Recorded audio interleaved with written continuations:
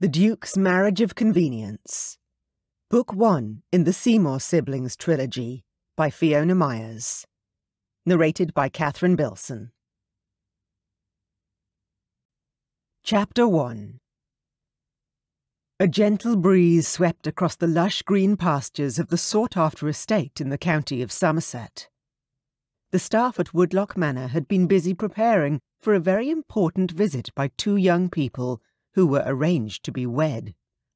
The betrothed couple were to finally meet after many months of negotiations between their respective families. The atmosphere at Woodlock Manor was bustling as the help prepared every last detail. The maidservants served a delicious breakfast on the terrace, while the manservants ensured the grounds were in pristine condition. Merriment and excitement were in the air. However, in the east wing of the manor, Submerged nearly entirely in a bath of warm water, Lady Kitty Dunn did not share in the excitement of those around her. Of course, she would not openly admit her misgivings in front of the two young maids, who were busy washing her long black hair. The sweet aroma of flowers allowed her to drift into a surreal wonderland where there was no need for her to jeopardize her beliefs for anyone, let alone a man she had never met. Arranged marriages were simply archaic to Kitty's way of thinking, and she could not believe that she was being forced into such a dire situation. But her temporary Wonderland dreams were very far from the real world, as she was fully aware.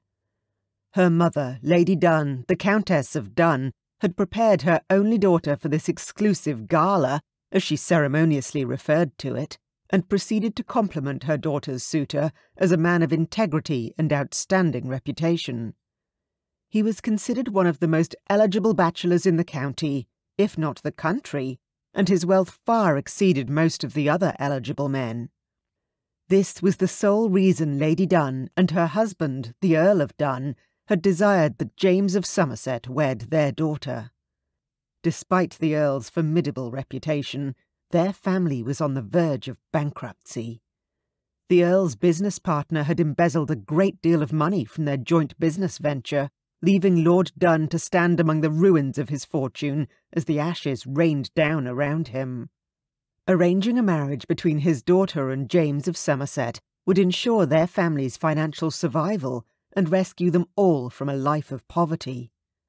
Of course, Kitty was well aware of the situation but it most certainly did not stop her from expressing her distaste for the arrangement itself.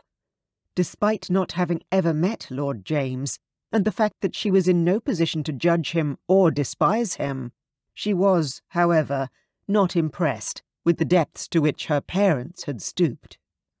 Her annoyance at her parents had somewhat coloured her view of her new suitor, even before their first meeting.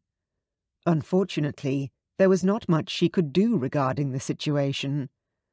Plans had been made, and her family had travelled to Woodlock Manor to meet with Lord James. The bedchambers were far more luxurious than she had ever seen, with light rose inlaid wallpaper and gold trim. The furniture was constructed of solid cherry wood, and three large windows provided a panoramic view of the meadows outside. It was certainly a comfortable and luxurious lifestyle in which she was likely to find herself in future, but no amount of extravagance in the entire world would make her wish this of her own accord. There you are, my lady, the maid-servant said in a soft voice, and Kitty transferred her glance to the serving girl rather than continue focusing on the sunlight that danced through the drapes. Oh, do make haste, child. Lady Dunn, who had been sitting quietly on a chaise near the window throughout the duration of Kitty's bath, spoke in an impatient tone. There is still much to do. Kitty rose to her feet and allowed the maidservants to wrap her in soft muslin as she stepped out of the bath. The warm air inside the bedchamber allowed a comfortable transition from the heat of the bathwater to where she would now be dressed for her meeting with Lord James. The young maids worked gently and diligently as they first dried Kitty's tresses with a cloth, and afterward dressed her in her inner wear, the soft fabric skimming her skin. The sensation caused her to shiver, but it was more a reaction born of anticipation and nerves rather than excitement. The weight of responsibility sat heavily on Kitty's shoulders. She was aware this was the only way in which her family's financial survival could be ensured, and she most certainly did not wish for her mother and father to be punished for something that was entirely out of their hands. The servant slipped a lovely pale blue day dress over her head and assisted her in straightening it out, then tying it at the back. She caught sight of her reflection in the mirror, and a small smile brightened her visage. She had not expected to enjoy any part of this ridiculous preparation, but she had to admit the dress was perfection. The colour suited her skin perfectly, and the style accentuated the curves of her body. She was not as petite as most young women her age, but her curvy body apparently made her even more sought after by Lord James, if the gossip she'd overheard among the maidservants was anything to go by. Her mother, of course, disagreed. It is a good thing you have been blessed with a striking face, my dear child, Lady Dunn pointed out nonchalantly. Every time she did this, the action annoyed Kitty immensely. She was convinced her mother did not approve of her daughter's body because Kitty enjoyed being out of doors. Even more appalling, at least according to her mother, was Kitty's love of horses. Kitty had been interested in the amazing creatures since she was a young child and had ridden her first mare when she was only five years of age. Her father had taught her to ride, which annoyed the Countess no end. In the Countess's opinion, it was not proper behaviour for a lady of Kitty's stature and lineage to be undertaking such unladylike pursuits. Of course, Kitty paid her mother little heed, and spent much of her free time riding her father's horses. She adored them, and hoped that her future husband would at least share her love for the majestic beasts. If not, their dinners as a married couple would be rather quiet. One of the maidservants gently brushed her dark locks, while the other intricately wove the hair with her fingers, placing white blossoms between the layers. Kitty studied her reflection as she was transformed from a young woman who spent too much time out of doors into a refined lady who would soon be the Duchess of Somerset. Lady Dunn moved across the room, catching Kitty's eye in the mirror.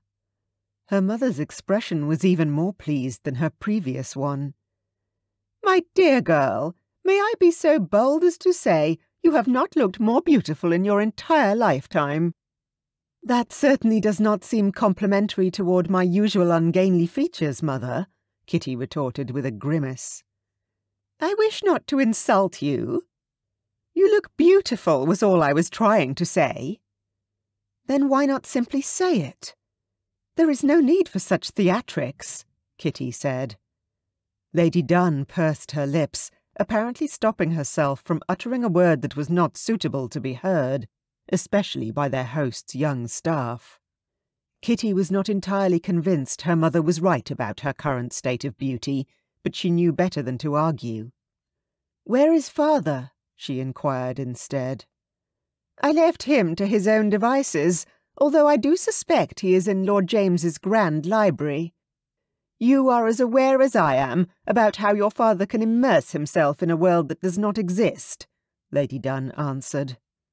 This time it was Kitty who pursed her lips to stifle the words that nearly escaped. It was no secret that the marriage of her parents was also arranged, and despite enduring a union that had lasted more than twenty years, Kitty was well aware of how miserable both her parents were to this day. It was one of the reasons she was so set against arranged marriages. Sometimes love did not grow with time.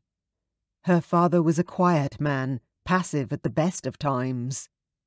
A well-read gentleman of fine lineage and intelligence, he was not boastful, nor did he treat his servants and staff as if they were beneath him. He was humble, and would often be found in the kitchen late at night, playing cards with some of the manservants. Or even in the stable, wandering among his beloved horses. Her mother, on the other hand, had been raised with a silver spoon of privilege in her mouth, and would not even dream of speaking directly to a maidservant. It was simply a product of her family experience, but her mother's haughty attitude often infuriated Kitty. Kitty had inherited her father's kind heart and adored the maidservants at their own estate. She would miss them all dearly when she no longer resided there.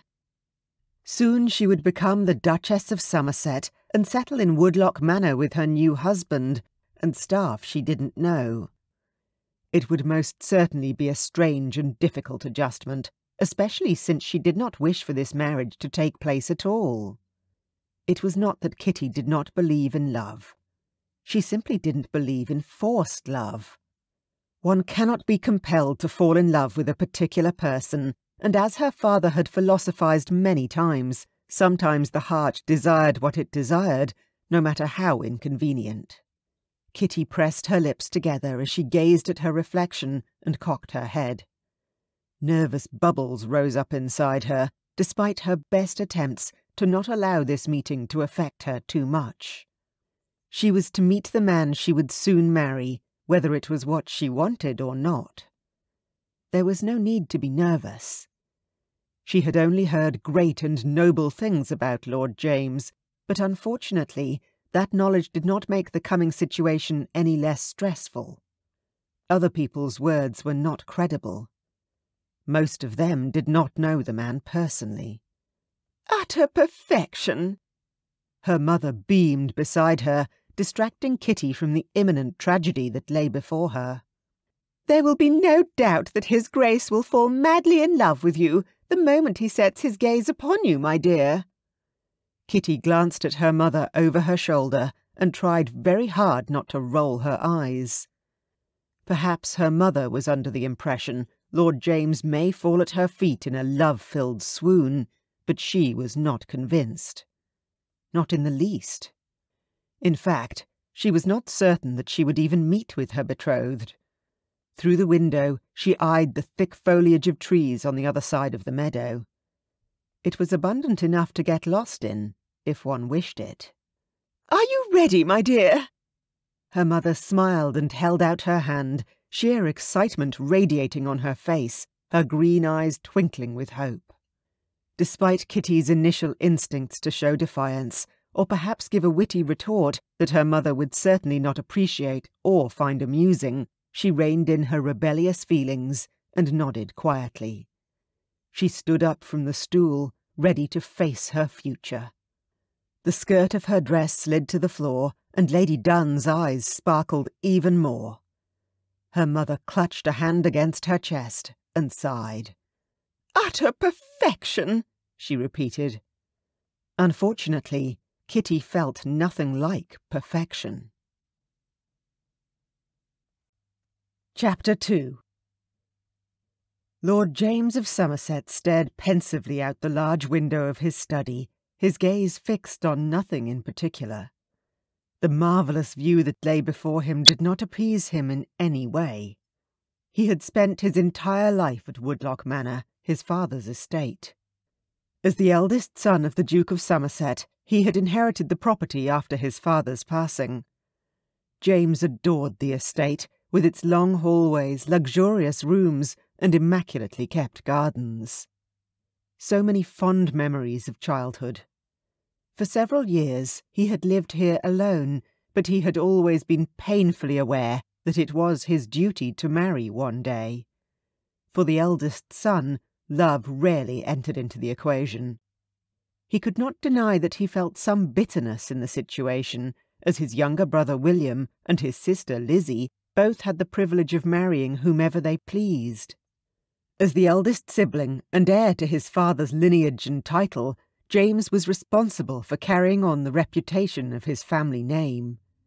Despite the fact that his mother and father's courtship had been filled with love and passion, which James's mother had spoken of constantly before her death, James knew it was still expected that he enter into a marriage of convenience.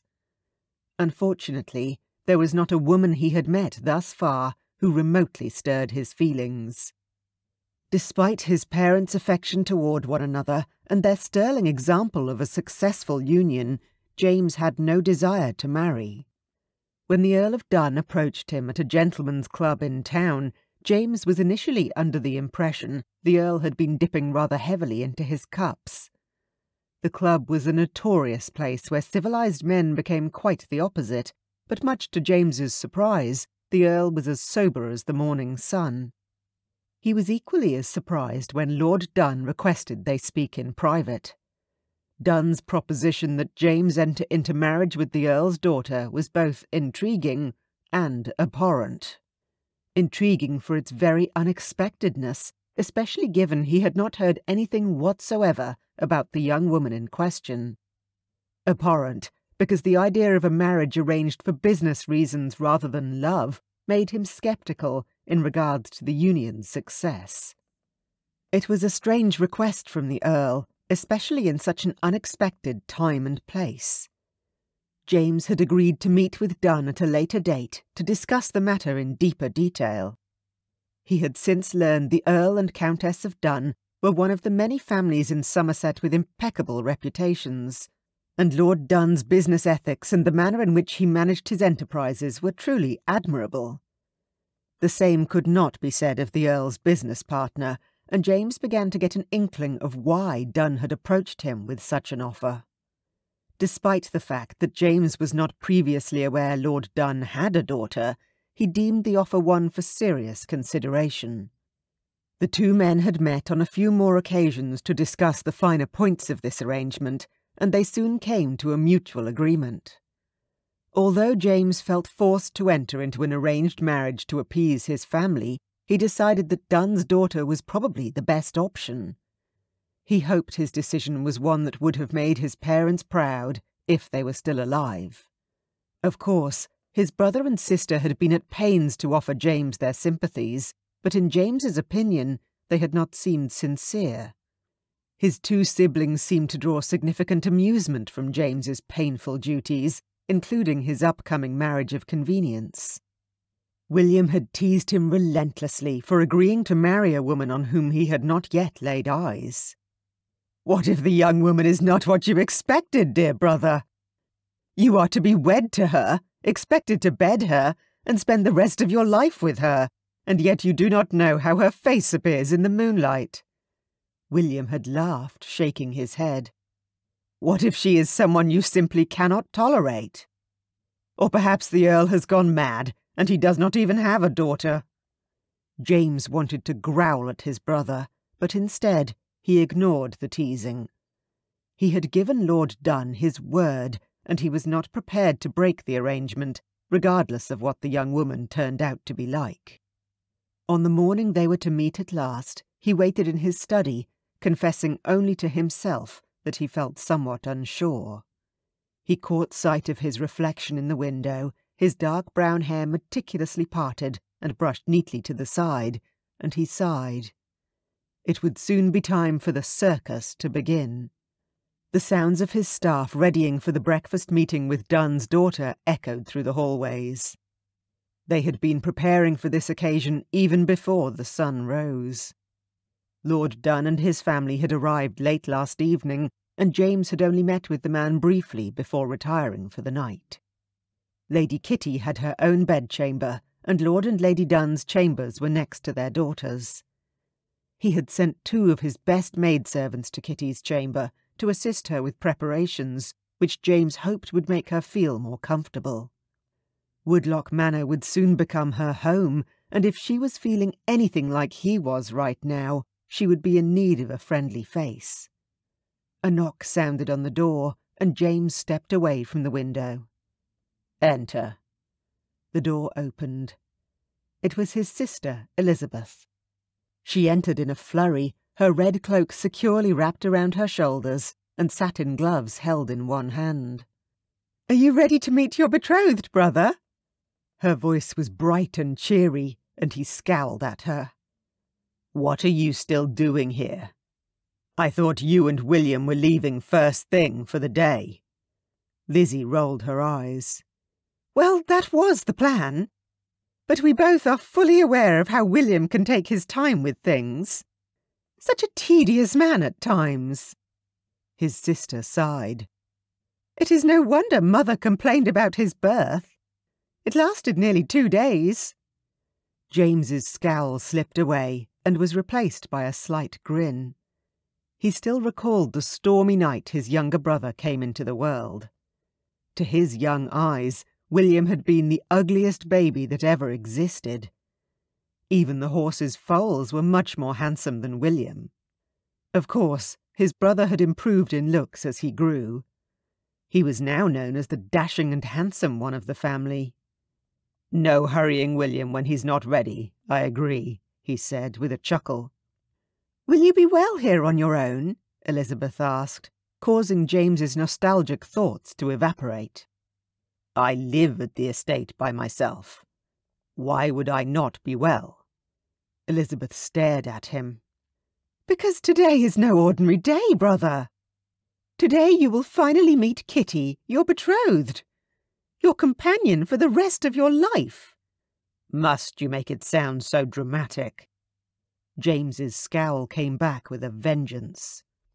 You've resided at this estate in isolation for far too long, and it will be a big adjustment to have someone else here. Will she be allowed into your chambers? James sucked in a breath, shocked at his sister's impudence. I hardly think that is appropriate. You and I both know how private you are, brother. I am merely wondering if this marriage will encourage you to open yourself up a little more.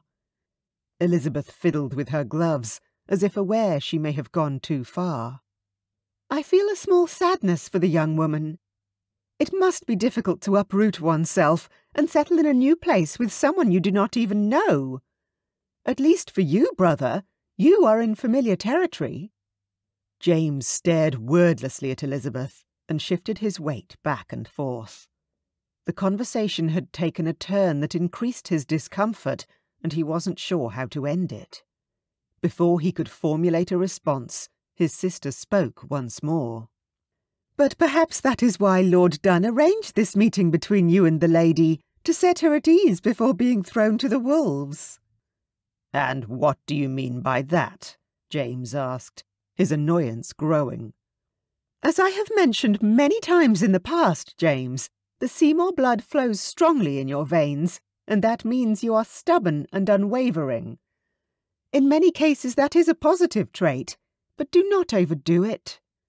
I cannot promise anything, he said. James, she is your betrothed. Although it is a business arrangement made by both you and Lord Dunn, you agreed to it. Promise me that you will at least make an effort to help this young woman feel welcome and comfortable. His sister stared at him, her large eyes beguiling. He cleared his throat. As I said, I promise. I see you are making promises again, brother. William's voice interrupted them as he entered the study, his manner conveying the confidence that James wished he had. William appeared comfortable in any given situation, perhaps as a result of not being required to follow in their father's footsteps. Or perhaps his confidence sprouted from his dashing looks. William and he differed not only in personality and demeanour, but also in their features. James had dark hair and green eyes, as opposed to William, who was fair with blue eyes. William was also taller and leaner than James, which made the latter feel incompetent at times. He might be the oldest sibling, but when he stood beside his brother, people often looked to William, assuming him the one in charge of the family. That had its own set of disadvantages and problems at times. He could do nothing to change the situation, and had simply learned to live with it over the years. I see you have finally graced us with your presence, Elizabeth said to William as she slipped on her gloves. Shall we leave? The carriage is waiting downstairs. Are we really leaving our dear brother to his own devices? William grinned in amusement. Or are you ashamed of your siblings, James? Or perhaps it is your bride of whom you are. William, that is quite enough, Elizabeth interjected sharply. Do not speak for me, Lizzie, James said, annoyance in his tone. He then turned to his brother. This arrangement was drawn up between Lord Dunn and myself, for the good of the whole family, which means the two of you. It is not appropriate for you to say anything negative about Lord Dunn's daughter, William. That action is simply unacceptable and beneath you. There is no need to attempt to make me feel guilty for not inviting either one of you to this meeting. It is clear that you find the whole situation amusing and continue to mock me for choices I am forced to make. William's mouth opened and closed like a fish, considering James's words, and then he turned swiftly and exited the study. Elizabeth bowed her head. I apologize. Not on his behalf, sister, James said, as he raised his hand. Lizzie glanced up, her lips twisting a little. Would you escort me to the carriage? Of course. She flashed him a brief smile, and they quietly left the study. Not a single word was exchanged as they made their way down the long corridor and through the great hall. Maidservants still scurried about, carrying large vases with flowers. James sighed. I should be grateful for all the staff's efforts, but I cannot help feeling as though I am backed into a corner, sister, James admitted as he opened the front door for Elizabeth. They stepped out into the clear June morning, and he inhaled slowly. At least it is beautiful weather to be backed into a corner, brother, she pointed out. James, do not fret. You have always been a man of impeccable taste, and your choices had never come back to haunt you. You will be fine. And I have heard many wonderful things about Kitty. You have? When? I have my sources. Elizabeth winked at him. For now, I must go, before William orders the coachman to leave without me. Thank you for the encouragement, James said, sincerely and gratefully. You are most welcome. I will see you at dinner. Elizabeth placed her hand briefly on James's shoulder before making her way to the carriage, where their brother waited. James watched as she climbed onto the vehicle and they rolled out of the estate grounds. He stood perfectly still until the carriage was entirely out of sight, and sighed wearily. Your Grace, he heard behind him, and he slowly turned. Roland, James's most trusted manservant, stood on the cobblestones. Roland, pardon the intrusion, Your Grace, but breakfast is ready to be served on the terrace. Thank you, Roland. I will be there shortly. Very well, Your Grace the man said with a nod. As he turned away, James called him back. Roland? Yes, your grace. Have you seen Lady Kitty, perchance? Indeed I have, your grace. What can I expect? James shifted his weight, wondering if he really wanted an answer. It is not my place to say, or to judge a young woman solely by her looks, and not knowing her in the least. But she is beautiful, and on first appearance, a fine young woman to have as your Grace's wife, Roland answered politely. The maids who tended to her this morning speak very fondly of her as well. Relief swept through James's chest, loosening the tightness around his heart. That is indeed good to hear, Roland. Thank you. The manservant bowed his head. It is indeed my pleasure, as always, your grace. Chapter 3 Kitty's heart pounded in her chest as she seated herself between her mother and father on the terrace. It was a magnificent day, the bright blue sky clear of any clouds, and the cheerful singing of birds from afar eased the nervous tension that held her shoulders taut. Within a few moments, she would meet the Duke of Somerset, the man her parents had arranged for her to marry. The man to whom she was expected to be polite, despite the feelings of dread curling around her heart. How could she keep up appearances as a delighted young lady who would soon be the Duchess of Somerset, when that appearance was anything but the truth? She must do it. There was no other alternative. Never in her entire life had Kitty rebelled against her father's wishes, and today, being fully aware of her family's precarious financial situation, she had no choice but to continue to act as he wished, even if it was at the risk of her own personal happiness. Kitty straightened her shoulders, lifting her chin as she noticed her mother's glare of disapproval from the corner of her eye. She inhaled slowly through her mouth, telling herself not to be so ridiculous. Lord James was just a man. No need to be this frightened of what the future would hold. Footsteps sounded from inside the manor house, slowly getting closer, in perfect tempo with her pounding heart. She turned her head toward the door as her mother and father rose to their feet. Quickly, she followed suit. The Duke stepped into the bright sunlight, and Kitty had to remind herself quite sternly not to drop her mouth open or stare too hard. Goodness, he was nothing like she'd expected. His chiseled jawline was much stronger and more masculine than the one she'd constructed in her imagination. With his dark brown hair, he was certainly a very handsome man. His posture and his broad shoulders spoke of a man filled with pride. Something flared in Kitty's belly as she stared into his intense green eyes. No, indeed. Lord James of Somerset was not what she'd imagined at all. She felt quite breathless until his gaze slid away from her to land upon her parents. Your Grace! Her mother and father were in unison as they greeted the Duke politely. Lord and Lady Dunn, their host answered in return. Welcome to Woodlock Manor. I do apologize for our brief encounter last evening. I had manners that required my urgent attention. There is no need for you to explain, nor apologize, Your Grace, her mother said quickly. Kitty watched as her father and the Duke shook hands. As he walked to his seat, there was another flutter in her stomach.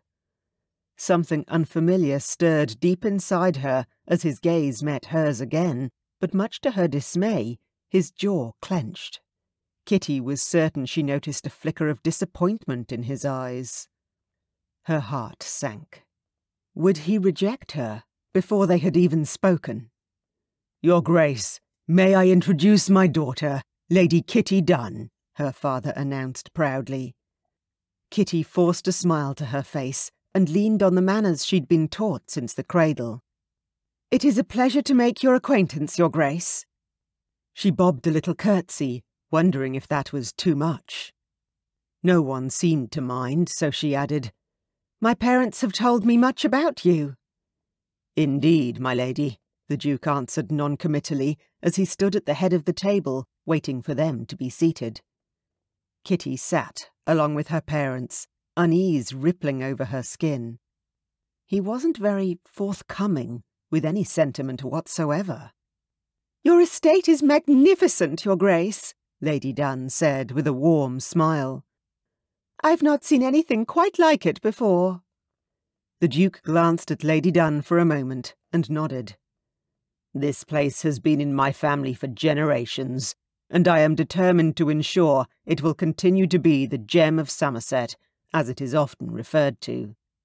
One can certainly see why. The gardens are beautiful. Lady Dunn sighed dreamily.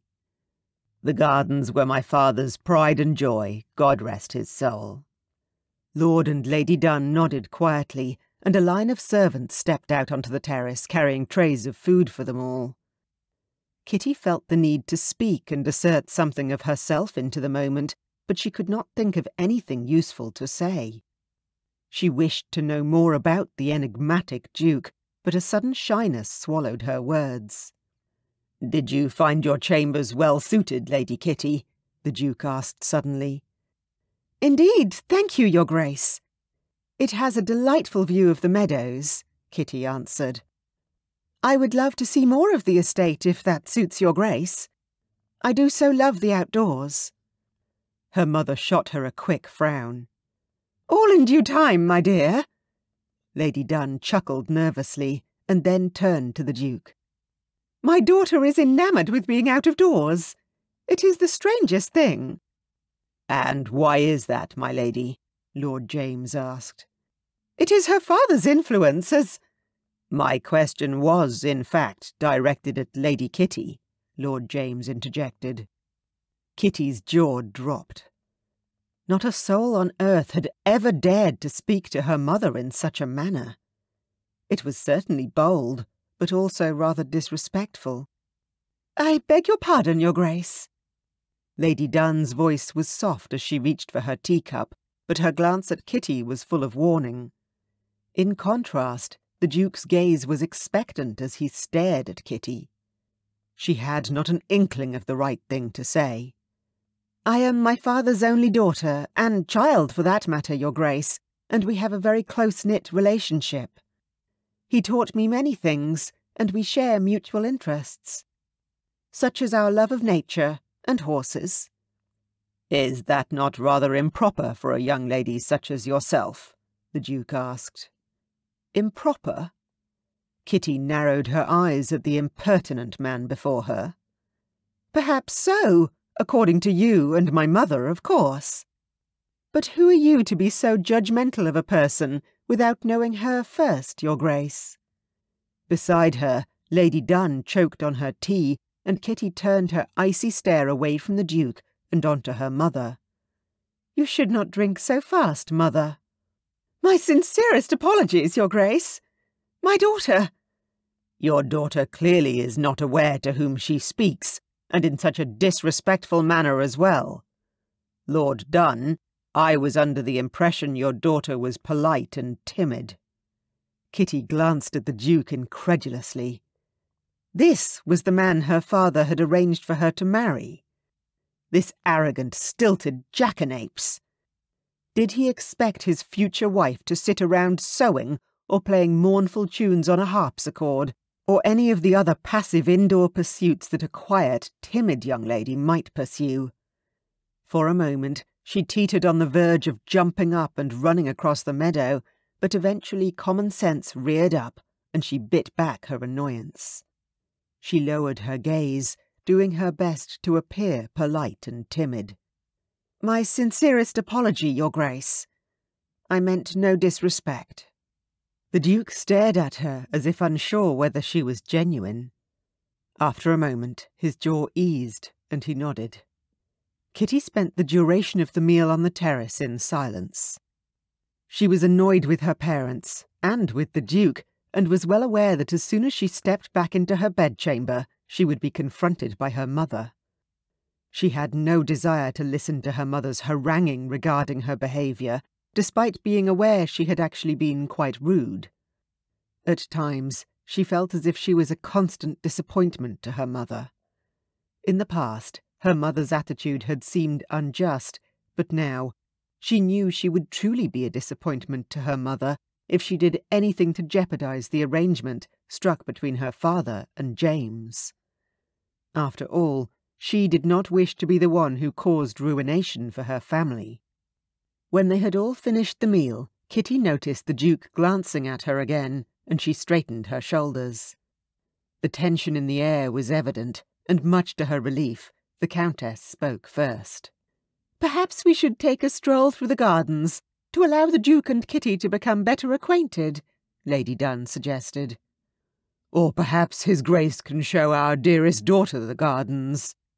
It is such a lovely day, Lord Dunn countered but only if it pleases you, your grace. The Duke glanced briefly at Lord Dunn before turning his attention to Kitty. Indeed, it would suit me. After all, we are to be married, and what better way to get to know one another than to take a simple stroll through the estate gardens? Especially when your future bride loves the outdoors. Kitty did not allow the sarcastic voice in her head to release. Instead, she gave herself a silent pat on the back for remaining silent. The Duke stood from his chair and held out his arm to her. She took it and allowed him to help her stand, then kept a hold of his arm while they slowly made their way to the stone steps that led down to the gardens. Behave, Kitty, her mother admonished. She tightened her lips. She had not expected her parents to allow her to take a stroll with the Duke without a chaperone, but she was certainly not about to question their decision. Perhaps he was known as such a stick in the mud that they knew there was nothing to be concerned about. As they descended the stairs, she glanced up at her companion, and, despite his striking gaze, there was a softness present that somehow eased Kitty's churning feelings. She released her hold on his arm. This way, Lord James said simply, and Kitty followed him to a stone path which led to a large circular-shaped hedge. Your Grace, I wish to apologise properly for what I said. I did not mean to be so blunt and rude. Kitty was genuine in her remorse. I am not quite certain why I said what I did. And yet you did, even though it was the first time we have met. It was a momentary lapse of judgment, but if I may be so bold as to say, you were rather oafish yourself, Your Grace. Kitty was not about to let him off the hook that easily. He immediately bristled. I am the Duke of Somerset and a Seymour. We are one of the wealthiest families in the county, if not England. Surely my title and position must engender a certain level of respect. Neither power nor money can engender respect, Your Grace, Kitty pointed out. Respect is something to be earned. With all due respect to you and your family. The Duke stared at her, I must admit, my lady, you are not what I imagined you would be. I will graciously accept that compliment, Kitty answered. It was not intended as such. I know. That is why I will accept it. As a compliment. Because anything else would be an unforgivable insult, would it not? Kitty hardly knew what she meant, but at the same time she enjoyed the look of confusion on the Duke's face. The man was in need of someone who could stand up to his supreme sense of self-worth. She lowered her gaze immediately after speaking. Did she really have to endure this man for the rest of her life? Although Kitty could not deny the Duke was handsome, a pleasant appearance certainly did not mask arrogance or an inconsiderate nature, and so far it seemed that he had both. I am who I am, Your Grace, she said at last, when he didn't speak. Despite my mother wishing I were a different person, I cannot change who I am without betraying myself. There was a long, drawn-out pause before he answered. To thine own self be true. Kitty blinked, surprised by his response. Indeed. What is your favourite thing to do, my lady? James inquired.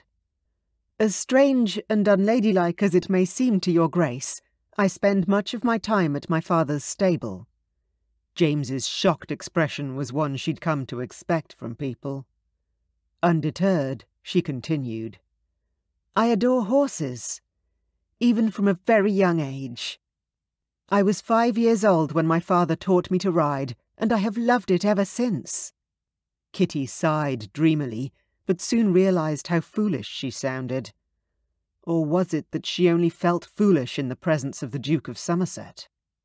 Lord James was a sophisticated man with mature thoughts, and her own words seemed rather juvenile in comparison. As a member of such an important and influential family, and having such an esteemed title, the Duke had been forced into a world where he could not enjoy the things he loved, and had to fulfill his family's destiny as best he could. She suddenly wondered what his favourite activity might be. I have a stable full of fine steppers, he said, out of the blue. You do, Your Grace? With a property of this size, Kitty had assumed he would have stables and horses. However, she hadn't been sure if he would share such knowledge with her. Indeed. I have many horses in my stable, but I rarely get the opportunity to ride them. But you do ride? Kitty couldn't contain a tiny, hopeful smile. Most likely not as well as you do, my lady. There was a decidedly friendly tone in the statement, almost as though he were teasing her. She shrugged, trying to hide the confusion his teasing created within her. May I ask a question, Your Grace? Of course. Would you perhaps take me there, to your stable? It would mean the world to me to visit your horses. James nodded. Of course, my lady. This way. A wide and genuine smile formed on Kitty's face for the first time since her arrival at Woodlock Manor, and for a moment she thought she saw an answering smile on the Duke's face as well. Chapter 4 When James told Lady Kitty she was not what he had imagined, he meant every word. The manner in which Lord Dunn had described his daughter was somewhat deceiving, and he had failed to mention her love for horses. It was rather curious behaviour for a young lady. Most ladies of the ton he'd met enjoyed only indoor activities, and would never be seen in the company of what they perceived as filthy animals. Those ladies would much rather have tea in the parlour and speak of their dreams of becoming a wife to a nobleman and a mother to his heirs. They wore exquisite gowns and spoke only when spoken to.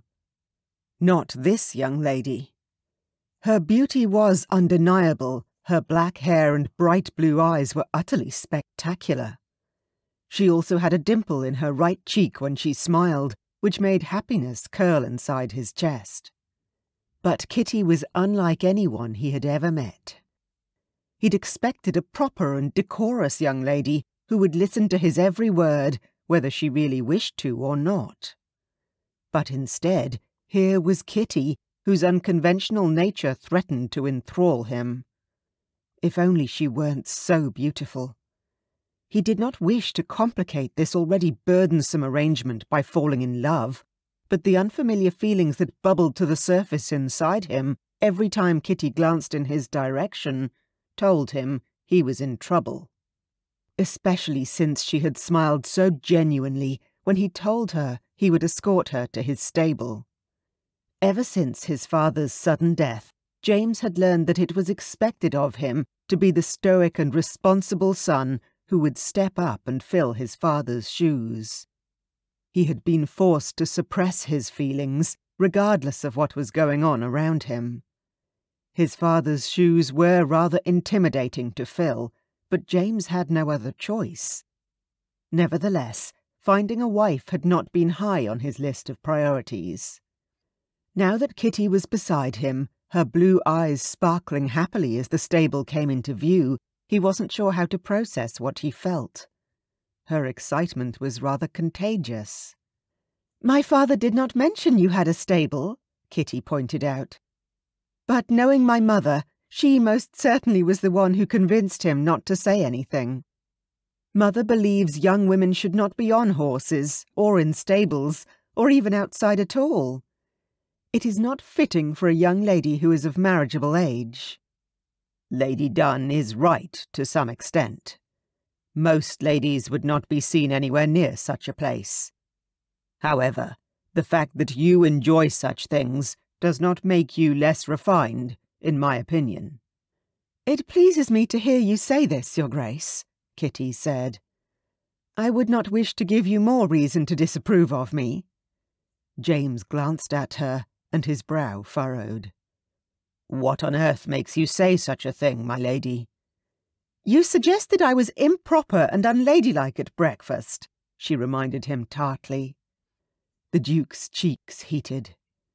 I was simply surprised by the conversation, that is all, he said. I did not mean to give offence. Kitty studied him. Pardon my candour, Your Grace, but I am not oblivious to the situation in which we both find ourselves. This is merely a business arrangement and nothing more.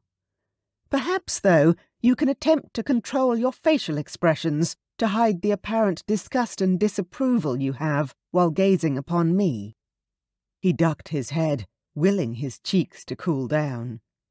My sincerest apologies, my lady. This beautiful and utterly frank young lady who walked beside him clearly did not understand why his visage carried a look of disapproval but it was not the sight of her, nor anything about her, that had disappointed him. It was the innocence and abundance of life that danced in her bright blue eyes that disheartened him.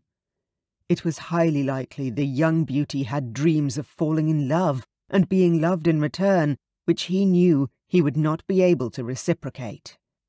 Of course, James could not reveal this to Kitty without seeming weak and vulnerable, and the men of the Seymour name were neither of those traits. For now, if Kitty was under the impression he disapproved of her, then so be it. He could not offer any more at this time. The pair reached the stable without exchanging any more words, but as James pushed open the large wooden door of the stable, Kitty's jaw dropped and her eyes sparkled even brighter than before. The large barn housed at least fifteen magnificent horses. Their coats shone with vitality, and their muscles were well developed. It was obvious they were well fed, groomed regularly, and exercised daily. The stalls were filled with clean, fluffy straw that had its own unique aroma, which confirmed they were mucked out more than once a day. The cobblestone floor was swept clean, and in the corner, James noticed two grooms chatting while they polished horse tack. The soft sounds of horses rose around them as James led Kitty down the aisleway, a small smile forming on his lips as he watched her with the animals. She slowly approached each one, stroking its muzzle lovingly and whispering softly, her words inaudible to James.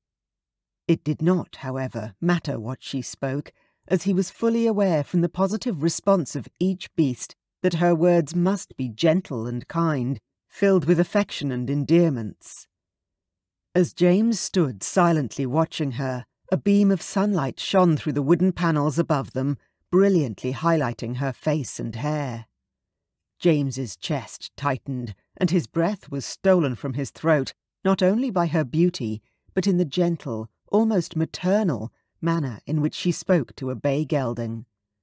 She gracefully moved to the next stall, doing the same to the Palomino stallion. Her gaze moved downward, and she turned to James with a furrowed brow. Your Grace, Kitty said. James's brow rose, and as she glanced expectantly at him, he approached her. Yes, my lady. This stallion is ill, I beg your pardon, my lady, James inquired. Look, Kitty said, and pointed to the horse's coat. His coat is dull, and so are his eyes. He has not eaten any of his hay, and he seems rather lethargic. James narrowed his gaze, taking in everything she had said. You are very perceptive, my lady. Why hadn't his grooms noticed the same thing? You should have an animal doctor come and attend this horse, Your Grace, Kitty insisted. I will have one of the grooms summon him. I promise you that, my lady. Thank you, Your Grace, Kitty answered gratefully, slowly stroking the horse's muzzle. My father taught me everything he knows about horses, when they are happy and thriving, and when they are ill. We have lost a few in my lifetime, each one's death sadder than the previous. I loved those horses, each and every one of them. I see it in your eyes, my lady, James said, and Kitty turned to him. The manner in which you speak to the animals, and the manner in which you approach them, you do it so elegantly and full of grace. It is truly admirable. Kitty smiled sincerely and nodded. Thank you, Your Grace. Your words are kind. Kinder than I expected they would be. I believe you may be labouring under a misconception about me, James said, unwilling to let her go on believing him indifferent. And what precisely would that misconception be, Your Grace? He'd never had to explain his personality nor his manners before, and he struggled to draw the correct words into his mind. He swallowed hard. My father was a stern man who did not take kindly to those who opposed him, or those who did not fit into the parameters he had been taught to believe were right. Your father would not have approved of our betrothal? Kitty asked. That is not what I was insinuating, my lady. Tell me then, your grace, Kitty insisted, her jaw tightening in a determined way. For a very long time I agreed with my father, even after his death. There was a proper way for people to behave, and there was an improper way. James had idolized his father and done everything in his power to uphold the standards that had been set for him. Do you still agree with his way of thinking, Your Grace? Kitty asked, cocking her head and waiting as if she genuinely wanted to know his answer. Perhaps not completely, but still to an extent, James answered, compelled by her interest to present the truth. Shall we return to the terrace? I don't wish for your parents to think I have abducted you. Kitty nodded with a perfect smile lifting her rosy lips. They would be delighted, in all honesty. James chuckled at her dry tone as they left the stable and stepped out into the crisp late morning air. The sky was still blue, contrasted now by puffy white clouds drifting overhead. Kitty's blue eyes shone even brighter than they had before, and James could not tear his gaze from her. Is something wrong, Your Grace? Kitty inquired. There is quite a peculiar expression on your face. I was merely thinking of something. James shrugged and turned away from her inquisitive gaze. This might seem very unorthodox, my lady, but perhaps we could go riding together. The meadows are beautiful this time of year. Do you enjoy riding, Your Grace? I would not like to impose on your indoor activities, Kitty answered coyly. A grin formed on James's lips before he could help himself. To be entirely truthful, I have not ridden a horse in a long while. Since my father passed, there has been no time.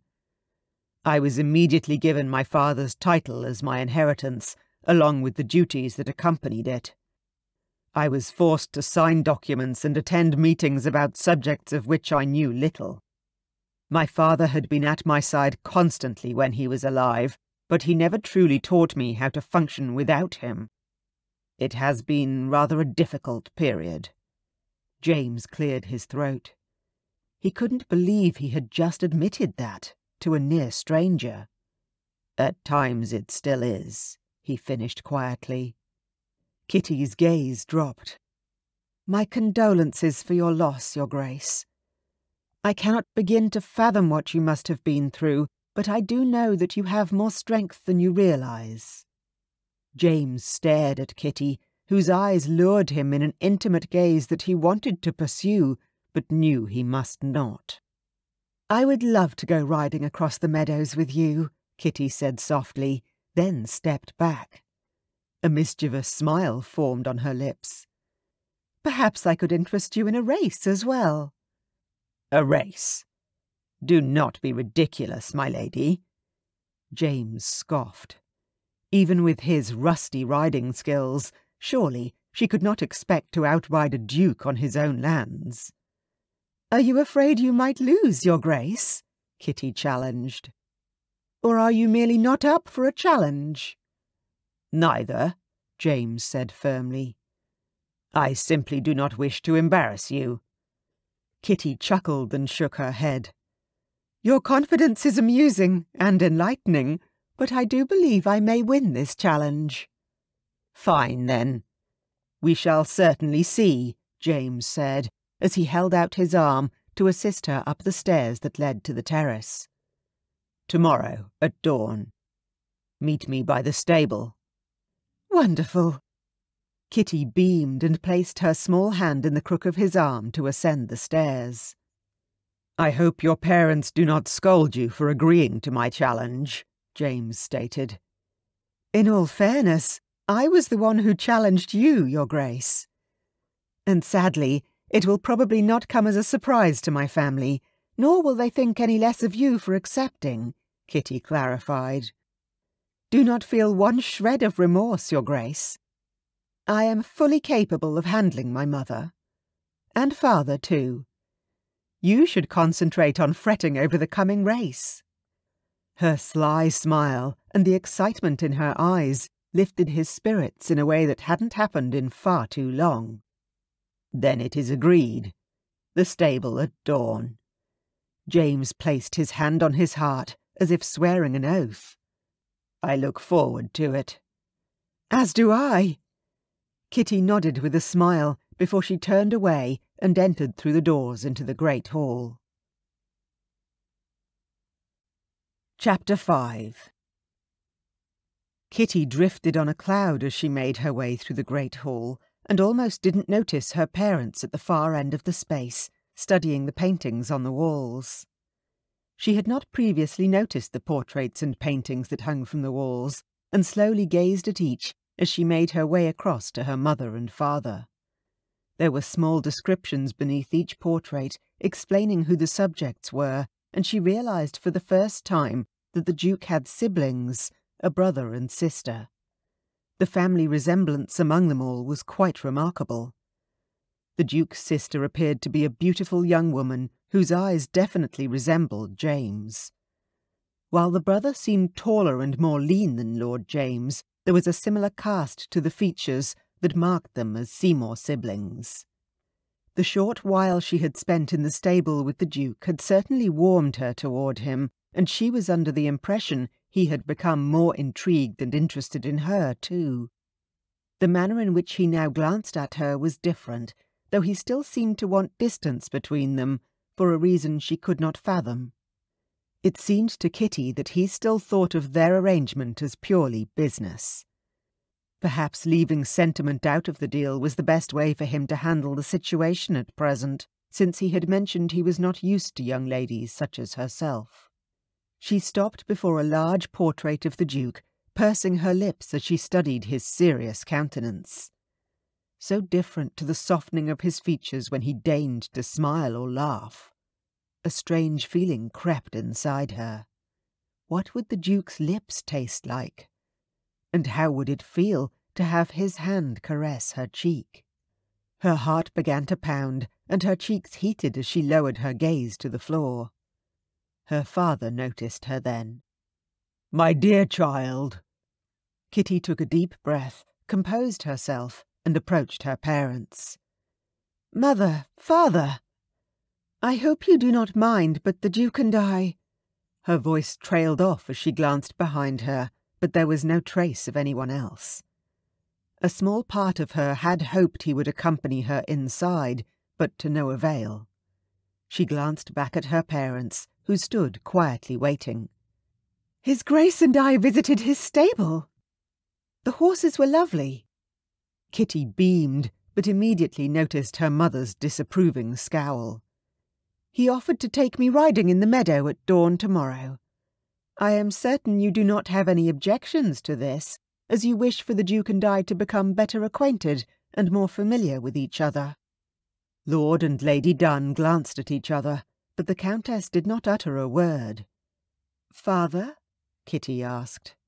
Of course, we approve, he answered at last, and Kitty raised her brow apprehensively. She was well aware her mother was embarrassed at the notion of her daughter taking a ride in the meadow, but at least it pointed to the Duke's interest in her. I promise to be on my best behaviour, mother. After all, the Duke would not have offered if he was opposed to spending time together would he? Kitty pointed out. Indeed, and for that we are truly blessed and grateful. Lady Dunn breathed a sigh of apparent relief, but her lips were still tight, indicating her reluctance to fully support the excursion at dawn. You will require a chaperone, of course. Perhaps I could have him ask one of the grooms to ride with us. I am well aware of how much Mother dislikes horses, and I would not wish for you to feel abandoned in such a large and spacious estate, Kitty suggested, as she glanced at Lord Dunn for his thoughts. That is a splendid idea, my dear, her father answered. Then her mother piped up. Your father can keep me company while you frolic in the wilderness with your betrothed. It is hardly frolicking, mother. We will simply be riding the Duke's horses through the meadow. No wilderness.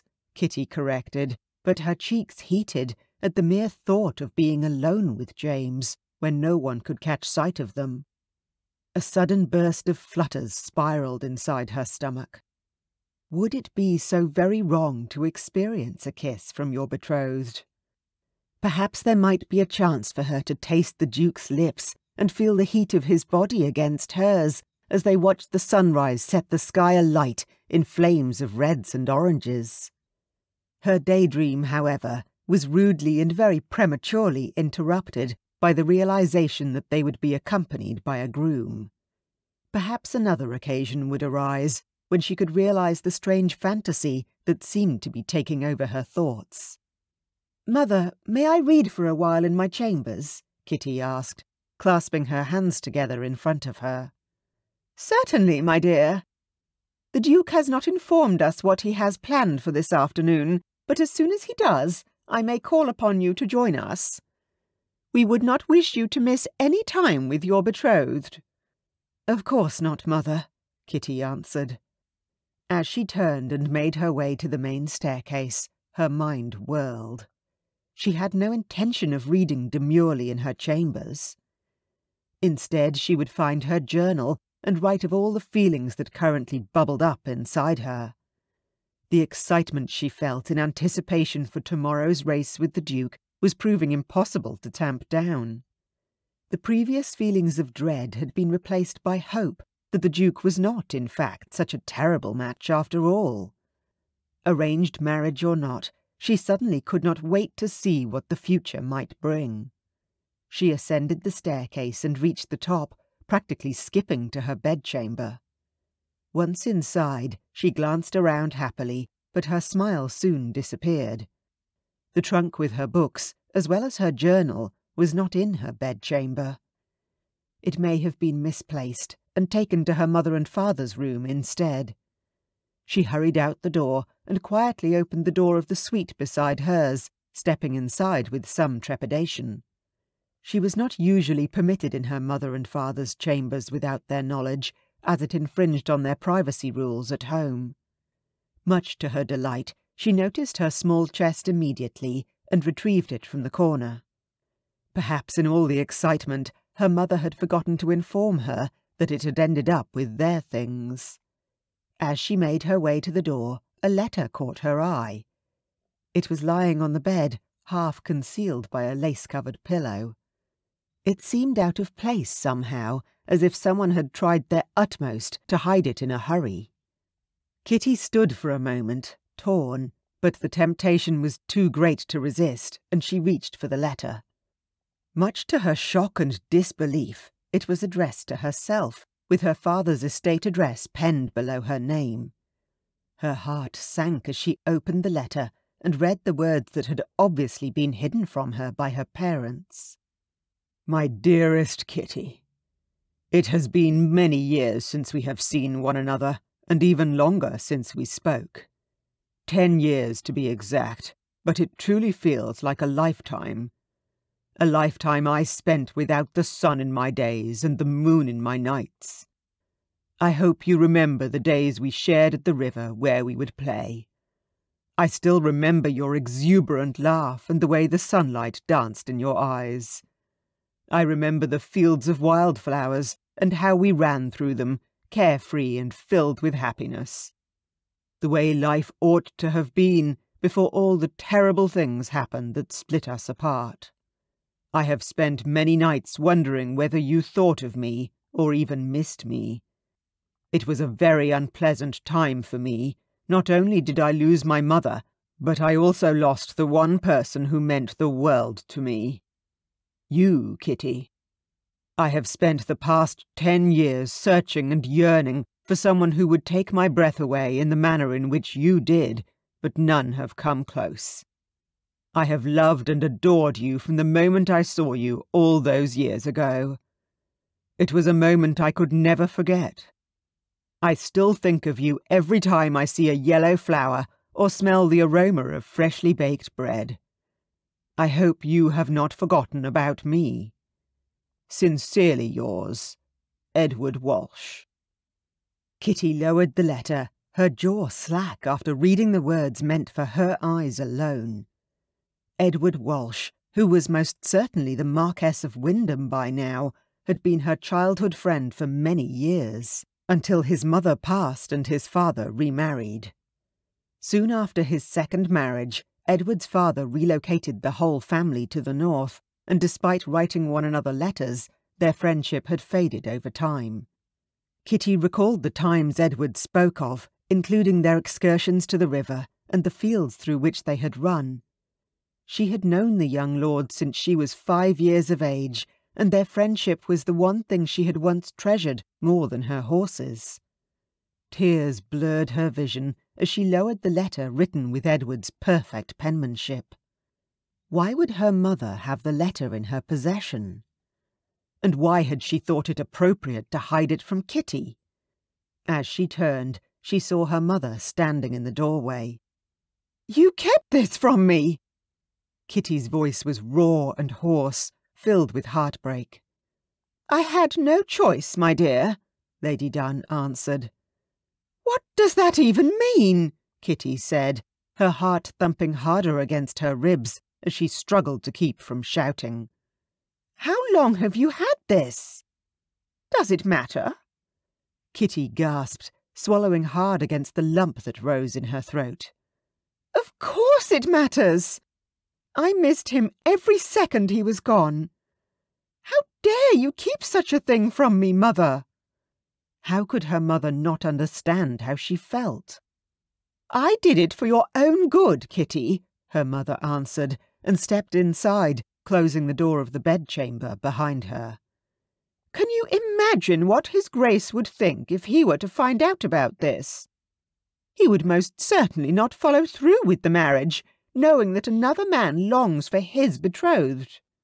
That was not your decision to make, Mother, Kitty argued.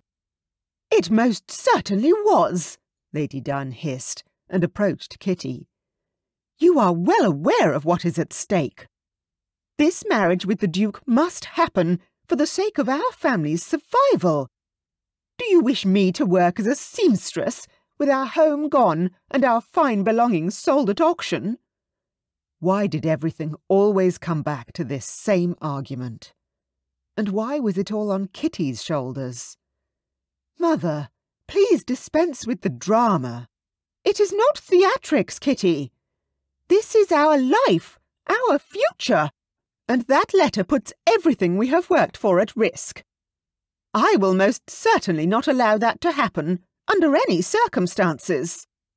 Lady Dunn snatched the letter from Kitty's hand. Mother, I will not allow this to affect your father's arrangement with the Duke, and neither should you allow this to have any effect on you, her mother hissed once more. With her mother like this, it was pointless to even begin to attempt any form of defiance. Her mother's mind had been made up, and that was the end of it. Kitty knew her thoughts or opinions on the matter did not count. She left her mother's chambers without another word and without her precious letter.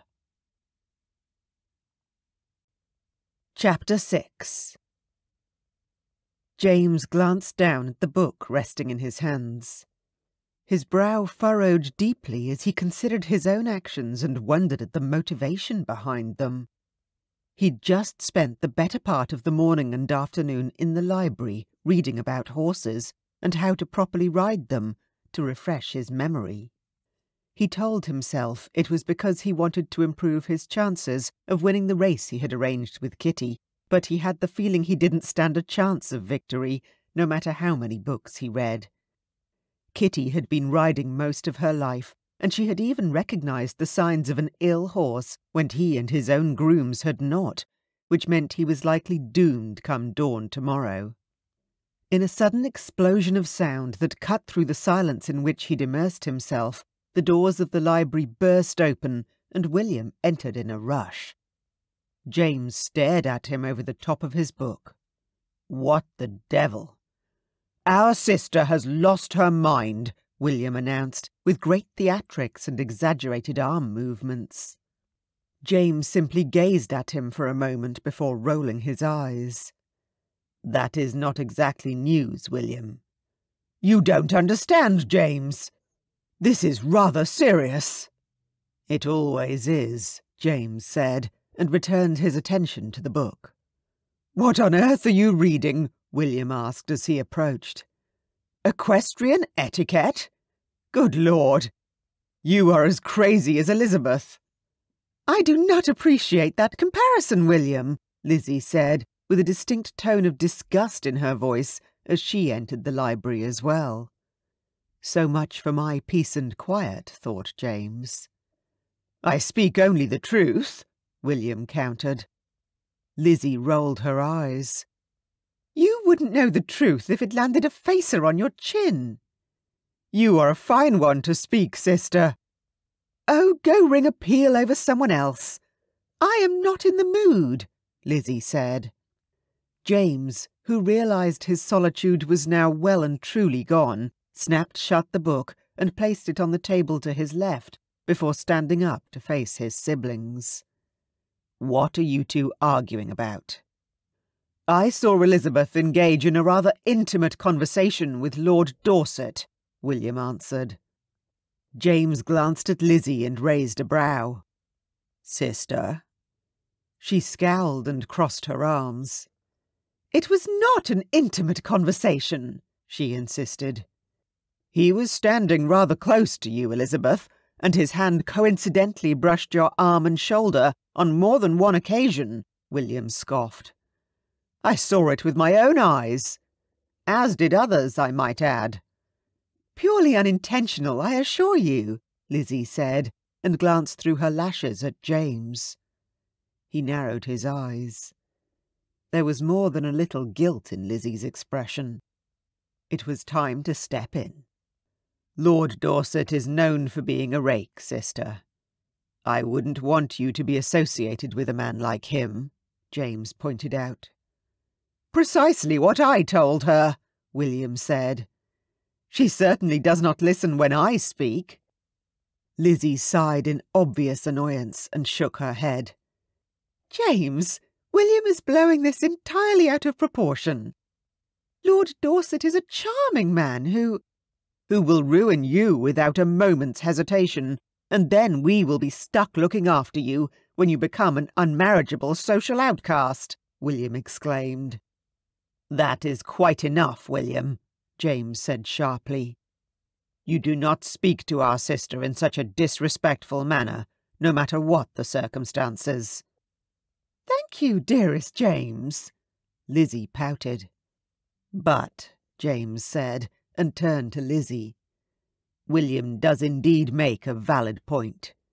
Lord Dorset is notorious for being a rake. He has ruined the reputation of many young women. Possibly, Lizzie interrupted. Or possibly not.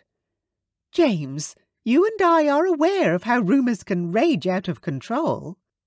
Need I remind you of the rumour of you and Lady Whitmore? There is no need to bring that up, James interjected. Precisely. The rumour mill churns out all kinds of untruths. Perhaps Lord Dorset is not as infamous as he is said to be, Lizzie pointed out. Are you willing to take such a chance? James inquired. Are you willing to stake your reputation, your future, the Seymour name, on chance alone? A few moments of silence filled the library, but the silence had an edge that it had not had prior to his siblings' arrival. Lizzie inhaled deeply and approached James. She cocked her head as she saw the book's title, but did not mention anything about the subject matter. She turned to face her brothers. I understand you both feel the need to protect me, and I am flattered that you would go to such extremes, but I am a grown woman. I can make my own decisions, especially ones related to men. You see, that is where you are wrong, sister. William shook his head and glanced at James. Tell her. If there was one thing James despised more than anything, it was being thrown into the middle of his siblings' incessant arguments as the mediator. As the eldest, he was often forced to choose sides, and he'd had enough. James wished for his brother and sister to have the best in life and to make sound decisions, but he could not force them to choose differently, nor negate their opinions as invalid or unimportant. At most times, his sister was not the rebellious one. That role usually lay with William. This time, though, he had to admit that her defence of Dorset was not a sound decision at all. Lord Dorset was indeed a rake, and the tales that had spread through the county were not mere rumours. James had heard stories first hand, many from the Marquess himself. It was not something to boast about, but Lord Dorset possessed not even an inkling of remorse for what he had done to the many women who had fallen for his charming ways. There had been several occasions at their gentlemen's club in town where James was forced to hold his tongue while listening to Lord Dorset boast of his exploits. When it came to his sister, that was an entirely different matter altogether. I can see in your eyes, sister, that you have already made up your mind about the man's innocence, James finally answered, speaking slowly to allow Lizzie to fully grasp his words. But you are wrong. I personally have heard him speak of his many exploits, and without any sign of remorse either. It is only natural for William and I, as your brothers, to caution you with regards to Lord Dorset. He is a notorious rake, People can change. William groaned, and James rubbed his eyes wearily, holding in the exasperated growl that threatened to erupt from his throat. I would not wish any harm upon you from his hand, or anyone else's for that matter. Understand, sister, that William and I are doing our best to look after your well-being. Lizzie's eyes softened, and she approached James, taking his hands in hers. I value your opinion most in this world, James, and I love you with all my heart. I understand that you are concerned about me, as you are too, William, and I cannot express how appreciative I am. But my choices are still mine, and I am mature enough to deal with the consequences. Knowing you are here for me when I need you is enough. More than enough.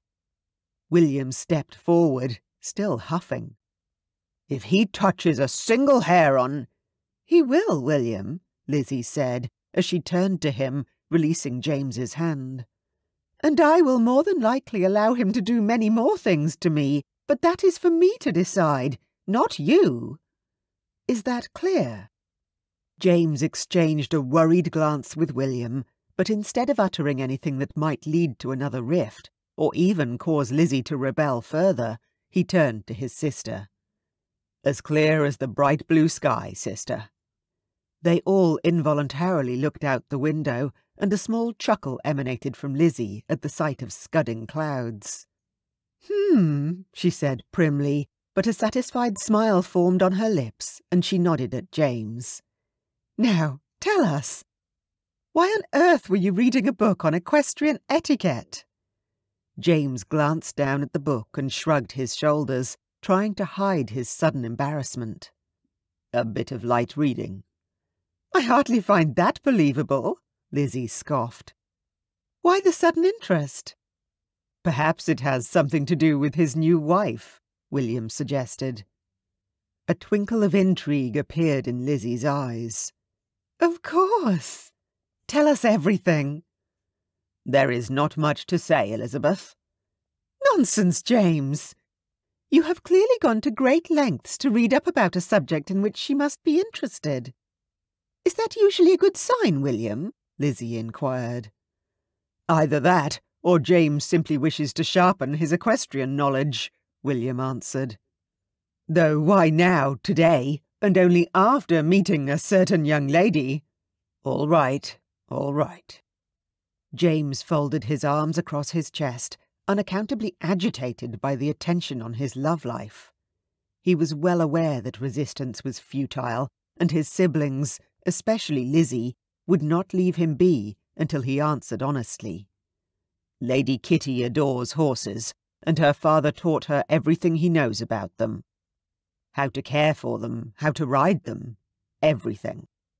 I offered to take her for a ride in the meadow tomorrow at dawn, and I thought it would be prudent to read through the books here in the library in order to not seem, uh, inadequate, William shot at him. Lizzie cocked her head. Your knowledge of horses is rather questionable, James. You do not even like them.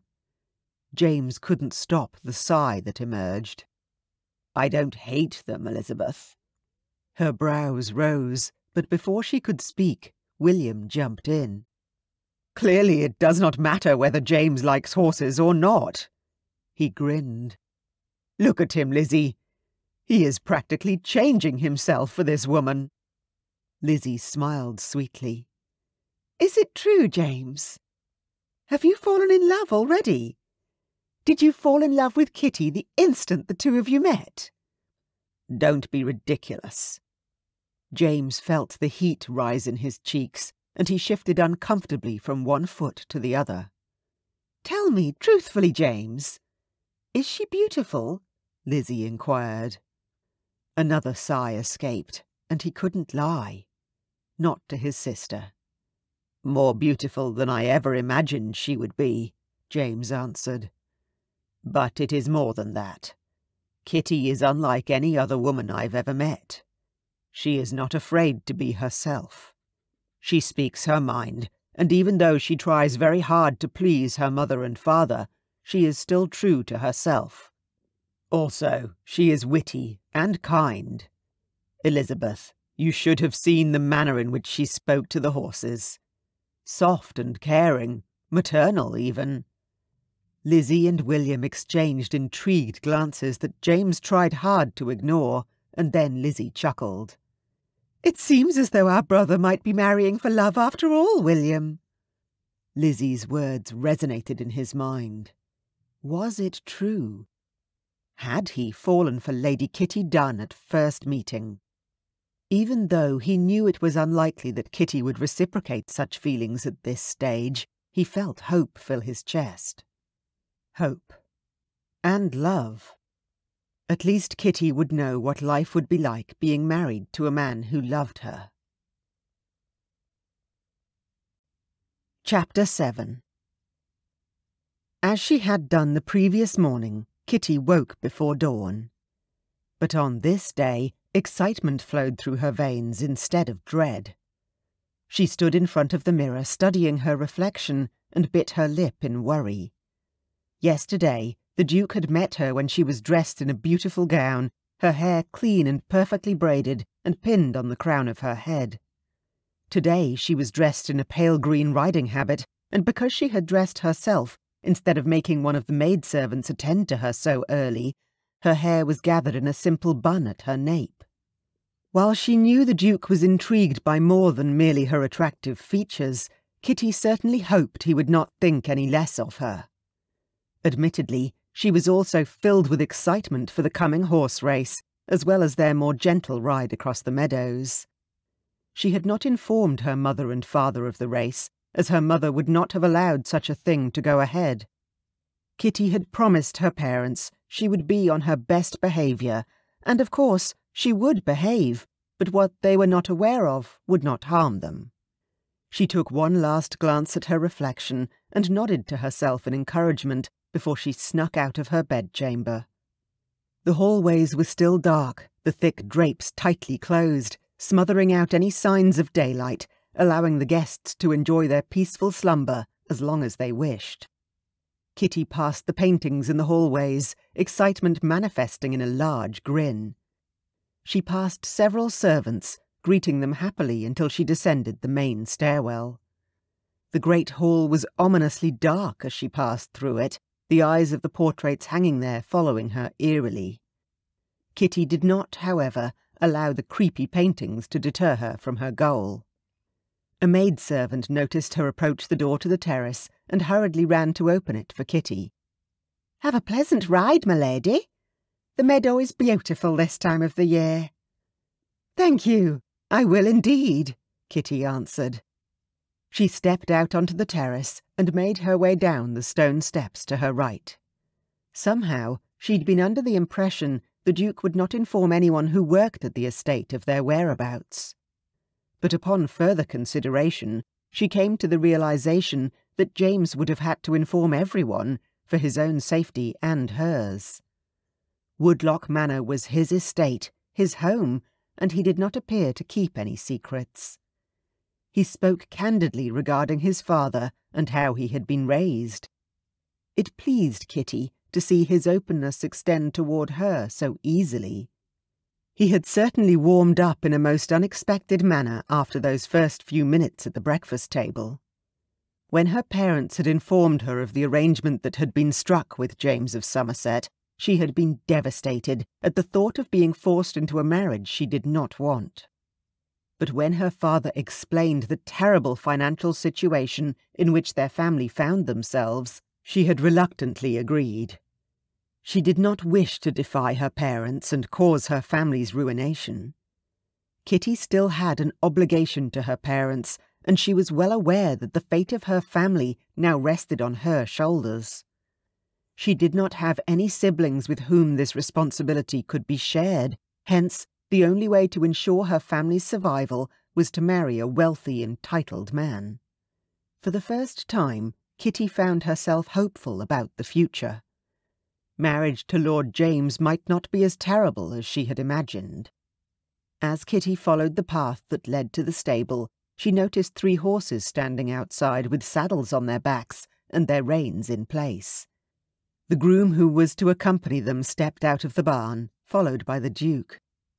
The moment Kitty gazed upon James, her heart pounded in her chest, and time slowed down. The Duke immediately noticed her approach and turned to her with a small smile. Your Grace, she said, her voice slightly breathless. A good morning to you, my lady. You look absolutely radiant, the Duke greeted her. Your words flatter me, Your Grace, Kitty said, lowering her gaze in a futile attempt to hide her heated cheeks. I speak only the truth, my lady, James said. Are you ready? Kitty glanced at the Duke and noticed his outstretched hand. Perhaps it is more appropriate if I ask you that question, Your Grace, she answered, with a sly chuckle. Your confidence is admirable. The Duke laughed in return as Kitty placed her hand in his. James led her to the snow-white stallion that stood a short distance from them, beside a chestnut that she assumed was meant for him. Your horses are beautiful, Your Grace. He settled Kitty onto the side saddle on the white horse before the groom gave the Duke a leg up onto the chestnut. Within a short while, they made their way in the direction of the large meadow. Kitty adored the feeling of being on the graceful and majestic white stallion's back, her body moving up and down and learning the creature's gait as he trotted through the tall grass. It had been too long since she had been able to ride her horses, which sadly were no longer in her father's possession. As soon as the news came to light with regards to his business partner and the scoundrel's theft of finances from the company, Lord Dunn was forced to sell off many of their assets, which unfortunately had included the horses. Of course, Kitty had been devastated, but she understood the necessity. This was why it was important for her to make certain her union with the Duke went smoothly. Although it would not bring her beloved horses back, it would most certainly ensure that her father did not lose his estate as well as his business. Her father had, in Kitty's opinion, already lost enough. She gazed at the sky as the sunrise illuminated the area in a warm glow, and a shiver of delight ran down her spine. The meadow was extraordinary, and the man riding his horse beside her was even more so. She could tell he was perhaps a little rusty in the art of horse riding, but overall he had an excellent level of skill. His hand was light on the reins, which meant a lot to her, as she could not abide those who treated their mounts with heavy-handed disrespect. The light fell on James's face, accentuating his features, and Kitty could not help but stare at him longer than usual. His dark hair blew softly in the fresh breeze, and his shoulders were relaxed as he gazed out across the landscape before them. The meadow is beautiful, Your Grace. I have not seen anything like it in my entire life. Not even riding the countryside with my father, Kitty said. It is quite beautiful, he said. I have not been out here at the meadow for a long while. I will have to remedy that in future. Other matters required your undivided attention, Kitty said with a nod. Thank you for bringing me here. It is calming and relaxing. A welcome break from the bustle and ruckus of the manor. If you are referring to your parents, James said with a grin, I could not agree with you more, my lady, and it is my utmost pleasure. Kitty chuckled in amusement and glanced at James. You and I should do this more often, Your Grace. James glanced at her with a furrowed brow, and she pursed her lips briefly before blurting out, When we are married, this could become a new family tradition, perhaps. The thought of spending the rest of her life with James was now more than palatable. When he did not respond, she lowered her gaze. Had she pushed too far? I understand if you do not wish to do that, Your Grace. It is, after all, simply a business arrangement between you and my father. Is that what you think, my lady? James asked. It does not matter what I think, Your Grace. It is the truth, is it not? Kitty asked. You had not met me before yesterday. You do not know nearly enough about me to fully support this marriage on any basis other than a mutually beneficial business arrangement. My lady, just because we only just met does not mean. Kitty waved her hand. You do not need to make excuses, Your Grace. I am aware of the situation, and I accept it. You misunderstand, my lady. Yes, this is an arrangement forged between myself and your father. But until I met you, I wasn't. What I mean to say is. James coughed and then sighed. My lady, what I'm trying to say is that once we met, any doubts I might have had about the situation just melted away. If this wasn't what I wanted, I would not have gone through with it, he said. Kitty's brow furrowed. How can you say such a thing, Your Grace? You barely know me. But that which I do know of you, my lady, appeals to me very much, the Duke pointed out. And what precisely do you know? Kitty asked, allowing a shy smile to escape. Your ferocity, the manner in which you stay true to yourself, regardless of what others may say the love you have in your heart toward the things that make you truly happy. Your obvious kindness toward others, James answered. Kitty's knees weakened, and she was infinitely grateful she was not standing, as she may have fallen on her face. Your words are very kind, Your Grace. They are true, my lady. The Duke smiled at her, the corners of his eyes crinkling in a very enticing manner. Kitty reciprocated the smile until hers turned into a sly smirk. Perhaps it is time you and I prepare for that race you proposed. As I recall, it was. His voice trailed off. Perhaps we should. Kitty chuckled and steadied her horse. She had great faith in this wonderful white beast. Shall we race to the top of that hill in the distance? The Duke glanced in the direction Kitty motioned and nodded. Very well. And whoever is the winner... Kitty brought her hand up to her chin and pondered for a moment. What sort of prize would be worth having? The winner can decide a suitable punishment for the other, in a manner of speaking.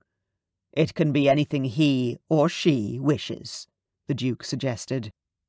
Kitty found his suggestion intriguing and rather appealing, so she nodded. That is an excellent suggestion, Your Grace. I thank you, my lady. The Duke seemed slightly nervous as Kitty positioned her stallion beside his, and she glanced across at him. He was fidgeting with his reins. Is everything well, Your Grace? Indeed. Why do you ask? Kitty shrugged her shoulders. You seem nervous. Nonsense. Then he seemed to relent. It has merely been some time since I rode a horse, let alone raced with an opponent, he admitted. I can understand that, but in order to preserve my honour, please do not allow me to win. I do not feel that would be in any manner a compliment, Kitty felt compelled to say. Just in case you were considering that option. Understood, my lady. The Duke nodded. Excellent. Are you ready?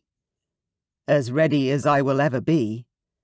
The Duke looked at the groom waiting on a smaller horse nearby. Shall you see us off, Kenneth? It would be my pleasure, your grace, the young groom answered. Three, two, one, go.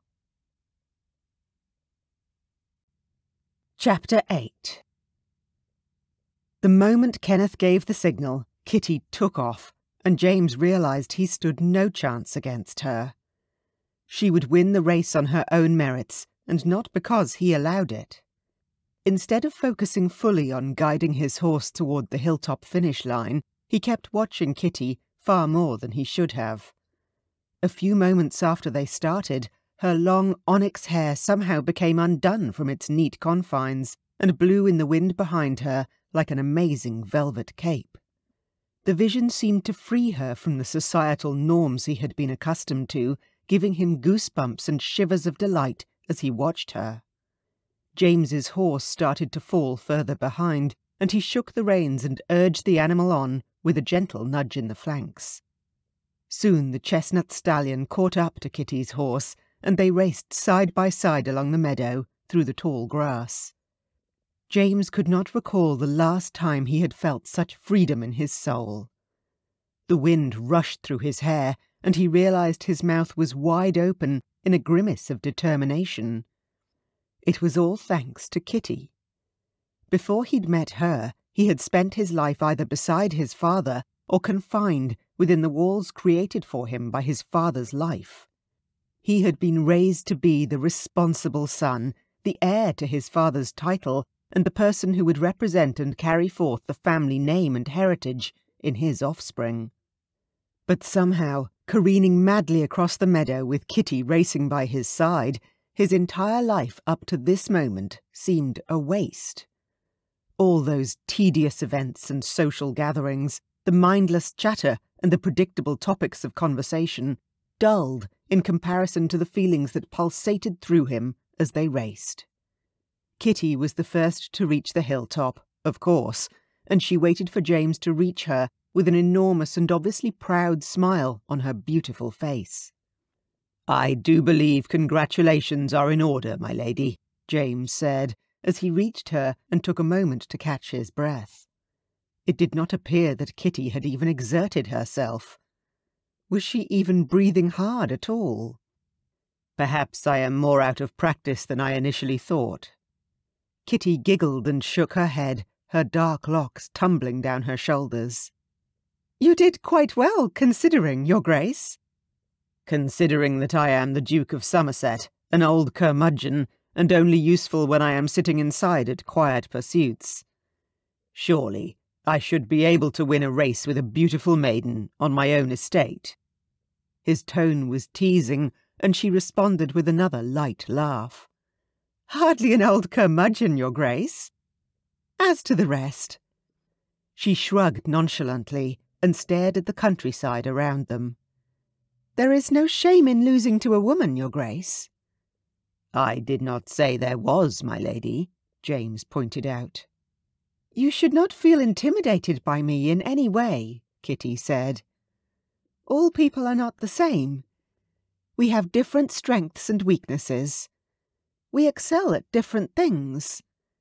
It is what makes us all unique. Not winning this particular race does not make you any less of a man, and you must never think such a thing, Your Grace. I shall remember that, my lady, James said, strangely grateful for her observation. He knew some people who would have implied that losing a horse race to a young lady was not an honourable way to uphold the family name. He lowered his gaze, not wanting her to read any uncertainty in his manner. Tell me of your mother, Your Grace, Kitty requested after a brief silence, and James blinked at the unexpected change of topic. I wish to hear of your mother. You have not really mentioned her at all. I do not often speak of her, he admitted quietly. I have indeed noticed. Why is that? Kitty asked. My father was an important man, an inspiring man, and most people admired him greatly, James answered, not sure why she was asking about his mother. With undeniable certainty, I can say that your mother was likely the true pillar of strength for your father. James sighed and nodded. Indeed. My mother and father met and fell irrevocably in love. Their romance was something I saw with my own eyes was real, and yet I found it rather unrealistic to believe. How can a person gaze upon someone once, and without even knowing their name, fall in love? Even after all the years they were married, all the years my siblings and I watched them look upon one another in the same manner they always had, it still seemed like an illusion to me. People were under the impression they had the perfect marriage. But you knew the truth? Kitty asked. It is not what you think, my lady, James answered. They argued, of course, over important matters, especially when it came to my siblings and me. They were still happy, and they raised us with all the love they could possibly give. We grew up in what was essentially a happy home. It was their love for one another that did not fade, which surprised me and made me think it was all for show. He paused and gazed out at the rolling hills below them. On my mother's deathbed, I asked her whether it was all a lie, a ruse, to keep me believing there was such a thing as true love. She replied that each of us was born as half a soul, and when we find the other half of our soul, we will instantly know. We will feel complete with that person, even if the union does not make sense to anyone else. She followed her heart, and it led her to a life with a wonderful man who loved her and gave her three beautiful children. It was not an easy road for my mother, as she had to endure whispers from my father's family, who believed she was only marrying my father for his title. But she truly loved him. Kitty spoke softly, her voice filled with longing. James struggled to continue through the pain evoked by his memories. Indeed, she did. She told me that very day. Even though their marriage was not perfect, the manner in which they brought out the best in one another was the perfection she had always wished for. It was the way that my father looked at her that made it perfect. James's heart suddenly ached for his mother and father.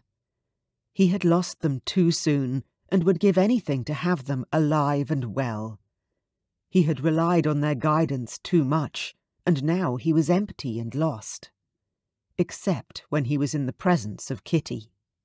The young lady beside him gave James the strength to speak of his mother for the very first time since her death. He had not even spoken to his siblings about the loss he felt, and yet here he was, pouring out his heart to a woman he had only met one day prior. The woman he was set to marry. Although it may have seemed odd to some, James felt comfortable in her presence, and he had received no judgment from her, even when she could clearly see that he was not one to easily process nor exhibit sentiment. Kitty's understanding nods and gestures provided hope that he was not a heartless or foolish man, such as he often felt in the company of others, but rather a man who simply required someone with the ability to see below the surface to the real James of Somerset. That does, indeed, sound as perfect a marriage as any woman could wish for. Kitty sighed dreamily, but a hint of sadness was present in her eyes. James stared intently at her. I apologize, my lady, he said, surprising himself as much as her. He had not intended to speak aloud, but the words formed on his lips before he could suppress them. For denying you the privilege of experiencing that kind of life. Kitty, who appeared wise beyond her years as she sat calmly on the back of the snow-white stallion, gazed out into the distance, straightened her shoulders, and then looked squarely at James. Things could have been much worse, Your Grace. What do you mean? You could have been old, unattractive, uninteresting, and difficult to speak with, Kitty answered, and then shrugged. But luckily, you are none of those things. You flatter me unnecessarily, my lady, James said, as he lowered his gaze. Although Kitty's words were complimentary, he still felt guilty for uprooting her against her will. He wished for her to be happy here at the estate, and with him, which meant that at some point he would have to reveal his growing feelings for her, even if there was a high risk of being rejected. He opened his mouth and then closed it again, deciding it could wait. Things were going well so far, and he did not wish to complicate the situation unnecessarily. He most certainly did not wish for things to become less comfortable between them. Your Grace, forgive me for being frank, but you are not at all what I expected, Kitty admitted, with a slight cringe. I most certainly had an idea in my head of what a man should be to grab my attention, and I didn't expect, well.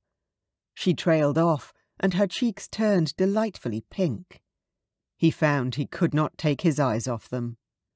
I share your dilemma, my lady, he admitted, trying to put her at ease. I have been carrying an image around in my mind of the type of woman whom I would wish to have as my wife. Have you ever found such a woman? she asked. James lifted his chin and gazed out at the horizon. I thought I had once before, but she was not who I thought she was. Kitty raised her brow expectantly. That sounds rather intriguing. Do tell. Oh, no. It is a tragic and embarrassing tale, and most certainly not fit for your ears, especially not now, James said. You and I should not have any secrets between us, Kitty said, with a hint of coyness. My lady, I would rather wedge a sword in my gut than share the details of someone who does not carry any significance in my life. Also, I do not wish to spoil the lovely time we have spent together with such banalities. Kitty pursed her lips and nodded slowly. I understand, Your Grace. Now is not the time, but I will certainly manage to find out. Do not be so sure, my lady. James chuckled. Now, shall we head back? I find I have suddenly worked up quite an appetite for breakfast. As have I, Your Grace. A happy smile formed on James's lips as they turned their horses. Kitty was precisely the woman whom he would gladly spend the rest of his life alongside, whether she loved him in return or not. It was a delicate situation, as the more he spent time with Kitty, the more he wished to be with her, but he also did not wish for her to be unhappy with him. Perhaps it was much too soon to say, and of course only time would tell, but James knew that no one else would be as good for him now that he had met Kitty. She was not only a tempting armful, but she was a truly outstanding female. Chapter 9 Despite Kitty's serene countenance, deep down she wondered why the Duke did not wish to share with her the details of the woman who had seemingly broken his heart. Had the woman's actions left him unavailable for any other person? Was that why he seemed to struggle when it came to expressing himself any time matters of sentiment were involved? What had the young woman done to affect the Duke in such a manner? And did the Duke still secretly feel something for her? So many questions, and no answers were forthcoming. Kitty lowered her gaze to the horse in front of her and sighed. It is so lovely up here. Part of me doesn't want to return to the manor house so soon. We have been a while, and we would not wish for your parents to worry, James said. Oh, no. We wouldn't wish that, of course. If I may say, my lady, it was lovely spending time with you without the presence of Lord and Lady Dunn, James said. With all due respect, of course. Kitty nodded knowingly. My parents can be especially tiresome as well as intimidating at times. Particularly my father, or so I have been told. It is not your father I am attempting to avoid, but your mother. Lady Dunn can be rather again said with the utmost respect and no offence intended in the least, persistent, James admitted. Kitty couldn't help the slight laugh that escaped her. She appreciated the fact that James meant no disrespect with the words he spoke in regards to her mother, but she wholeheartedly agreed with him. The Countess was tedious, incessant, and rather annoying at times. I am aware you mean no disrespect or offence, Your Grace, At times I feel the same, especially when she insists that what she is doing is what is best for me. Her intentions are noble and good, but mostly I feel she does not know me at all, nor what is best for me. Perhaps all women act in such a way when they become mothers. She recognized James's attempt to reassure her and smiled. Perhaps, but I do hope, in all honesty, I will not be like that with my children, Kitty answered. She'd never even given marriage a second thought before the month prior. The thought of having children, of becoming a mother, it had seemed too far in the future to even consider. Suddenly, it was all closer than she'd realized. After all, one of her duties as the Duchess would be to produce an heir or three, would it not? I believe you will be a wonderful mother, my lady. One day, of course, James said. Your words are kind, Your Grace. Kitty smiled. The Duke cleared his throat. As we are to be married, I was wondering if you would consider calling me James when we are not in formal company. The request surprised and delighted her at the same time, as he had already become James in her thoughts. I would very much like that, James. What a lovely name it was. She enjoyed saying it out loud. If you would call me Kitty, she added shyly. James's eyes lit up and a smile graced his handsome face. Come along, Kitty, he said. A delightful warmth filled her as they guided their horses back across the meadow. She followed James and his stallion and gazed around. The meadow must look lovely at sunset, James. I cannot personally say, Kitty, but I can imagine it would, James said. Suddenly he slowed and reached out his hand toward her. His touch was warm against her skin, and she imagined how heated his fingers might feel if they touched a different part of her body.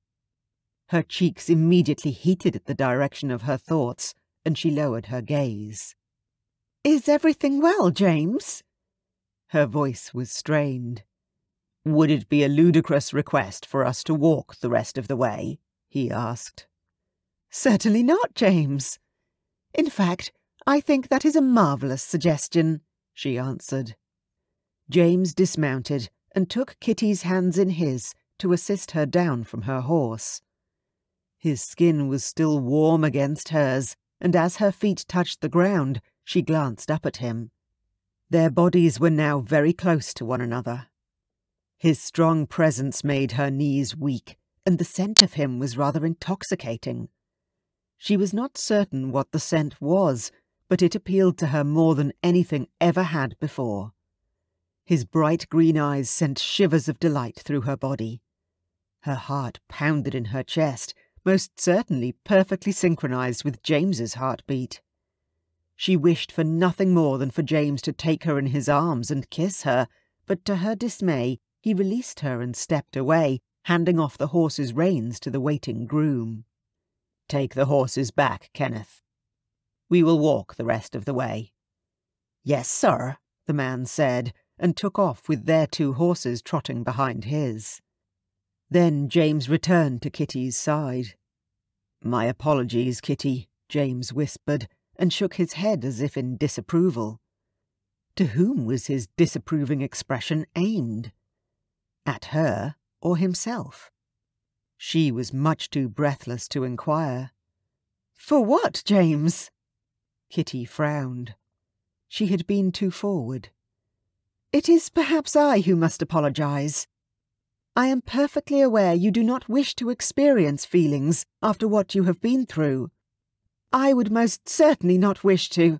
Before Kitty could complete her sentence, James leaned in and cradled her face with his hands. She drew in a shocked breath, and then his lips pressed against hers, drowning out any thoughts in her mind and any words she still wished to speak. His thumb stroked her cheek as the kiss lingered, the heat rising up into Kitty's bosom. Her eyes closed as a fire ignited inside her, and her heart pounded painfully, yet blissfully, against her ribs. James was the first to move away, which caused Kitty to open her eyes, her breathing ragged and strained. James's eyes were wide, and she wondered what thoughts ran through his mind. He seemed torn, as if wondering whether kissing her had been a wise choice, and Kitty desperately wished to assure him that it was. James! she panted breathlessly. He touched his lips, and despite the urge to kiss him once more, she bit her bottom lip and stepped away as well. My apologies, my lady. I do not know what came over me, he said. I do not behave this way. Please stop apologizing. And please do not feel guilty, as your action was not unwanted nor unsolicited. James's shoulders eased at her admission, but he remained several feet away from her. We must head back. Kitty turned and began to walk, and after a moment she heard James begin to follow. Neither of them spoke a word, despite Kitty wishing to do so on multiple occasions. She did not know what to say. They had shared a kiss under the bright blue cloudless sky, causing her heart to pound like a thousand drums, and despite the thoughts wistfully dancing around in her mind, none of those thoughts would suffice to express the swirl of feelings inside her. Kitty guessed that James must be overwhelmed and fearful of expressing feelings for her, or for anyone else. She got the impression he was a cautious man who didn't do much without considerable thought beforehand. Perhaps all this had happened too fast. And yet, why would he kiss her if he did not feel anything for her? If it was not something he did on a regular basis, surely the kiss meant something.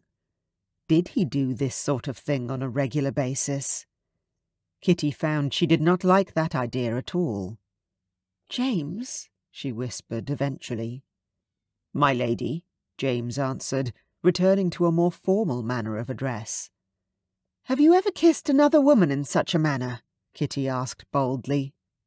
Not that I can recall, he answered simply, which made Kitty smile in relief. Perhaps he did not love her, and perhaps she was not the first woman he had kissed, but it sounded as if she was most certainly the only woman he had kissed in that manner. That smile on your face reeks of satisfaction. Tell me why, my lady, James said. Kitty lowered her gaze to the grass blowing lightly in the breeze. Simply, you stating that I am the first woman you kissed so tenderly makes me feel special.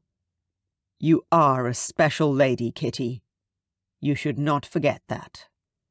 I shall try, James, she said, and glanced shyly at him. His gaze still rested on her. But I am fairly certain I will require a reminder from time to time. A grin suddenly broke through his pensive expression, and he chuckled softly. Indeed. Happy to oblige. They reached the bottom of the meadow, where Kenneth was casually positioned in the shade of a leafy green tree, waiting with the horses. He quickly rose to his feet when James and Kitty approached. Your Grace, my lady, is everything well? Kenneth inquired. Indeed, Kenneth. Thank you. The Duke was merely licking his wounds and required more time to do so, hence why we decided to walk, Kitty answered, before James could do so. I noticed you had won the race. Well done, my lady, Kenneth said. Thank you, dear Kenneth. Kitty smiled happily. Perhaps he can give his grace a few riding lessons, my lady. Kitty suppressed a chuckle and nodded. Perhaps I shall, Kenneth. Kenneth, lead us back to the manor, please, James ordered, his voice strained with a hint of annoyance. She frowned at James as the three of them remounted their horses, and together they rode back to the manor. The Duke seemed preoccupied with his own thoughts. Occasionally, he would return her gaze with an intent look, and Kitty began to wonder if she had accidentally hurt his feelings with her joke to the groom. Walking along the pathway between the manor and the stable, the horses came to a stop, and James dismounted. He stood beside Kitty's horse and assisted her in her own dismount, although, truth be told, she was perfectly capable of doing on her own. Of course, She did not make him aware of that fact, as she did not wish to add insult to injury.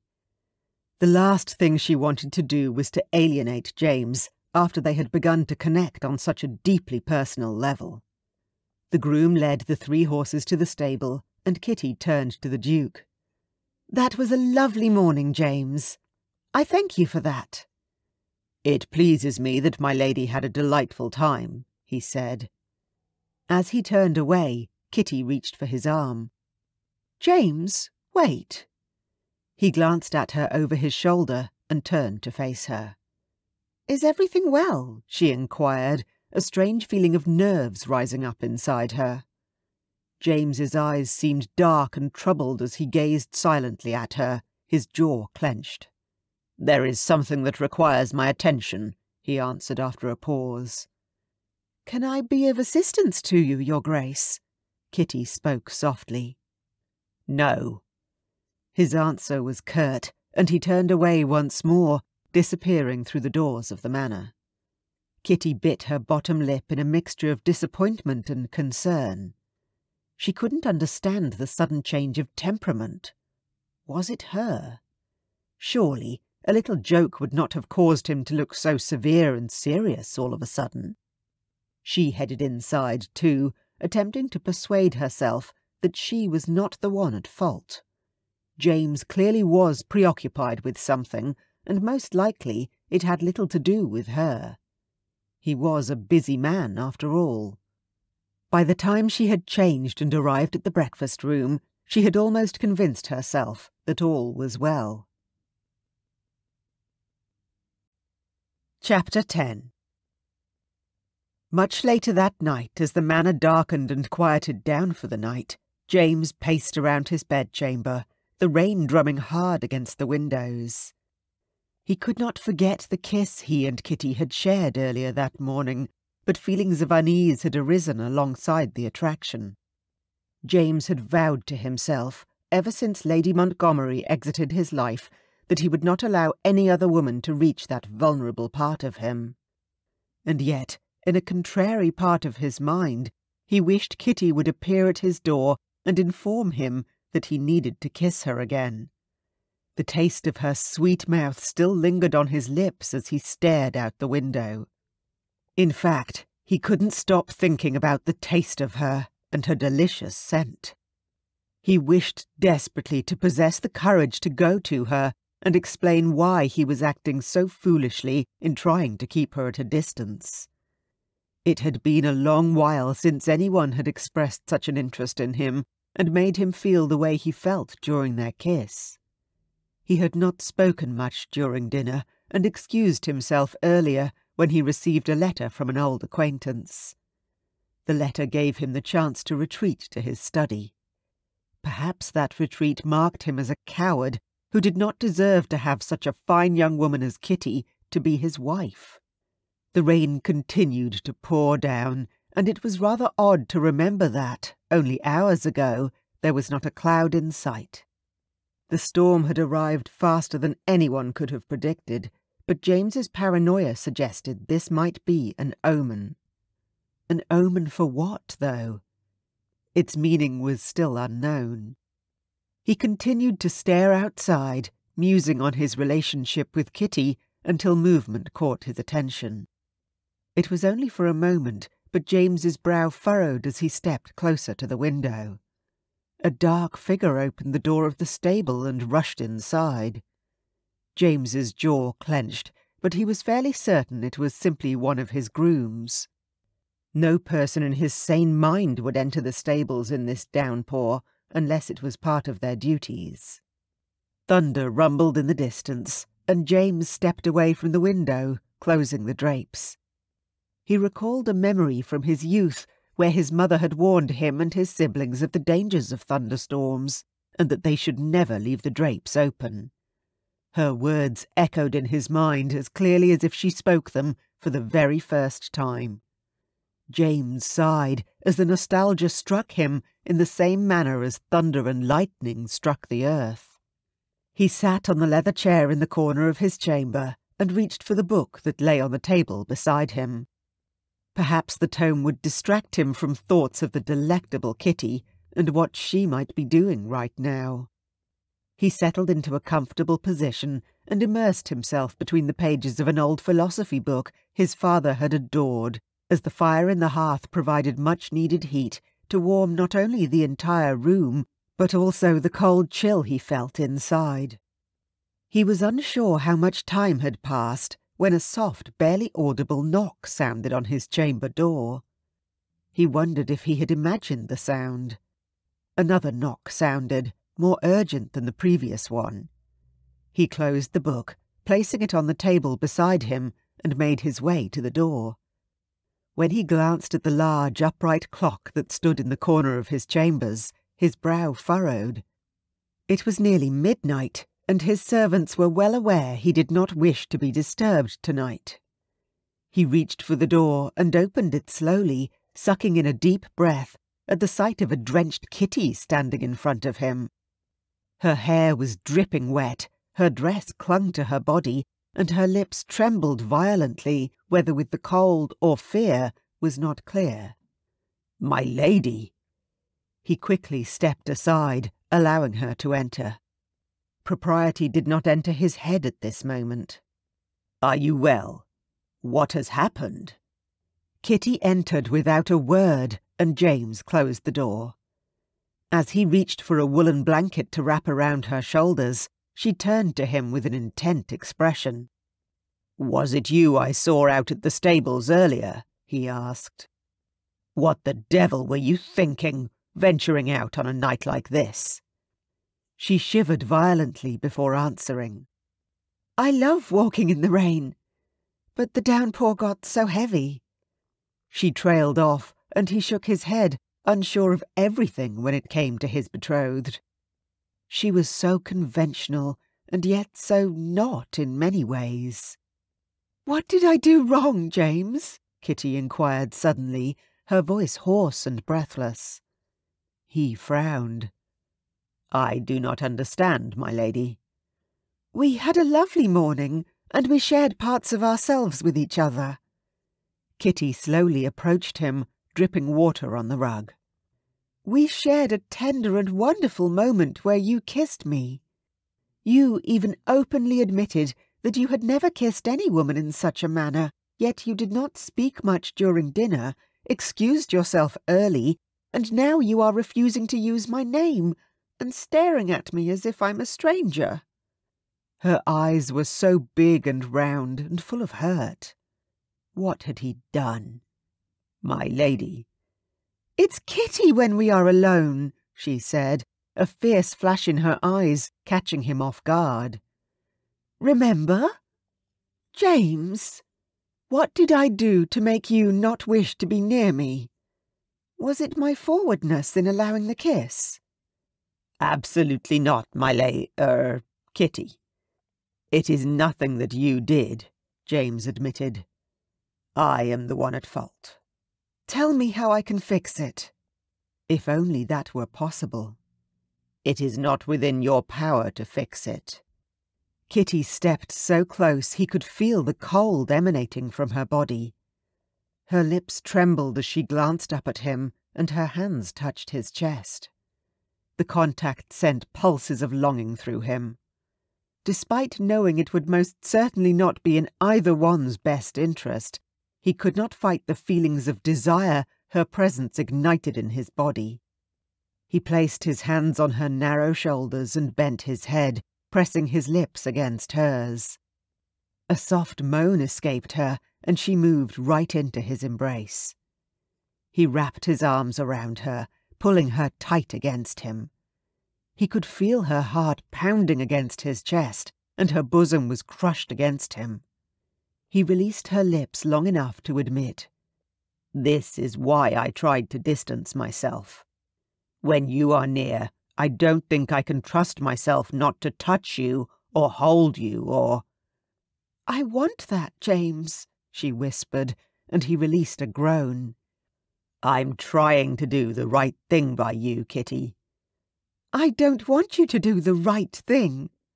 He kissed her again, more thoroughly this time, and felt the stirring deep in his loins.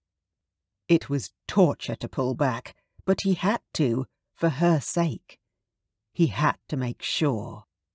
Kitty, I want this, of course, but I do not wish for you to do anything you will regret in the morning. Kitty tilted her chin upwards, staring into his eyes, her own sparkling like two sapphires in the moonlight. James, there will not be a single thing I will regret, as long as it is you who does it to me, Kitty murmured, her gaze beckoning him to take her.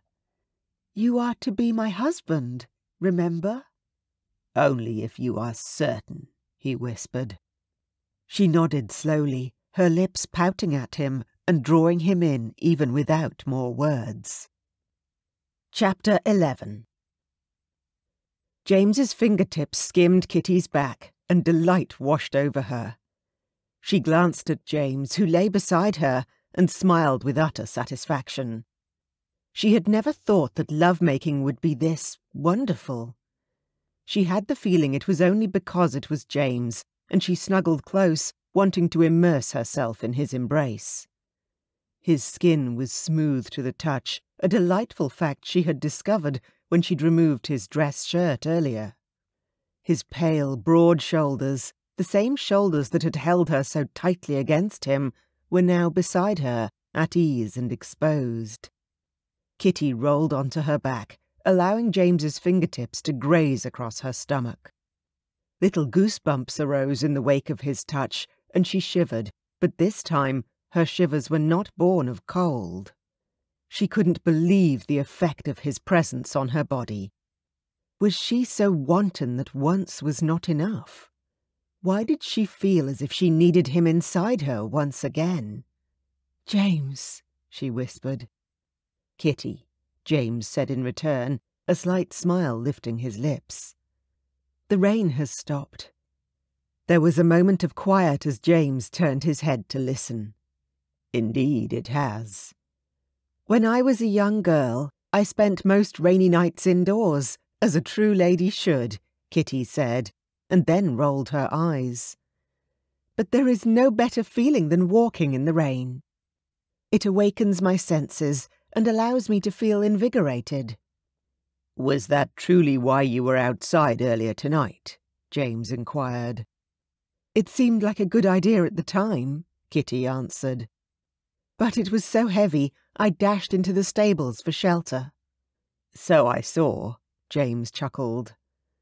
Though, if I had known it was you, I would have sent someone to ensure you were not drenched by the rain. But I would have been no less drenched regardless. Kitty grinned and pouted. James shrugged. What were you doing in the stables? Why not just come back into the manor house? In all honesty, Kitty said slowly, glancing at James for his reaction, I wish to relive the happy moments I spent with you in the meadow by visiting the horses we rode. And it likely sounds utterly daft, but it made me feel better for a while. Only for a while. She nodded her head. Indeed, which was the reason I dared to come here, to your bedchamber. I wanted clarification with regards to your seeming withdrawal from me. As I mentioned, I was convinced I had done something to upset you, and it was very upsetting, not knowing what it was, she explained. Kitty, James murmured once more, and shifted his body closer to hers. He reached for her hand and weaved his fingers between hers, then closed them, creating a firm grasp. There is nothing more important to me than your happiness despite not being acquainted with you for a long period of time. Or even a week, Kitty chuckled with amusement. Indeed, James smiled. Despite knowing you for only a handful of days, it does feel as though we have known one another far longer. I could not agree more, James. Why is that? Kitty placed their interlocked hands against her chest. Hopefully, the act would allow him to feel how hard her heart was pounding.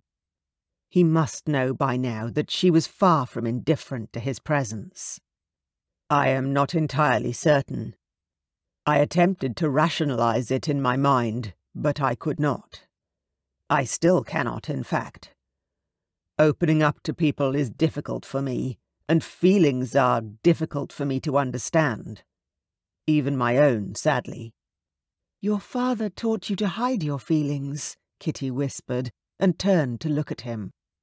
She could tell her guess was right by the sadness in his eyes. She understood such sadness. She had been raised in a similar manner. Both of them had been taught to appease their parents at any cost. Kitty slowly pushed herself into a sitting position. James, I must return to my own bedchamber. I wouldn't wish for my mother or father to see me here. There is no telling what my father might do. I understand, James answered, and sat upright as well. He reached out his hand to her and smiled tenderly. Perhaps we can speak during breakfast, with Lord and Lady Dunn present, of course. Kitty's eyes widened, and a wave of panic moved through her gut. To discuss what precisely, James? He chuckled and shook his head. Not this, my lady. I simply wish to discuss the plans for our wedding. I confess, I am rather excited by the prospect now. A swarm of butterflies appeared in place of her panic, and the tension in her shoulders eased. As am I, James. That would be lovely. She slid off the bed and gathered her scattered clothing. She dressed while James watched, thanking heaven for the front fasteners on her dress. When she was done, she held her shoes in her hands, which were still drenched from the rain, and approached the bed. She leaned closer to him and grinned. It has truly been a pleasure, Your Grace. Indeed it has, my lady, James murmured in return, and pulled her in for a final kiss on the lips. I look forward to breakfast. As do I, Kitty whispered, and without another word she left his bedchamber, hoping her parents would not catch her in the dark hallways, nor hear her as she returned to her own chambers. Kitty glanced surreptitiously at James across the breakfast table and noticed the smile on his lips. Was he remembering their encounter in his chambers last night? Did he still feel her touch on his skin, as she most certainly felt his? Their eyes met in a brief yet powerful moment before her mother interrupted. I am delighted to hear you wish to shorten the engagement, Your Grace, but what prompted this decision? There is no need to wait, Lady Dunn. When your daughter and I went riding in the meadow, we had a very interesting conversation. We have come to know one another quite well, in fact, and it only seems fitting that we marry as soon as possible, James answered. The Duke is correct. Why wait? Lord Dunn agreed, smiling his approval. Indeed, James answered, and glanced at Kitty. Your daughter is a wonderful young lady, and she will make an excellent wife. She has poise and grace, and is a daughter who should fill you with delight. Your words are kind, Lady Dunn beamed. We are utterly proud of her and the woman she has become. As you should be, James's smile was directed straight at Kitty. Her heart pounded in her chest as he speared her with that smouldering look. It promised much in the near future. She couldn't wait. If I may, Your Grace, her father interjected, could I perhaps suggest a wedding nearer to Christmas? Our family normally travels to Somerset, and that timing would be ideal. Without wavering, the Duke answered, it is entirely Kitty's decision. Kitty's jaw dropped as she glanced at James in disbelief. From the very beginning of this arrangement, she had felt as if she had no choice, no opinion, and no control over anything, and yet James had now passed the decision of when they would marry to her. Of course, she wished to marry him sooner than anticipated, but she was unsure of how soon would be appropriate. Tomorrow? Perhaps an autumn wedding would please my lady, James suggested when she hesitated. Kitty pursed her lips, considering. Autumn was her most adored season. How had he guessed? Possibly she'd mentioned it in passing, and James had remembered that small and seemingly insignificant detail. Whatever the reason, it sounded perfect. She sighed happily and nodded. Autumn is my favourite time of the year, Your Grace. James nodded knowingly, which meant the world to Kitty, and she reciprocated the gesture. With all due respect, Your Grace, I understand your wish to marry my daughter at the soonest, but is that not perhaps too soon? Lady Dunn said, a scowl of disapproval on her aged face. My daughter is still a child. I am most certainly not a child, mother, Kitty corrected. My lady, James said to the Countess, and shifted in his seat to have a better view of Lady Dunn. I understand you and Lord Dunn have raised Kitty from the moment she came into this world, and what a fine woman she has turned out to be. For that, I thank you. As Kitty has mentioned, she is not a child any longer, and despite still being your daughter, she is free to choose, as she will be even after we are married. Lady Dunn opened her mouth to speak, but then shut it again. James's opinion of her meant a great deal to Kitty, and she knew already that she would never tire of this wonderful man, to whom she had given herself so freely. The moment reminded her of the tale he had told her about how his mother and father had fallen in love so quickly. She hoped she would be lucky enough to have a long and happy life with James. There was silence around the table until her father finally spoke. So be it. Our daughter shall have an autumn wedding. There is certainly much to prepare, Lady Dunn said. Indeed, James agreed. Your Grace, could I have a word with my daughter? Whatever you wish to say, mother, you can say to both myself and the Duke, Kitty interjected, her voice confident as she gazed at her mother. He is, after all, soon to be my husband. She was not certain if it was due to James giving her the control to decide things for herself, or simply having had enough of her mother's incessant demands. Perhaps it was both, but Kitty had not felt this powerful before now. Lady Dunn pursed her lips, and then nodded. Are you certain that you do not want to wait a while longer before you are married, my dear? We have mere months to prepare, and I would not wish for you to rush into this. You and father both agreed that there was no need to wait longer. The Duke and I have become well acquainted, despite the short amount of time we have spent together. I cannot begin to describe it, but he and I share something wonderful, something rare. I would not call it love quite yet, but there is certainly something there, Kitty explained. He and I will be wed in the autumn, on a beautiful day between the shedding trees, upon a carpet of leaves in hues of orange, yellow, and red. We will be wed and start our life together as the Duke and Duchess of Somerset. And we will be happy together, I am sure. Lady Dunn swallowed, as if there was something stuck in her throat, but nodded. As you wish, my dear. The decision lays with you. Your father and I simply want the best for you. Why was her mother changing her mind now? She had all but forced Kitty into this marriage from the very beginning. I am aware of that, mother, and that is why you have arranged for me to marry the Duke. There is no better man, Kitty said. Lady Dunn glanced at her daughter, a hint of apprehension flickering in her eyes. Your words are kind, my lady, James said, and she smiled confidently at him.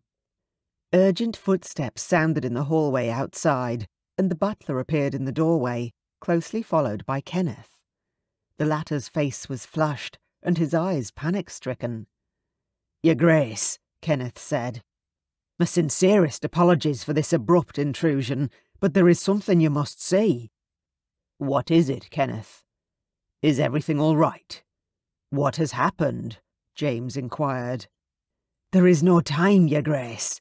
Please, you must come with me to the stable, Kenneth urged. Pardon me, my lord, my ladies, James said apologetically, and stood from the table. Shall I accompany you? Kitty asked. James nodded silently, offering his arm to her. She took it, and he assisted her from the table. They followed Kenneth outside and along the path to the stable, wondering what was so urgent that the groom had interrupted the Duke's breakfast with his guests. She hoped it was nothing serious, but whatever it was, she was equally hopeful her presence would provide joy for James. Chapter 12 James hastily made his way toward the stable behind a hurrying Kenneth, with Kitty by his side. What on earth could have happened? Kitty inquired. I am not certain, but Kenneth would not be in such a state if it were not important or serious, James answered. Kenneth opened the stable doors and waited for James and Kitty to reach him. Is it safe for my lady to enter? James inquired. Indeed, your grace, there is no danger to any one of us, Kenneth answered. Then what is the matter? Kitty asked breathlessly. It is Lord Windsor, Kenneth answered. Who is Lord Windsor? Is he family? Kitty asked, as they stepped into the stable. Lord Windsor, the Palomino stallion whom Kitty had noticed was ill yesterday, had been in his father's possession since James was a young boy. He had promised to arrange for an animal doctor to examine the horse after Kitty's request, and the matter had entirely slipped his mind until now. This, Kenneth stated, as he came to a standstill in front of one of the stalls, is Lord Windsor. Kitty stepped closer, and her eyes widened. A gasp escaped her throat as she entered the stall. Lord Windsor was curled up in the straw, barely moving as Kitty knelt beside him. James approached Kenneth and placed his hands on his hips. How bad is he? He is not getting any better, your grace. He refuses to eat or drink. I am even surprised he is allowing my lady to enter his stall. His behaviour was troubling last evening. His eyes appeared. James raised his brows expectantly and waited for Kenneth to continue speaking. Demonic, Kenneth said in a hushed tone. Is there anything more we can do? James asked. Your Grace, this horse needs to be seen by an animal doctor, as I mentioned before, Kitty said, annoyance in her tone. My lady. James sighed and turned to her. Lord Windsor is an old stallion and... And what? Does he not deserve to live? Kitty asked incredulously. That is most certainly not what I am insinuating, my lady, James proclaimed. You must understand, though, that there is not much an animal doctor can do. He will most likely have the animal put out of its misery. How can you be so heartless? Kitty rose from the ground, her eyes snapping with fury. James stared at his fiancée, surprised by her aggressive attitude. I am not heartless, my lady. I am merely realistic. The horse doctor cannot perform miracles. Lord Windsor is an elderly horse. There is nothing more we can do for him. You do not know this for a fact? she exclaimed. It is just a horse, Kitty, he stated, but as soon as the words left his lips, regret followed swiftly. He was well aware of how much she adored horses, and his words were cruel, even from one who did not love horses as much as she did. Tears formed in her eyes, and she pursed her lips. My lady, James began, and stepped toward her, ready to apologize. Kitty shook her head and pushed past him. Leave me alone. He grabbed her hand and whirled her around. Please, my lady. Unhand me at once, she hissed.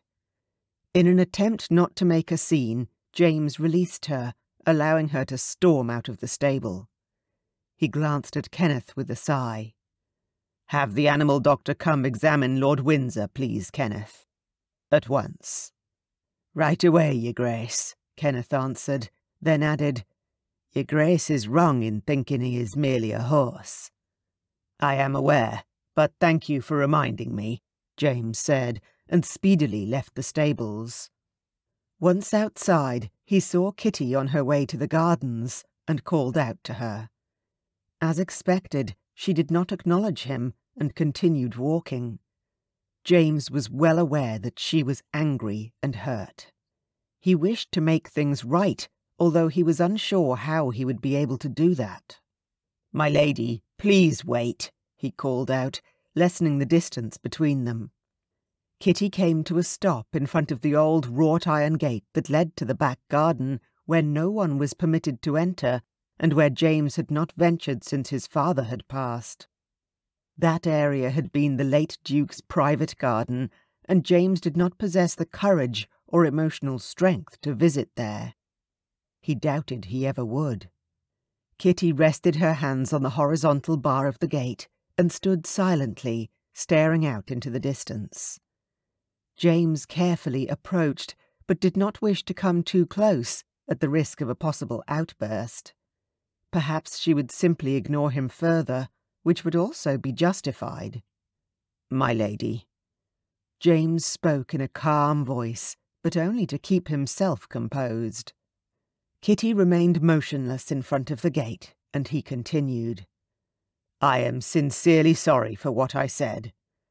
I am aware that you have a deep adoration for horses, and it was cruel and unkind of me to insinuate that Lord Windsor is merely just a horse. He is much more than that. I know that, of course. Perhaps he is just a horse to you, but he is a living, breathing creature who deserves respect. He too feels pain and fear and love. Did your father not teach you these things, Your Grace? all living things should be treated with kindness, grace, and mercy. Her words twisted a knife deep in his heart.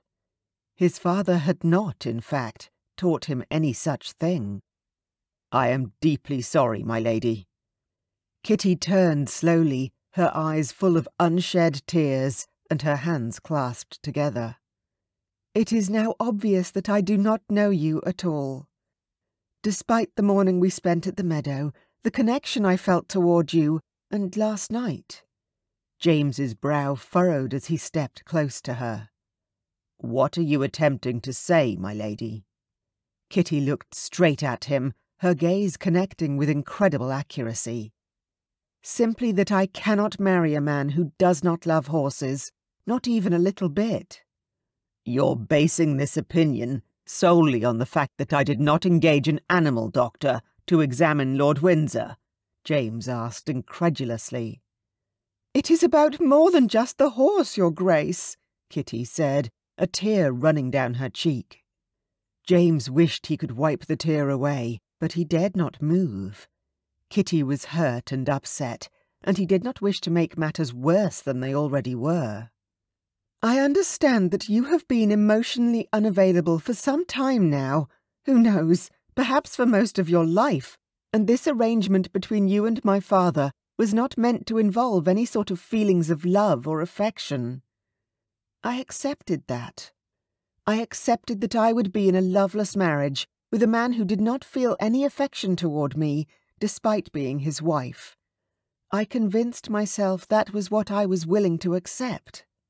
What I will not accept is a man who shows little sympathy for a sick horse, despite your promise to have him cared for by a doctor, Kitty explained. My lady, James tried to interrupt, but she was clearly not willing to listen. You lied to me, and I would rather disappoint my whole family than be married to a liar, Kitty exclaimed. Sudden anger rolled through James's gut as he stared at the woman before him a person to whom he had opened up and committed to being married to for the rest of his life. How could she say such a thing? He garbled the first thing that came into his head. And I would rather die alone here on my estate than be married to a controlling woman who constantly needs to be reminded to behave with decorum. Kitty's mouth dropped open, and her breathing became ragged. My initial impression of you was correct. You are simply a miserable man that no one else would ever want. Perhaps now I understand why you're still alone, Your Grace. I pity you. The insult was unwarranted and untrue. And no other man will want a defiled woman, he shot back. As soon as he uttered the words, he wished them back, but it was too late. She had infuriated him by the mere fact that she wished to end their arrangement due to a horse, but that did not excuse what he had just said. Kitty's eyes widened, and she took a step back, as if she couldn't bear to be near him a moment longer. I shall inform my father of our decision, and we will leave as soon as possible. I do not wish to remain here, where I am clearly no longer welcome. James's heart hurt, but pride caused him to lift his chin and look down his nose. Indeed, the sooner the better. Of all the mistakes I have made in my life, you are by far the biggest. Before James could utter a response, Kitty turned on her heel and stormed off in the direction of the house. James growled angrily, his jaw clenched. He could not believe what had just transpired, and all because of a horse. Perhaps it was in both their best interests to part ways, as things had obviously become more complicated than he had ever imagined they might. When Lord Dunn had proposed the arrangement, James had assumed the arrangement would remain purely businesslike. He had never expected to have feelings for his betrothed. But as the feelings had risen up inside him, he knew it was only a matter of time before he fell in love. And therein lay heartbreak. Eventually, he had known she would reject him, or worse, only tolerate him for the sake of appearances. James had heard tales of married noblemen who despised their wives, and whose wives, in turn, despised them. Of course, they were civil and even affectionate at times while they were in the public eye, but behind closed doors he couldn't imagine a colder and more lonely existence. Clearly, he had been correct. She had rejected him already, and all because of a horse. As he walked back to the manor house, he hoped that he would be able to ignore the pain in his heart that had surfaced the moment the first angry word was spoken. Chapter 13 I beg your pardon.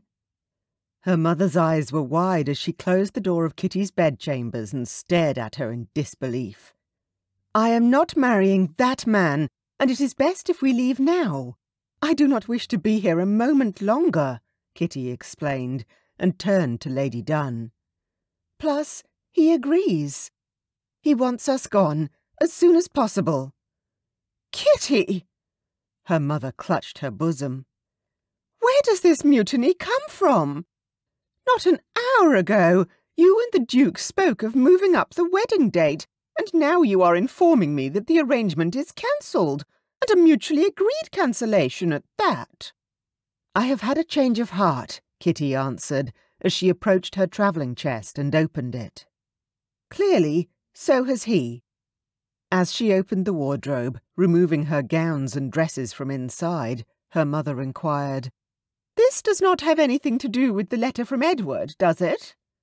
Kitty froze. The letter from Edward Walsh had slipped her mind entirely. If it does, I do urge you to reconsider, my dear. It is not because of Edward's letter, mother, despite the fact that you hid it from me, Kitty answered. Don't be so dramatic, Kitty. I did that for your benefit, the Countess said, throwing her hands in the air. And that turned out swimmingly, wouldn't you agree? Kitty asked. She turned and froze as her father stepped into her bedchambers. His jaw was clenched as he stared at her, making her feel small and powerless. I have seen many theatrical performances in my life, my dear, but nothing to quite such an extent, her father scolded. Announcing to everyone who would listen that you wished to leave and never return to Woodlock Manor was beyond the pale. Kitty nodded her head. I meant every word, father. Is this about the letter from the Walsh boy? her father inquired as he turned to his wife. It is not regarding the letter, father. Kitty sighed and threw another dress into her chest. Enough with the theatrics, Kitty. Why did you terminate the agreement? her mother asked, her expression serious. James was not the man I thought he was.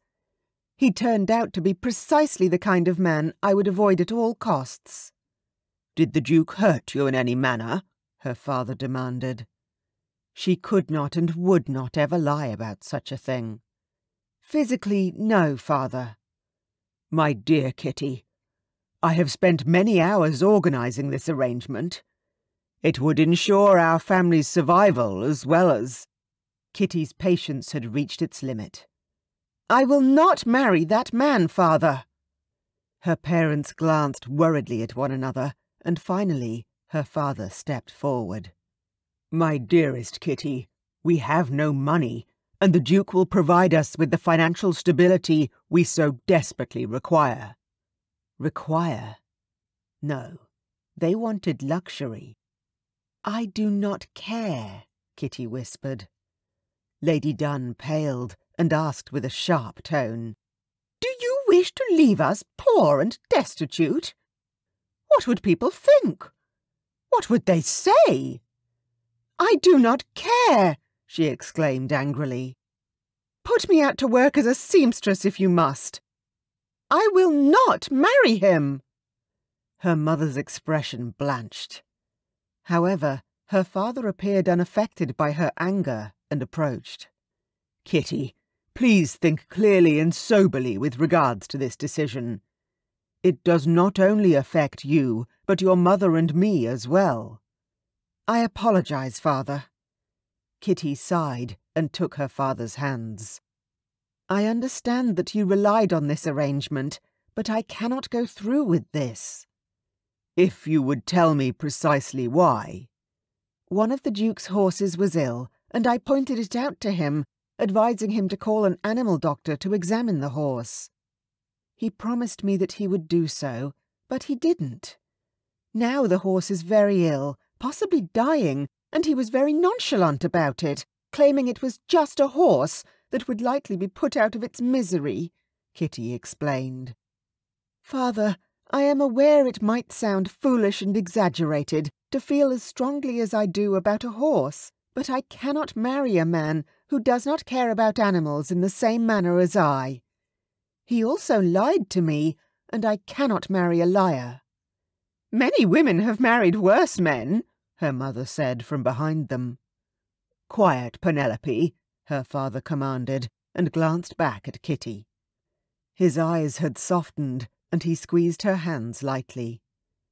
Are you certain, my dear? Her mother gasped and interjected. You cannot consider. I am sure, father, Kitty answered truthfully. Her father's love of horses won through. She saw his understanding in his gaze as he nodded thoughtfully. What will happen to us, George? her mother asked plaintively. I am not quite certain, her father answered, and turned to his wife. But I assure you that I will do everything in my power to ensure you are well taken care of, even if it means selling my estate as well as my business. Her father released Kitty's hands and walked toward her mother, who had begun to cry. As he placed his arms around his wife in a light embrace, Kitty was riddled with guilt. It was all her fault that their financial woes had not come to a satisfactory end. Soon they would probably be evicted from their home and have to resort to living in the slums, or even on the streets. Kitty bit her lower lip as she was well aware that her mother would not survive something as tragic as that, and that it would all be Kitty's fault. Nonetheless, Kitty could not go through with the marriage, and even if she wished to, for the sake of her parents, James had made it very clear that he would most certainly not agree to it. Not now. Not again. Especially not after the words she'd said to him and the ones he'd thrown straight back at her in his anger. Her chance to save her parents was gone, and there was little she could do to rectify it. Within the hour, several of James's footmen carried their suitcases and trunks outside to where their coach was waiting. The footman loaded the luggage onto the coach, and while her parents climbed inside, her mother still silently weeping, Kitty glanced at Woodlock Manor one final time. The breeze blew against her face as she gazed out at the gardens, the flowers blooming in vibrant colours across the lawn. She would miss the decadent sunlight, and her lungs would miss the fresh country air. Her heart would miss the feeling of exhilaration she had experienced riding across those meadows, a place she had unexpectedly found happiness and contentment. Her gaze travelled up to the manor house, and in a large window on the second floor, she noticed James standing motionless, staring directly at her, his arms crossed across his broad chest. Although a million thoughts rushed through her mind, what she still wished to say, what she could have said, and what she wished she had not said, none of it mattered now. Kitty stared at her former betrothed for a few moments, tempted to raise her hand in a strange farewell. Eventually, she managed to rein in the impulse, and instead simply turned away and climbed into the coach with her parents. The air inside was stuffy and tight, even before the coach started to move. Kitty lowered her gaze, staring at her hands clenched on her lap. My dear, are you all right? her father inquired. Kitty glanced up at him. I am, father. I simply cannot wait until all this is over and we are home once again. For however brief it remains our home, a small voice whispered in her mind. She blinked back tears as the coach began to move, and a strange feeling rose up inside Kitty. It felt like regret, but that could not be allowed to bear fruit. Instead, her stubborn nature pushed her feelings all the way back down from whence they came, and by the time they had left the Duke's estate, she barely felt anything at all. Chapter 14 A week later, there was silence around the dinner table as James, William, and Lizzie ate quietly. James did not fail to notice the glances of concern that his siblings exchanged when they thought he wasn't looking, but he hoped they would not inquire as to why Kitty and her family had left on such short notice. James had not told them any details, but he was certain they wanted to know what had happened. The image of Kitty staring up at him as he had stood watching her before she climbed into her family's coach was etched in his mind. He recalled her icy glare, shredding his soul to pieces. Regardless, things were better this way. They had said unforgivable things to one another things that could never be recalled. He could not love her in the manner in which she desired and deserved, and despite James's wish to keep her at the estate, apologize, and mend things between them, it was far too late to even try. Out of sheer curiosity, James, are you not going to discuss this with us? Lizzie spoke finally, breaking the silence. The awkward tension still remained. Discuss what? James asked, not glancing up. Do not be so obtuse. The fact that Kitty and her family left on such short notice is not something you, or anyone else here, can ignore, brother, Lizzie answered. Was there an emergency that required Lord Dunn's attention? No. James's answer was simple and concise, and he hoped that would be the end of the conversation, but he was well aware of his sister's insistent and tenacious nature. Then what was the reason for their sudden departure, if it was not an emergency? I do not wish to discuss it, James answered. It has been several days since their departure, and you have said nothing. Not a single word, nor provided an explanation, Lizzie continued, pushing him. We have had enough, James. Tell us what happened. He sighed. It is none of your concern. But it is, brother. You have been a nightmare to live with. You are rude, curt, and boorish, and I refuse to accept that nothing is the matter. Lizzie's insults were well aimed, and yet that fact only made anger roil more fiercely in his belly. Perhaps I shall leave as well, as I am such a thorn in everyone's side, James said, as he theatrically stood from the table and stormed out of the dining hall. His blood boiled in his veins as he marched through the hallway, and soon he found himself in the great hall. The moon shone brightly in the sky and cast a silver glow on the floor of the huge space. The image of Kitty, bathed in moonlight as she lay beside him in bed, swam into his mind. In that moment, her eyes were focused on him with an intensity he had never before experienced, and he could practically taste her on his lips once again. James lowered his gaze and stared at the floor, feeling uncertain about the future and how he would face it without Kitty. A sigh escaped as he heard soft footsteps behind him. He straightened his shoulders. Please leave me be, Elizabeth, James implored, remaining completely still. I am most certainly not in the mood to converse. I can see that, Lizzie answered, but kept her distance. I hate seeing you this way, James. He crossed his arms, hoping she would take the hint and leave. Is there anything I can do? Lizzie asked instead. There is not a single thing you, nor I, can do to rectify this, James answered. And what is this you are referring to? He turned slowly to face his sibling and sighed wearily. I have made a mess of things with Kitty. What happened? Lizzie asked as she stepped toward him. Please tell me. I cannot bear seeing you suffer this way, James. Kitty and I will not be married. She decided it would be in both our best interests that we should part ways, James finally answered. Did Kitty say that, or you? James's cheeks heated. It may have been mutual. Did she say why? He shifted in discomfort. I would not tend to an ill horse, after I made her a promise that I would call an animal doctor to examine the stallion. I spoke foolishly and without regard for her feelings in front of her, and she became upset before I could rectify the situation.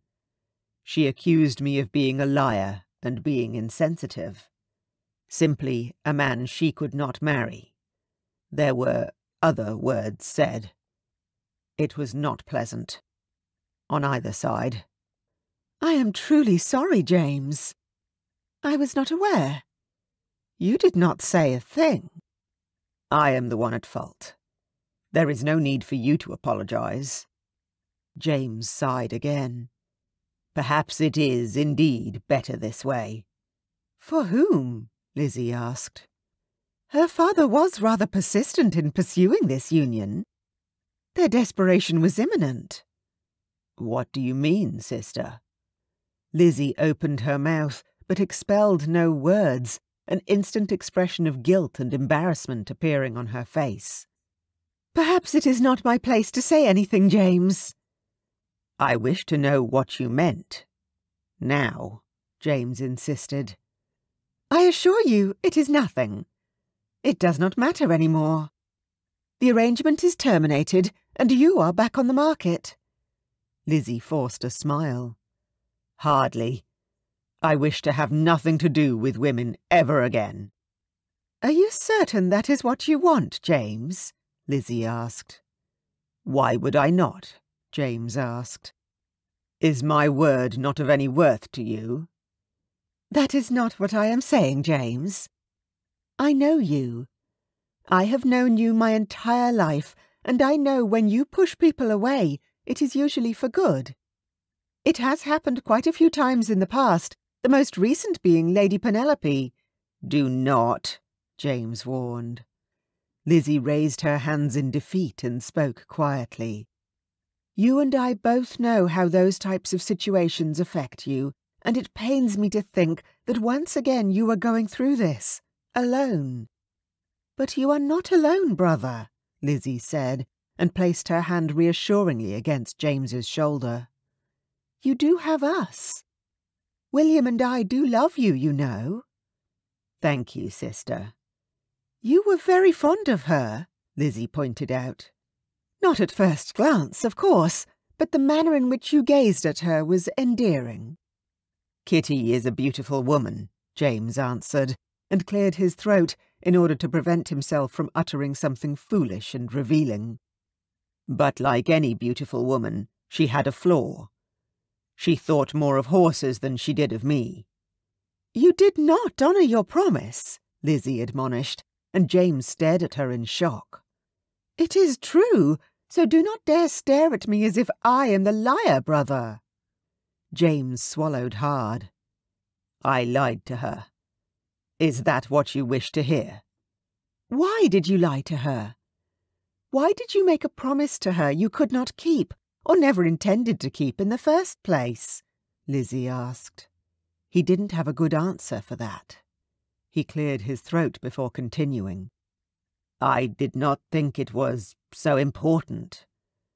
I was aware that she adored horses, but it did not occur to me how much. I should have listened to her, taken note of what was important to her. Perhaps then she would not have left. James sighed. Lizzie cocked her head. You are in a bind, brother. No, I am not. It is over, and now I will carry on with my life. Kitty can now find herself another husband, a man worthy of her hand, James said. Lizzie shrugged her shoulders and sighed. I wonder if you do this on purpose. Do what? James asked. Lizzie glanced at her brother and cocked her head. Do foolish and inconsiderate things to ensure people do not come close to you or prevent you from coming close to them. James gasped, narrowing his gaze at his sister. That is absurd and presumptuous. It is not, Lizzie said, staring hard at him. You purposely push people away by doing and saying foolish things in the hope they wish nothing to do with you. You would rather be alone, wallowing in self-pity, than feel vulnerable with someone who sees the broken soul you are on the inside. That is enough, he snapped. He didn't want to hear any of this. No, James. It is time you heard this, whether you wish to or not, Lizzie said, pointing her finger at him. You were bearable when William and I were younger, but after father passed, you disappeared. You are now a mere shell of the man you were before. Things began to improve, and then Mother passed, and you were worse than ever. That was enough. Elizabeth. I am not done, Lizzie said, as she dismissed him with a simple hand gesture. I understand father raised you to be his successor and his heir to all this, she said, motioning to the manor around them and there are many things that rest on your shoulders.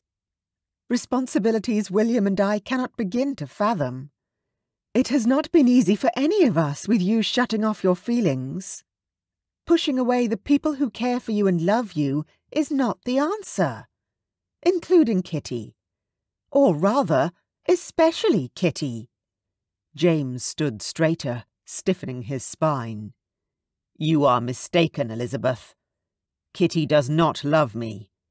She made that fact perfectly clear during our argument. Lizzie cocked her head. It certainly seems that way. You are mistaken, James repeated, with a sterner and clearer tone. Lizzie shrugged. Perhaps I am. It was indeed Kitty who snuck out of your bedchamber in the early hours of the morning, was it not?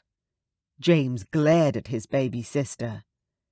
You have no right to spy on me. Oh, please, spare me the lecture. Lizzie rolled her eyes, then examined her reflection in the glass pane of the large window. And I was not spying on you. I merely happened to be roaming the halls at the same time. And I am supposed to believe that, James scoffed. Believe what you wish. It is the truth, Lizzie said. Tell me this, James, and forgive me for wishing to know these intimate details, but what did you feel while she lay beside you? James glanced at his baby sister, part of him wanting to talk to someone about the feelings pulsing through him, but he decided it was better not to. It would only cause more thoughts to rise up, instead of staying freshly buried under a mountain of regret and anger. Your silence, as well as the expression on your face, reveals much more than your tongue ever will, brother, Lizzie said, with a small yet satisfied smile. A ruckus came from the front of the manor, and James turned to the hallway. William rushed into the great hall and called out, Brother, come quick! What could be the problem now? What is the matter? Please, come see for yourself. William motioned James to hurry. James and Lizzie followed William, who held the door for them. As soon as James stepped outside, the pungent odour of rotting fruit filled his nostrils. He stopped, dead in his tracks. On the front lawn of the estate lay a whole pile of broken and rotten fruit. The mound was swarming with flies. What the devil is the meaning of this? James demanded. The groundsman told me that he noticed a figure on the front lawn earlier, but he didn't think much of it, as he was under the impression that you still had guests, William explained. But why? Why target my estate? And with rotting fruit, James exclaimed in disgust. Who would do such a ridiculous thing? After a drawn-out moment of silent tension, James noticed Lizzie acting strangely, guilty even, and he approached her. Elizabeth, James said, and narrowed his eyes. Are you aware of who could have done this? I might be, Lizzie answered with a cringe. Tell me, James demanded, and William turned to her as well. Promise me you will not be angry, Lizzie said. James shook his head, clenching his hands into fists. I cannot promise you that, sister. Promise me, Lizzie begged. I will try my utmost not to be, if that helps, William said with a shrug. James glanced at William before he turned his attention back to Lizzie. Same, he grated. Now, tell me what is going on, sister. James glared at Lizzie. There had better be a good explanation for this disgusting mess on his lawn. Chapter 15 The sweet familiarity of her childhood home brought forth nothing more than a bitter taste in Kitty's mouth, as she realised they would have to vacate the residence shortly. The townhouse had been in their family for generations, and it would be a heartbreaking torment to see it sold at auction. She stared out the window of her personal suite, a book lying open on her lap, but she paid it no attention. Instead, she stared at the dark brown coach that came to a halt in the street. Kitty was not certain who was inside, but in all honesty, she did not care. Her gaze simply landed upon it, while her thoughts kept returning to Woodlock Manor. It had been a week since their departure from James's residence, but the memories lingered. Her heart did not ache any longer, and her eyes did not shed tears, but her mind still wandered. Through the meadow, down the hallways, and finally to James, where she had lain curled in his embrace sharing a bed, if only for one night. The faint sound of knocking on their front door spun her thoughts from the clouds, yet she didn't move. Someone else would answer.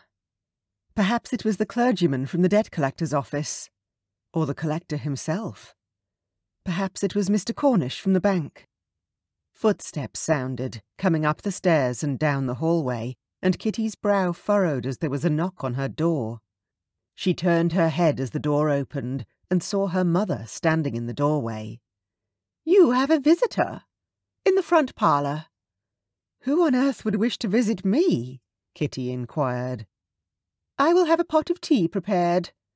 Do not keep your guest waiting, her mother answered sharply, before disappearing as speedily as she had arrived. That tone of voice from her mother didn't sound like good news. Kitty stood slowly, confused as she approached the door. Who could it be? She took a breath to compose herself, and left her bedchamber with no regard for her appearance. As she descended the narrow stairs, the voices from the parlour grew louder. She frowned. It wasn't James, and yet the voice sounded familiar. She walked closer and looked into the room. As soon as she saw the person standing in the parlour with her father, she stopped abruptly.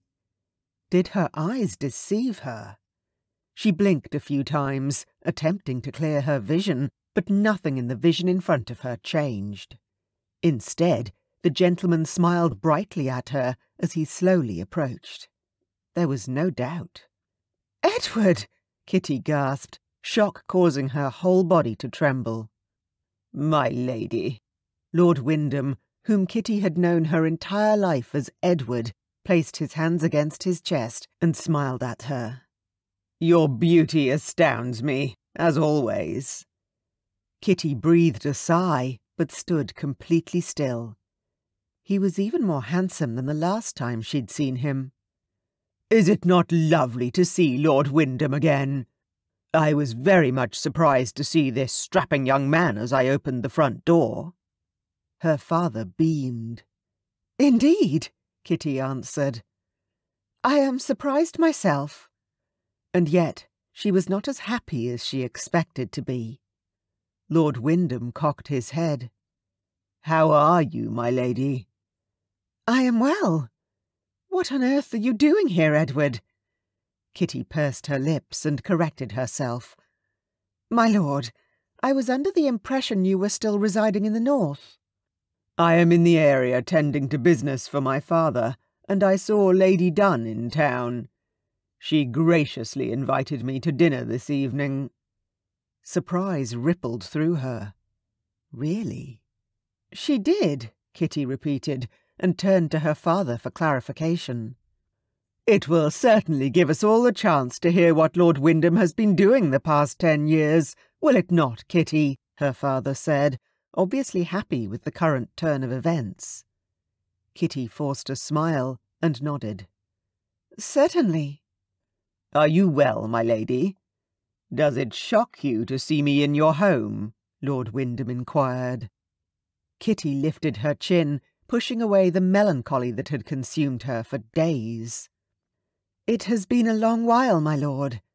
I am merely surprised. It is lovely to see you. Edward chuckled happily. That is a relief. I did not wish to startle you. Your mother informed me that you received my last letter, Lord Wyndham said, his eyes wide and expectant. Kitty swallowed the lump that rose in her throat. Indeed, I did. It was quite a letter. You certainly have a way with words, my lord. I meant every word, my lady. Kitty opened her mouth to respond, but at that moment her mother entered the room and jumped into the conversation. My goodness, Kitty. It seems as though you have seen a ghost. A ghost from her past, undoubtedly. Her father winked with amusement at his wife. Edward took a step toward them. Perhaps your daughter and I can come to some sort of agreement. Regarding what? Kitty asked. Edward turned to her, meeting her gaze with an intensity that shocked her. I would much rather say this to you in private, but I wish to marry you, Kitty. Kitty's jaw dropped, and her mother gasped beside her. Why on earth would you wish to marry me, my lord? Kitty, her father warned. It is quite all right, my lord, Lord Wyndham assured with a smile. I was certain Kitty wouldn't make it easy. After all, I was the one to leave all those years ago. But it was due to your father, Kitty's mother burst out. It does not matter, my lord, Kitty interrupted, and turned to Lady Dunn. Mother, can I speak with you privately? My dear, we have a guest. I do not care, Kitty hissed, as she brushed past her mother and exited the parlour. Lady Dunn followed her to the end of the hallway, and Kitty turned to face her mother. You invited him to join us for dinner. Indeed? Why? she inquired, letting her annoyance show. Kitty, since you are no longer marrying Lord Seymour, I had to devise a plan for our family to survive. Lord Wyndham may not be the Duke, nor have his wealth and fortune, but his lordship has known you for a long while, as well as our family, and it would be foolish not to listen to his proposition. He can offer you a good life, Kitty, and your children will be beautiful. Kitty stared at her mother in disbelief and shook her head. No. Kitty? I will not marry him, mother. I do not wish to marry him, nor any other man whom you think would be able to save our family, Kitty stated. She had grown tired of her mother's insistence she marry someone whom she did not love, or even knew for that matter. Until she decided otherwise, the entire subject was off limits. Please, mother, respect my decision, Kitty added quietly, a wave of sadness washing over her. Her mother's lips pinched together. Lord Wyndham is here, and we will have a lovely dinner regardless. Is that clear? Lady Dunn said, then left Kitty alone in the hallway. Alone, with a broken heart, and a determination to make her own decisions for her future. At the dinner table later that evening, Kitty remained polite as she spoke to Lord Wyndham, insisting that he share the past ten years with her and her parents. Although she was aware of most of it, through letters Lord Wyndham had written to her, it was delightful, much to Kitty's surprise, to listen to his animated tales. Her old friend possessed a gift to tell a story so beautifully and with so much compelling language that even the blandest of tales sounded like the greatest adventure on earth. His dark brown eyes shone with delight as he glanced at her regularly. It was rather strange to Kitty that this handsome man, impeccably dressed in his formal attire, was the very boy beside whom she had spent many days running across fields of wildflowers, laughing while they ran for cover from the rain. Rain. A vivid memory of being in James's bed while heavy rain drummed against the window flashed in her mind, and her body froze. Anger rose up inside her. She would not be able to think of anything except her night with James when she heard rain outside now. Is everything well, my lady? Lord Wyndham inquired, and his voice whirled her back to the present moment. Kitty glanced at him and noticed her parents' stares were also fixed on her. I am perfectly well, my lord. I was merely thinking of something. What could possibly be on your mind that causes you to be this distracted? Kitty, you seem to be across the world. In all honesty, Kitty wished she were. In fact, she wished to be anywhere but the place where she found herself presently. I merely have a few trivial things on my mind. Not to worry, my lord. It is nothing to concern yourself with, Kitty stated. Pardon me for a moment. Kitty stood from her seat and quietly left the dining room. Her chest ached as her heart was yet again betrayed by the memory she'd attempted to forget. Her mother and father had disappointed her tonight. They were well aware, from her harsh words and her tears on their journey home from Woodlock Manor, that she never wished to have anything to do with any man ever again. They still only thought of themselves. She entered the study and opened the large window, allowing the cool, fresh air to flow into the room. She took slow, deep breaths, attempting to calm the storm inside her heart. Alas, it did not work. A soft knock on the door caused her to sigh wearily. Please, mother, leave me be. Have you not tortured me enough this past week? My lady. Lord Wyndham's voice inside the room made her jump and she whirled around. My apologies, my lord. I was under the impression it was my mother. There is no need to apologize. It was rather unmannerly of me to simply assume you would allow me to speak with you privately, Lord Wyndham said, and slowly approached Kitty. I am truly sorry you have been tortured by Lady Dunn. Kitty scoffed and shook her head. She seems to enjoy it. If I may ask, What is the reason she torments you, my lady? Kitty sighed. It is a rather long and tediously tiresome tale. I wish to know. I would rather not say, my lord, Kitty answered with a frown, and walked past Lord Wyndham.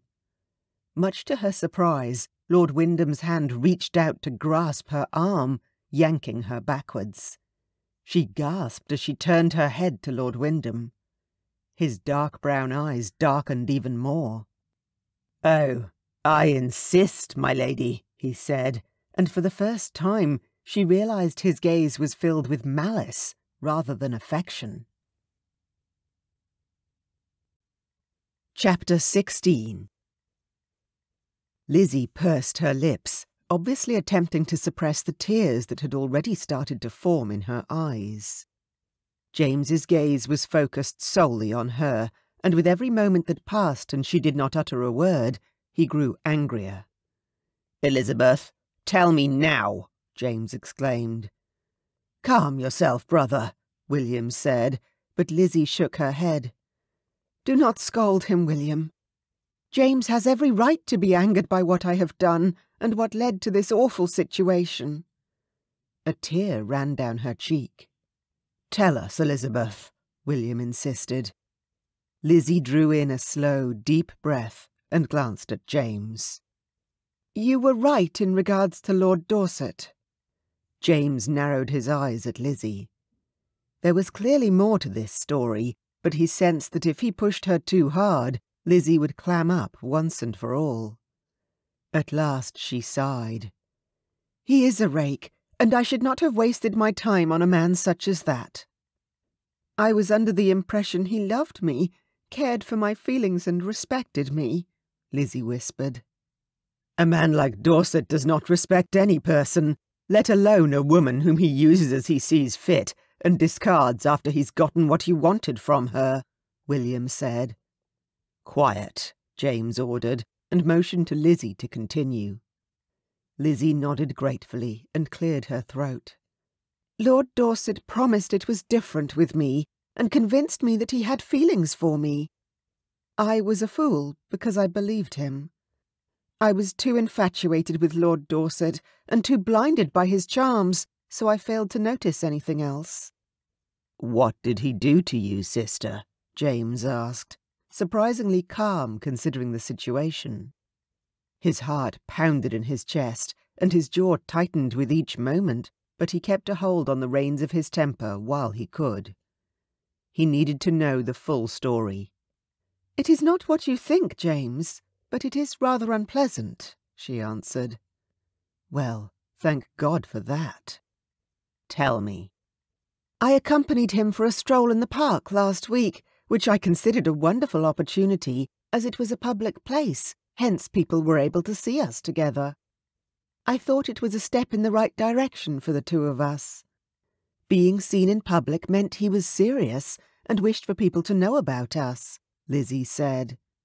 Bitterness twisted her lips. But it was only for show. As soon as we reached the border of the park, he led me through the trees, where no person was able to see us.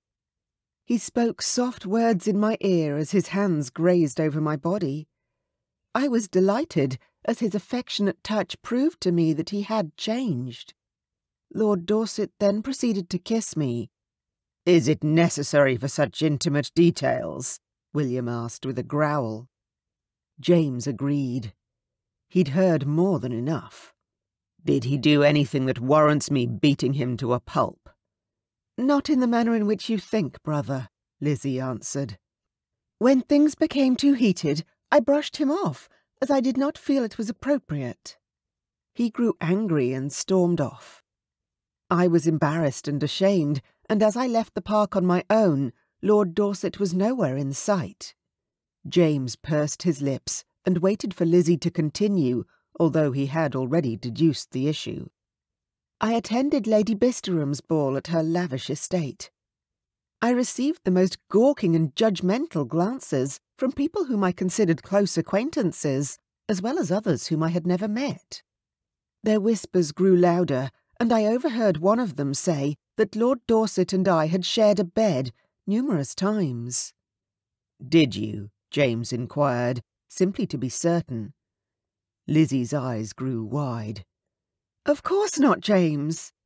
They are spreading lies about me, and soon my reputation will be ruined, if it is not already, Lizzie answered, the dismay evident on her face.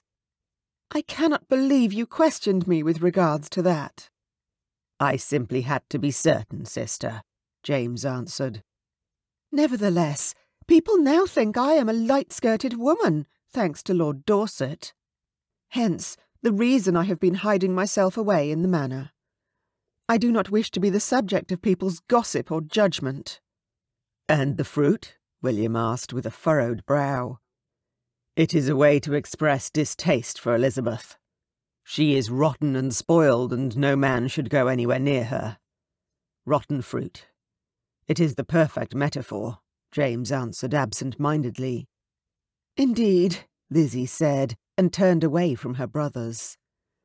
I certainly did not consider it being such a momentous thing. It is a rather outlandish act, do you not think, James? But James did not hear any of the words from Lizzie's mouth.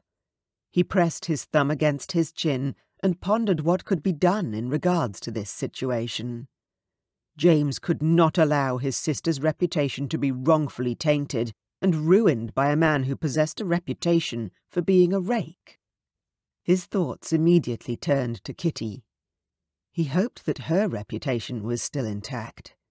The last thing Kitty needed was rotten fruit flung at her family's home. James hoped that she was doing well and had forgotten about him and the night they shared together in his chambers, even though it was never far from his mind. He thought of it every night as he lay and stared at the empty space in his bed where she had lain in his arms. She had fit so perfectly in his embrace. He felt empty and not complete now that she was gone. James heard Lizzie repeatedly uttering his name, more desperate with each passing moment. He had to take a stand on behalf of his sister. He turned to Lizzie, who was nearly frantic. James, please answer me, Lizzie insisted. My humblest of pardons, sister, what was it you asked? he said apologetically. I am not certain what to do, James. Lizzie's tone was desperate and filled with guilt. I did not think he would do such a thing to me, but I was foolish.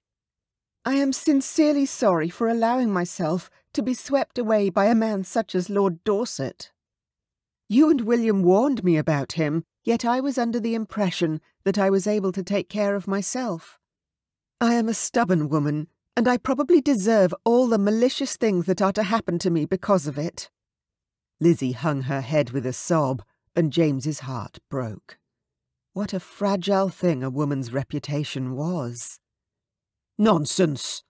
You are our sister, and we will do everything in our power to ensure this does not become an issue, William stated. True, brother? William glanced hopefully at James who continued to stare at Lizzie. Lizzie raised her brow expectantly. James, Lizzie whispered. The things people are saying are untrue, James asked, needing to make sure that he was correct before he ventured forward. Yes. All of it, James emphasized. One kiss. That was all I permitted. I vow to you, brother, Lizzie said, her eyes wide and guileless. Very well.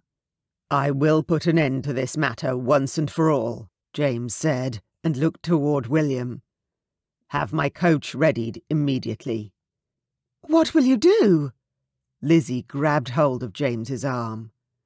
James glanced at her and grinned, his gut tight with tension. I am saving your reputation. Please do not question how I will accomplish it. Just know that it will be done. You are not set on murdering Lord Dorset, are you? Lizzie asked, with tears glistening in her eyes. If it comes to that, then so be it, James answered, and freed himself from her grasp. And have the servants clean up that ungodly mess. James, wait! Lizzie's voice sounded frantic, but he did not turn around. He was well aware that he could never truly murder someone, not even when that person was set on ruining an innocent young lady's life.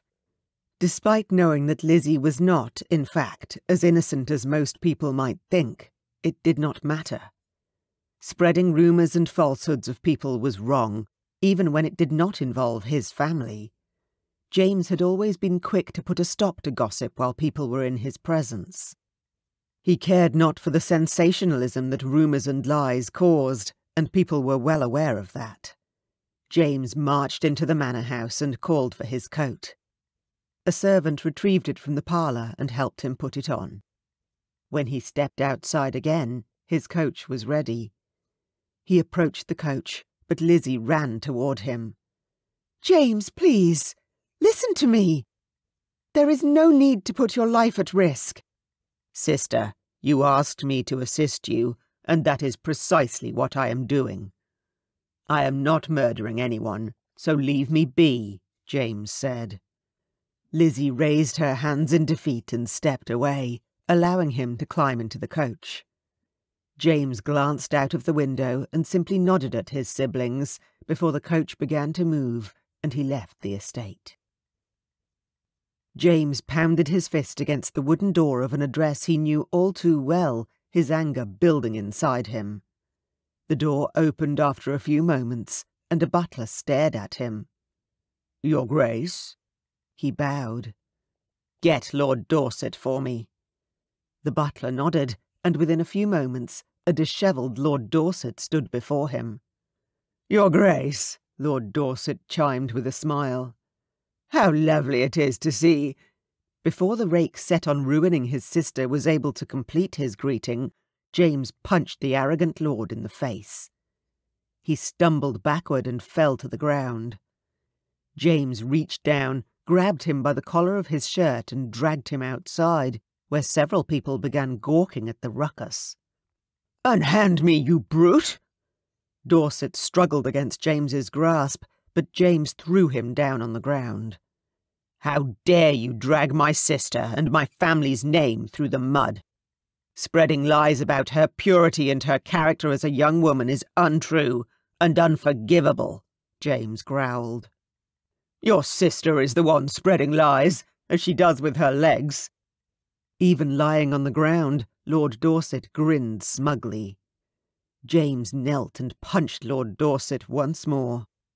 The man groaned as blood trickled from the corner of his mouth. You are a liar, and you will set this straight, James said. I will not allow you to ruin my sister's reputation because she wouldn't become another notch on your bedpost. James grabbed Dorset's collar and stood, forcing the man into a standing position. He glanced around at the crowd forming around them. Tell everyone here how you spread lies about my sister, James ordered. I will not. Lord Dorset spat, blood trickling down his chin. Tell them, James yelled, and tightened his grasp around the cad's throat. Lord Dorset gasped for a few moments until he panted, Very well. I never laid a finger on her. Everything I said was untrue. It was only to boast of another conquest. The people who had come closer to witness Lord Dorset's confession gasped and whispered amongst themselves. James turned to Lord Dorset and snarled. If you ever go near my sister, or any other young woman whom you attempt to ruin, I will tear you limb from limb and feed you to the dogs. Is that clear? Yes, Lord Dorset whispered. James released Dorset from his grasp, and the man fell to the ground, groaning at the impact. James stepped away and walked back to his coach without another word. He glanced intently at the people on the street who had witnessed his altercation with Lord Dorset. To clear matters up, James announced to the spectators, as I am certain there will be many tales circulating with regard to this incident, let it be known that Lord Dorset is a rake. He ruins women by promising them the moon and stars, then discards them as soon as he has gotten what he wanted from them. Those who oppose him and reject him, he smears their names, as he did with my sister. That will not happen again. Keep your daughters and your sisters away from this man, as he is more worthless than a street rat. James turned and climbed into his coach, not the least bit interested in the murmurs behind him. He had done what he came to do, and that was the end of it. Chapter 17 Kitty stared into Lord Wyndham's eyes, and her blood froze in her veins. Despite his outward appearance being the same as it had always been, there was a sudden and evil darkness emanating from deep within the man she had considered a childhood friend. Kitty was unable to move as fear pulsed through her. My lady, your mother wishes the best for her only daughter, and who am I to argue with that? She did, in fact, invite me to dinner, so desperate was she for me to marry you, Lord Wyndham sneered. His tone made Kitty straighten her spine and find her tongue. He thought he'd won, did he? My mother is under the impression she knows what is best for me, Kitty answered, struggling against Edward's grasp. Now please, unhand me at once. He glared at her, then loosened his grip abruptly, stepping away from Kitty as though disgusted. What happened to you, Edward? Kitty whispered. You are not the man I remember. Many things change in a decade, my dear. You, of all people, should be aware of that, Edward answered, and paced around the room. While I was adapting to my new life in the North, there was not a day that passed when I did not think of you. I wondered what you were doing, and why you'd forgotten me. He sounded hurt, which did not correlate with the scary behaviour from a moment ago. My lord, you were a very large part of my life, and I could not simply forget you. Then why did you? he inquired, as he stopped abruptly in the centre of the room. I didn't, Kitty said, shaking her head. Of all the people your mother could have chosen, she chose James of Somerset, he spat. Kitty's mouth dropped open. What did Edward have against James? He was the wealthiest prospect, and according to her, our children would be very handsome, Kitty said, her heart constricting at the thought of James. Despite her inability to ever admit it to anyone, even herself, she missed the Duke desperately. She still spent every night staring out her window, hoping James would come to her rescue, now more than ever. Did she not think I was good enough for you? It was only after the Duke rejected you that she found it in her heart to consider me. Edward glanced in Kitty's direction. It was not James who rejected me, my lord. It was I who rejected him, Kitty pointed out. Lord Wyndham cocked his head. Why is that? I could not marry a man such as him, regardless of how wealthy he is. Wealth does not excuse a heart of stone. Perhaps she had been callous in her decision to accuse James of not being a man she could marry. Had she been unreasonable and too quick to judge him? Perhaps James had been meaning to send for an animal doctor to examine and treat Lord Windsor, but had not had the time to do so. He was a duke with all the obligations the title carried, and entertaining her family at the time. Her stomach tightened as the thought took hold. Perhaps she had jumped to conclusions too soon. Her heart ached for James, his touch, his kiss. Kitty! Edward's voice called her back to the present, where she had little desire to be. Kitty now knew why Edward had visited. Her mother had practically begged him to visit and join them for dinner. Her mother had grown desperate after the termination of the arrangement with James. Lady Dunn had sought out desperate measures to keep their family from financial destruction, with absolutely no thought to Kitty's happiness. Sadly, Kitty's well-being had never been a factor, at least not to her mother. She had always simply followed along with whatever notion her mother wished or had single-handedly decided. Terminating the arrangement with James had shocked her mother, obviously, but now that she had adjusted course to come to terms with Edward, there would be no stopping the formidable Lady Dunn. Kitty had no say in the matter, of course, but she did not feel angered or betrayed. She simply felt terrified. Edward was not here because he loved her. He was here for revenge. Against her for never responding to his letters. And her parents for never thinking he was good enough. Not until she'd been rejected by a duke. That would not bode well for a marriage that would last a lifetime. Are you well, Kitty? Edward inquired. You seem lost in your thoughts. Not at all, my lord. You were thinking of James. Edward's eyes darkened suddenly. I was not, she snapped back, not interested in his temper. I was thinking of my mother and how she enjoys manipulating those around her. And why would you say such a thing? he asked, calm once more. She hid your letters from me. Were you aware of that? Kitty said. She did not wish for me to know how you felt. She was afraid that it would make me change my mind or jeopardize their arrangement with James. But that happened regardless. Are you happy you did not end up marrying the Duke? She nodded, though her chest tightened and her throat burned. Of course. It was what we both wanted. You seem hesitant in your answer, he countered. Kitty frowned at the man before her. She had outgrown her childhood friend, it seemed, and she no longer wanted anything to do with him. I am merely finding this conversation tiresome. Marriage is a matter I do not wish to discuss any longer. Kitty sighed. I must apologize, my lord, but despite being close acquaintances with you since we were children, I do not desire to marry you, or anyone for that matter. I am exhausted and overwhelmed, especially given the fact that my father is losing all his money due to embezzlements by his business partner, Lord Wyndham interrupted, and Kitty's eyes widened.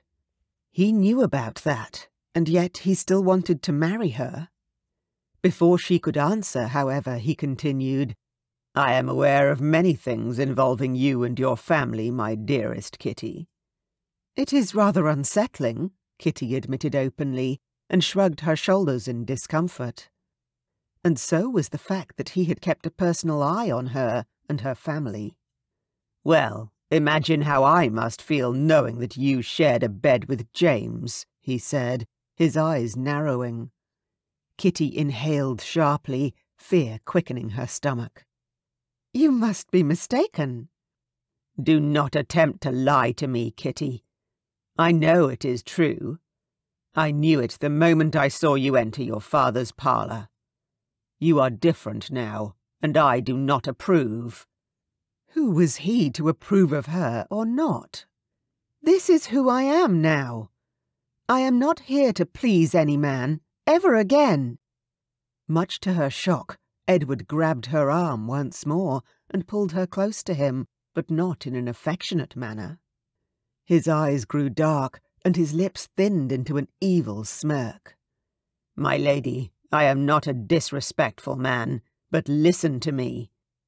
If you think for a single moment that you have a choice in this matter, you are wrong.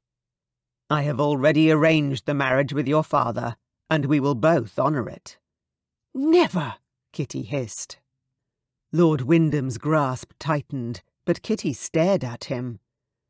My lord, you are a weak-minded man, and if you think your violence will have any impact on me or my decisions, you are a fool.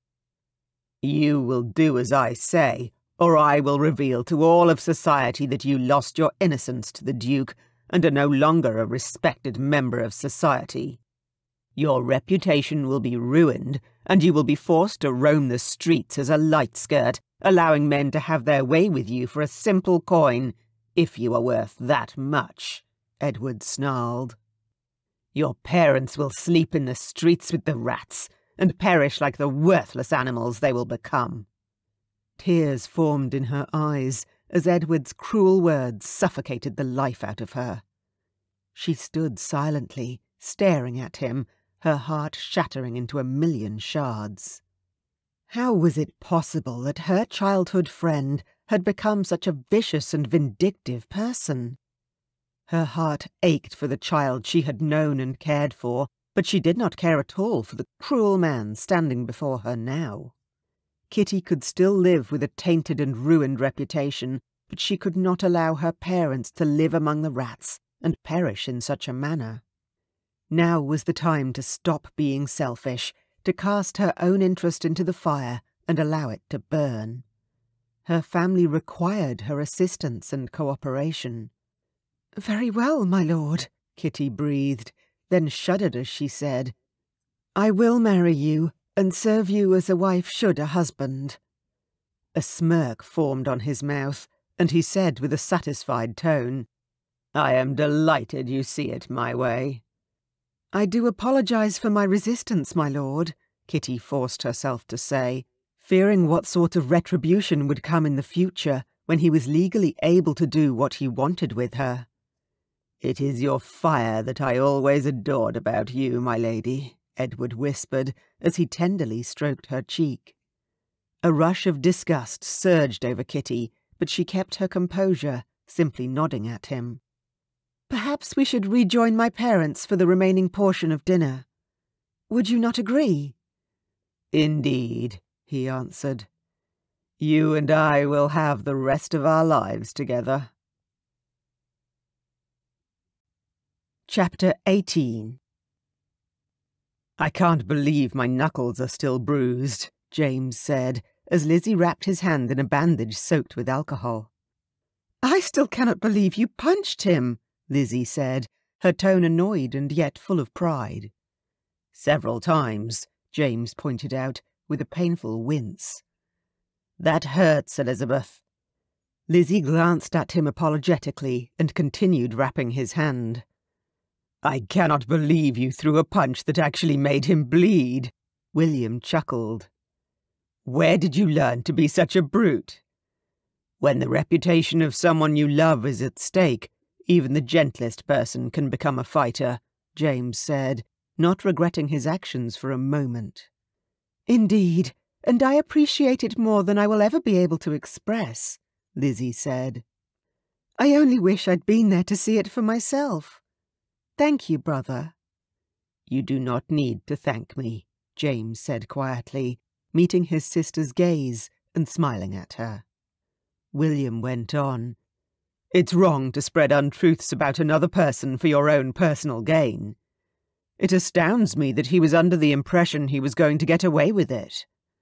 But, James, you took care of him in front of a crowd as well. Dorset was certainly not expecting that. Even though you did it for Elizabeth, you are now my hero. James grew quiet and lowered his gaze, wincing one last time as Lizzie finished wrapping the bandage around his hand. Brother, Lizzie whispered and touched James's chin. Are you well? It is not only my hand that is bruised, Elizabeth. Did Lord Dorset hit you? Where? Lizzie inquired, and examined him briefly. No, it wasn't Lord Dorset. This was caused by my own hand, James said. I don't understand, Lizzie answered, with a furrowed brow. James sighed wearily. He'd come to this decision earlier, but it was more difficult to say aloud than he'd originally thought it would be. He took a breath and braved the dragon. I wish to make amends with Kitty. Lizzie gasped.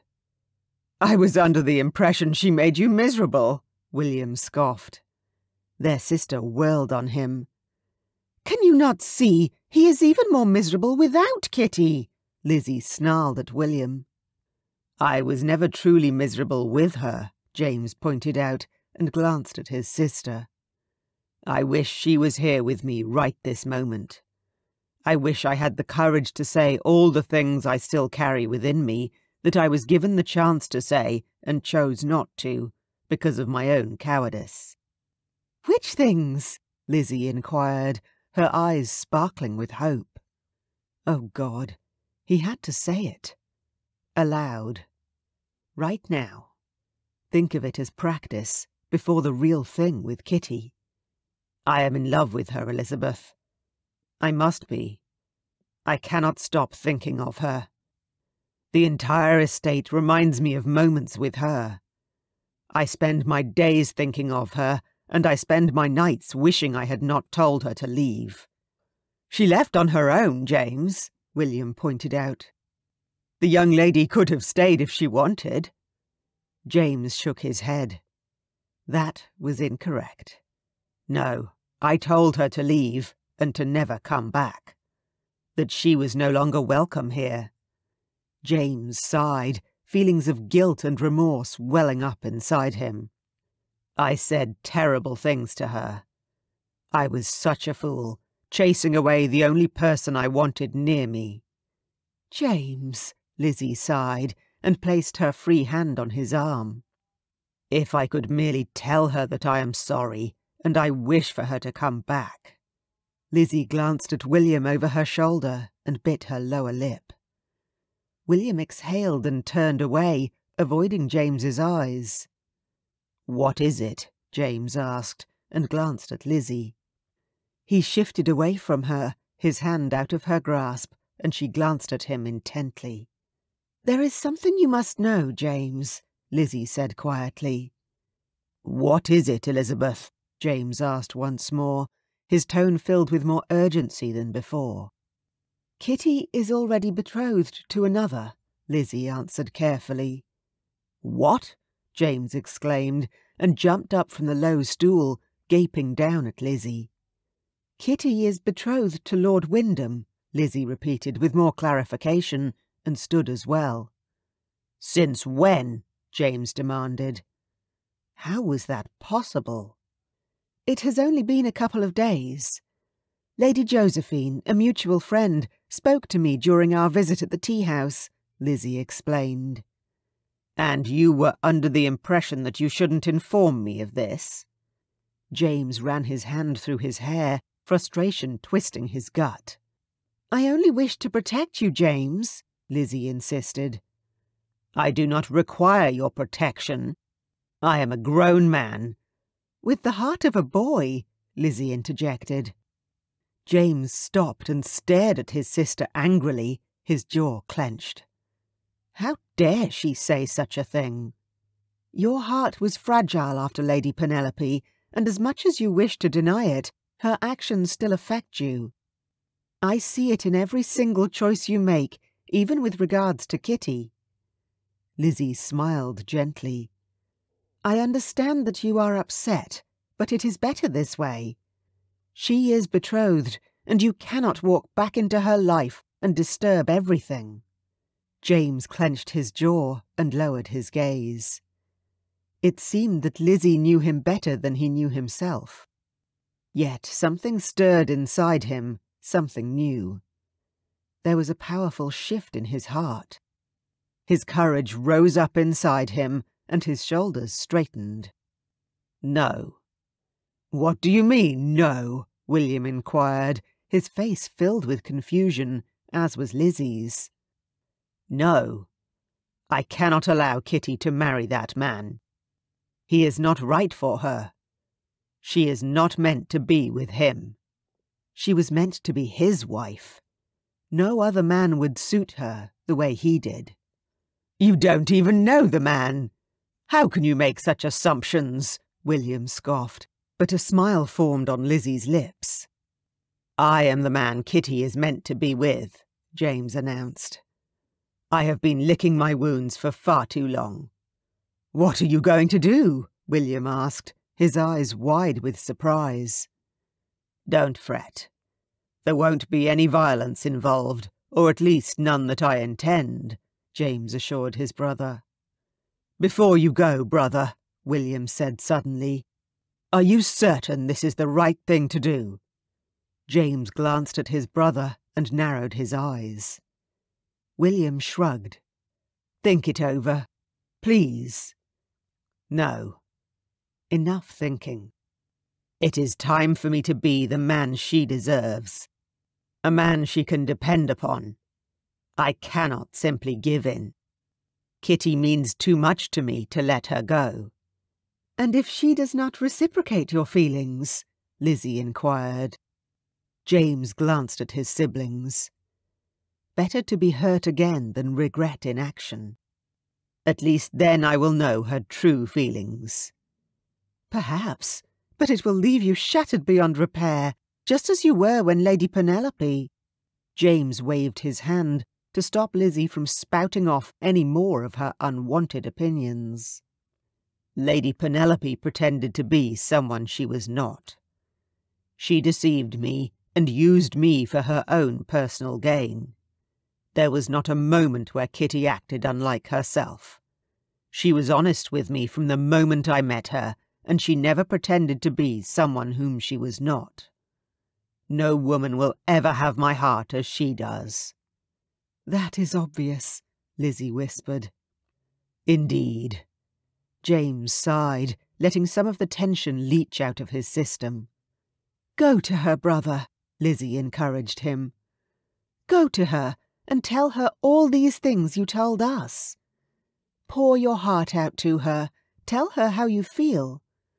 No woman who willingly gives herself intimately to a man deserves to marry another simply for the sake of her family. James glanced at her and cocked his head. How did she know? No one told me. I could see it in her eyes, Lizzie assured him, and James nodded at her. Now go, before it is too late. As James swiftly left the parlour, Lizzie turned to William. You did not tell him, William pointed out with a scowl.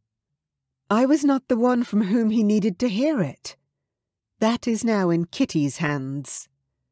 Lizzie turned away and gathered her medical supplies from the table.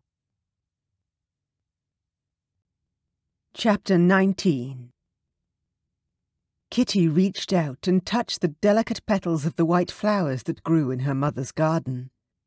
Despite the space being very small, with only a few flowers and plants, Kitty often retreated there for solace and to have a few moments to herself.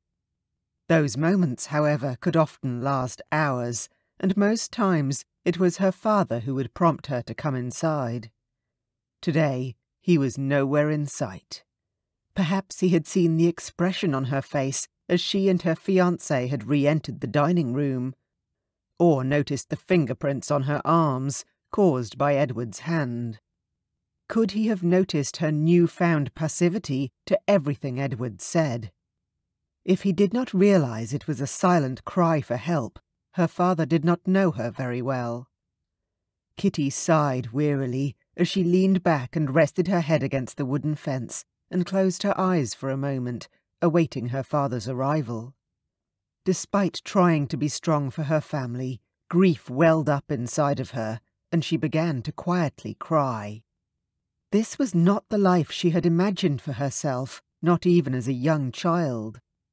She had often dreamt of meeting a wonderful man, whom she had once hoped would be Edward, but after she'd accepted his proposal, she had soon realized that the boy of her dreams had turned into the man of her nightmares. Footsteps along the path that led around the side of the townhouse toward the garden caused her to open her eyes and wipe the tears from her face.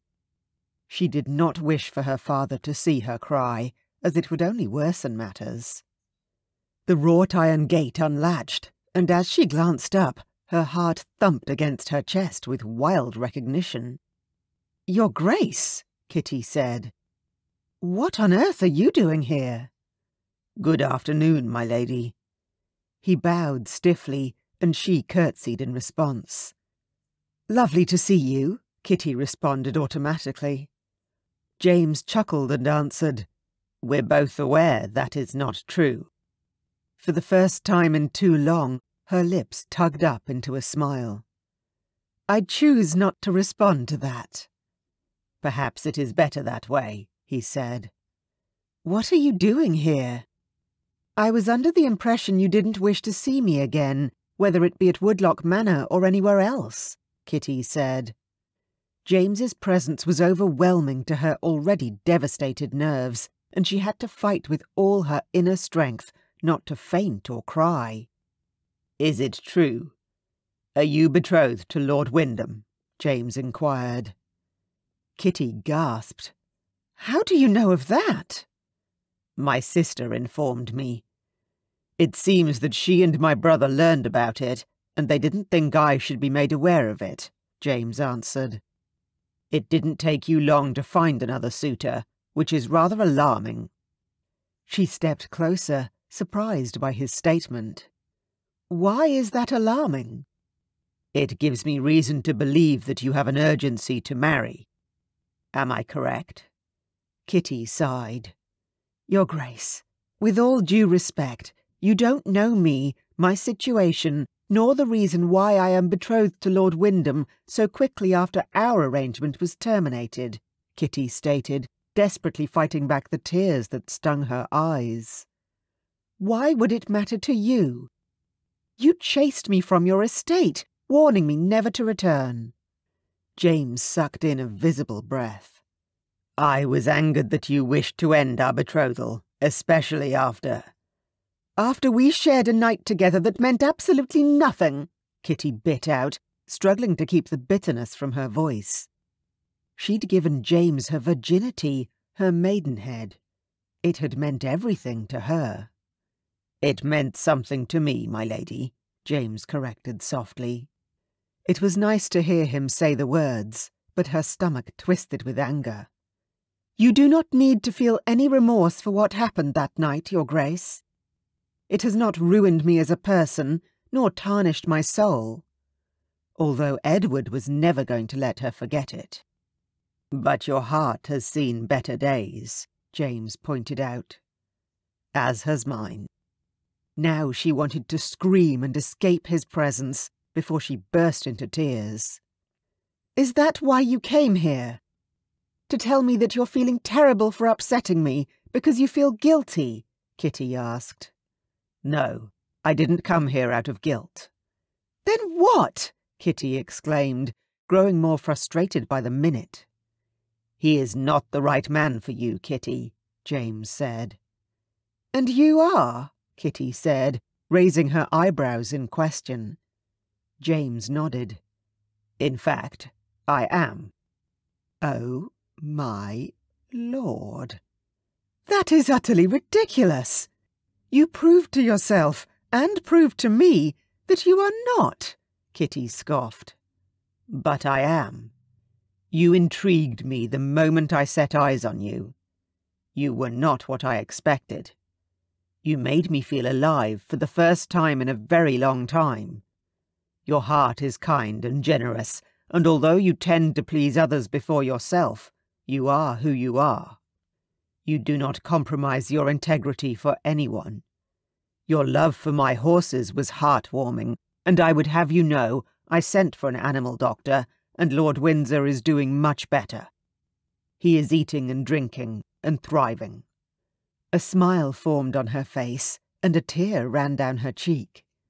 That is good to hear. I am certain he would love for you to visit him, James stated.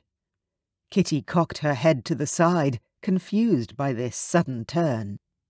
I thought I was no longer welcome at your estate. We both know I didn't mean it. Just as you didn't mean to end our arrangement. So confident of how we both feel. Since when? Kitty sighed. She didn't have the strength for this conversation. You can't do this. Not here, Your Grace. Not now. I am betrothed to Lord Wyndham. I can't. She turned away before her tears got the better of her. You can simply end your betrothal with him. I wish it were that simple, Your Grace, Kitty whispered. Why is it not? James asked. Kitty didn't answer. She couldn't. James would hate her if he knew the truth about how much she was sacrificing now. He thought she was strong, but she wasn't. My, oh my. Both Kitty and James turned at the snide voice. Edward stood beside the gate, glaring at them.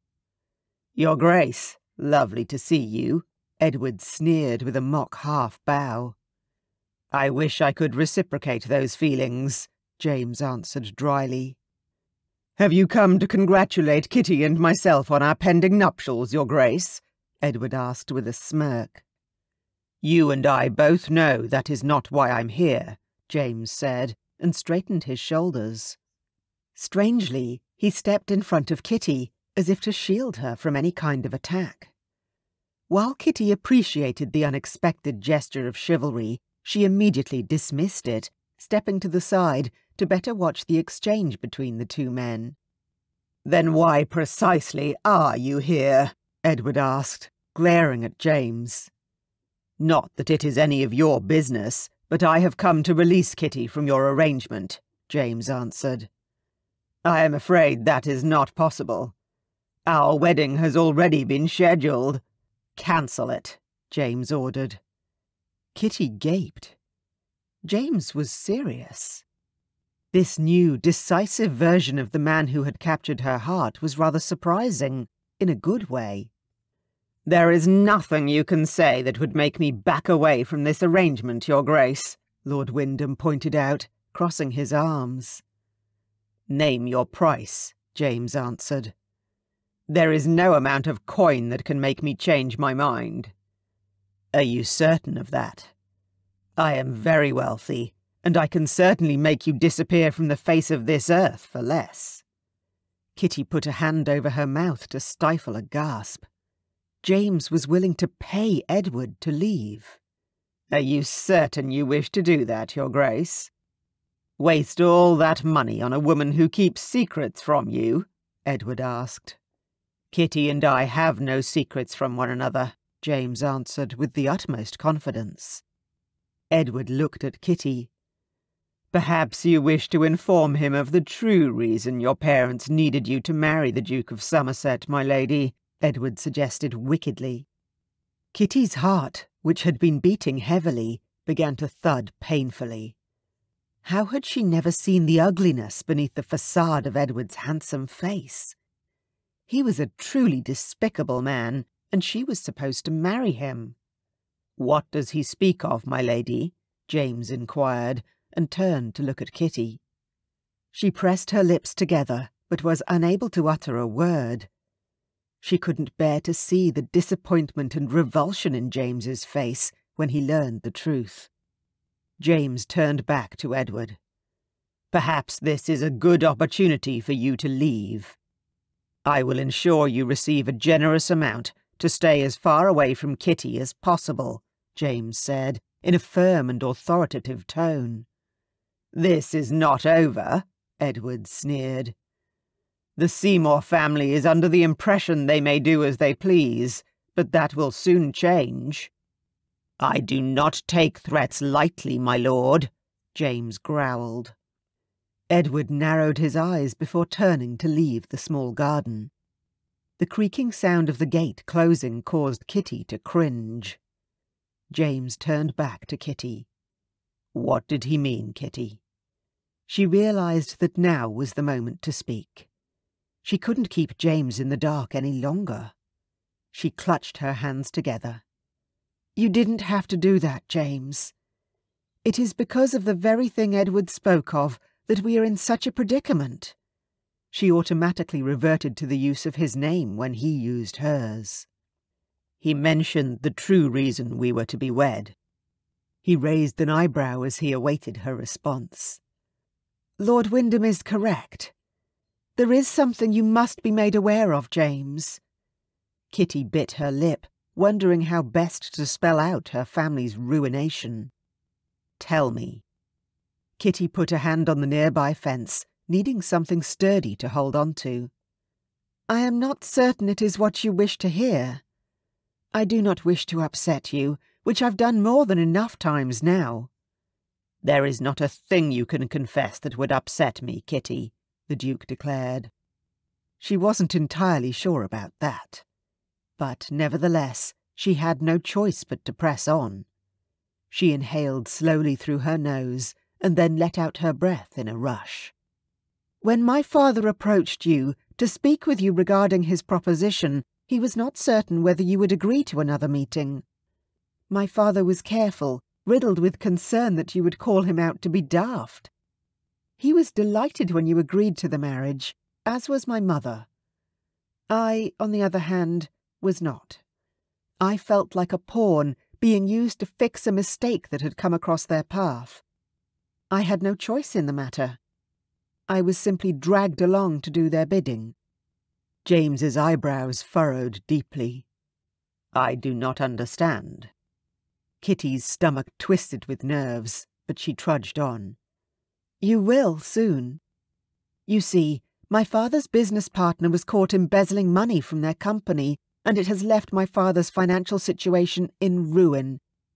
Marrying you, a wealthy and attractive man who wished never to fall in love, was seen as perfect by my parents. It would prevent my family from living on the streets. You only agreed because I was wealthy. James's brows came down in a scowl. I did not agree to anything. I was forced into it, Kitty contended. James sighed. So it is your parents who are the villains in this piece. Kitty bit her lip. Will you forgive them? James nodded. Of course. Arranged marriages are often about security and finances. I only wish they'd been more upfront about their true motives. Kitty forced out a laugh. A marriage is a most advantageous connection. You would get someone young and sturdy to provide you with heirs, and I, well, my parents, I suppose, would get to keep from financial ruin. James's lips lifted into a smile. Just so. Her eyes widened. He didn't seem as upset as she had expected. In fact, he didn't seem upset at all. Instead, he simply stared at her, his gaze intense. And you, Kitty. Me? Yes. Is our arrangement now only palatable to you if it means saving your family? It is obvious that is the only reason you were putting up with that other chap. He nodded his head in the direction Edward had gone. Oh, no. Kitty shook her head. I admit it was that way at the start. I had to behave perfectly in order to impress you, to save my family. But then... Then what? James asked, stepping forward. Then you took me to the meadow where we had our race. When I became better acquainted with you, something rose up inside me. I was comfortable with you, and it wasn't because of the money. I was under the impression I had lost my mind, Kitty explained, shaking her head. But I simply lost my heart. To you, James. His eyes bored into her, as if trying to see right through to her core. You had. Indeed. I was convinced it was impossible for a person, especially myself, to fall in love as quickly as I had. That night in your bedchamber, Kitty. Please allow me to finish, Kitty demanded, and James nodded in acknowledgement. That night I saw a different side of you. Sensitive, vulnerable, and I saw those walls you've erected around your heart come tumbling down. The way you stared into my eyes, the tender manner in which you kissed me, it changed everything. I knew then it was more than a mere arrangement, for you as well as me. Kitty's cheeks heated. It was difficult to share her intimate feelings, but she had to show him how she felt. Those feelings never truly stopped, not even after I told you I couldn't marry a man who does not care for horses, or who lies. I think I was simply overwhelmed by the strength of my feelings, and not certain how to properly deal with them. I do apologize for all those terrible things I said. I deserved them, James admitted. I said terrible things too, and for that I apologize, my lady. I'm not a perfect person, and I do not claim to be. I make mistakes. We all do, she interjected. But the biggest mistake was to allow you to leave my estate. I fought with myself as I watched you standing by the coach. I desperately wished to stop you from leaving, but I was afraid. Afraid you did not reciprocate my feelings. Afraid I might get hurt again. I would never hurt you like that, James, Kitty answered, and reached out her hand to him. He clasped it tightly. I am aware of that now. Kitty smiled. Tell me what happened with the other woman. Lady Penelope, James asked, and as Kitty nodded, his jaw clenched. There was a beat of silence. I met her in town, he said after a pause. Her father was a Marquess, a very respected man, but also a gambling man. He was in trouble with a few people. He owed them money, quite a large amount. Lady Penelope assumed the identity of someone other than his daughter. He stopped and sighed, so she waited. I was not acquainted with her, or had even seen her from a distance, but she introduced herself as Lady Penelope. She merely used me for my wealth, to steal from me, and I allowed it. I fell for her lies, and it cost me dearly. I would never do that to you, James. I vow to you, Kitty whispered. Even if you were the poorest man in the world, it would not matter to me. It is you I fell in love with. And I you, Kitty, James whispered as he leaned in and tenderly took her lips in a kiss that stole away her breath. Chapter 20 The sweet scent of the white flowers that grew in the small garden at her parents' townhouse filled the air around Kitty.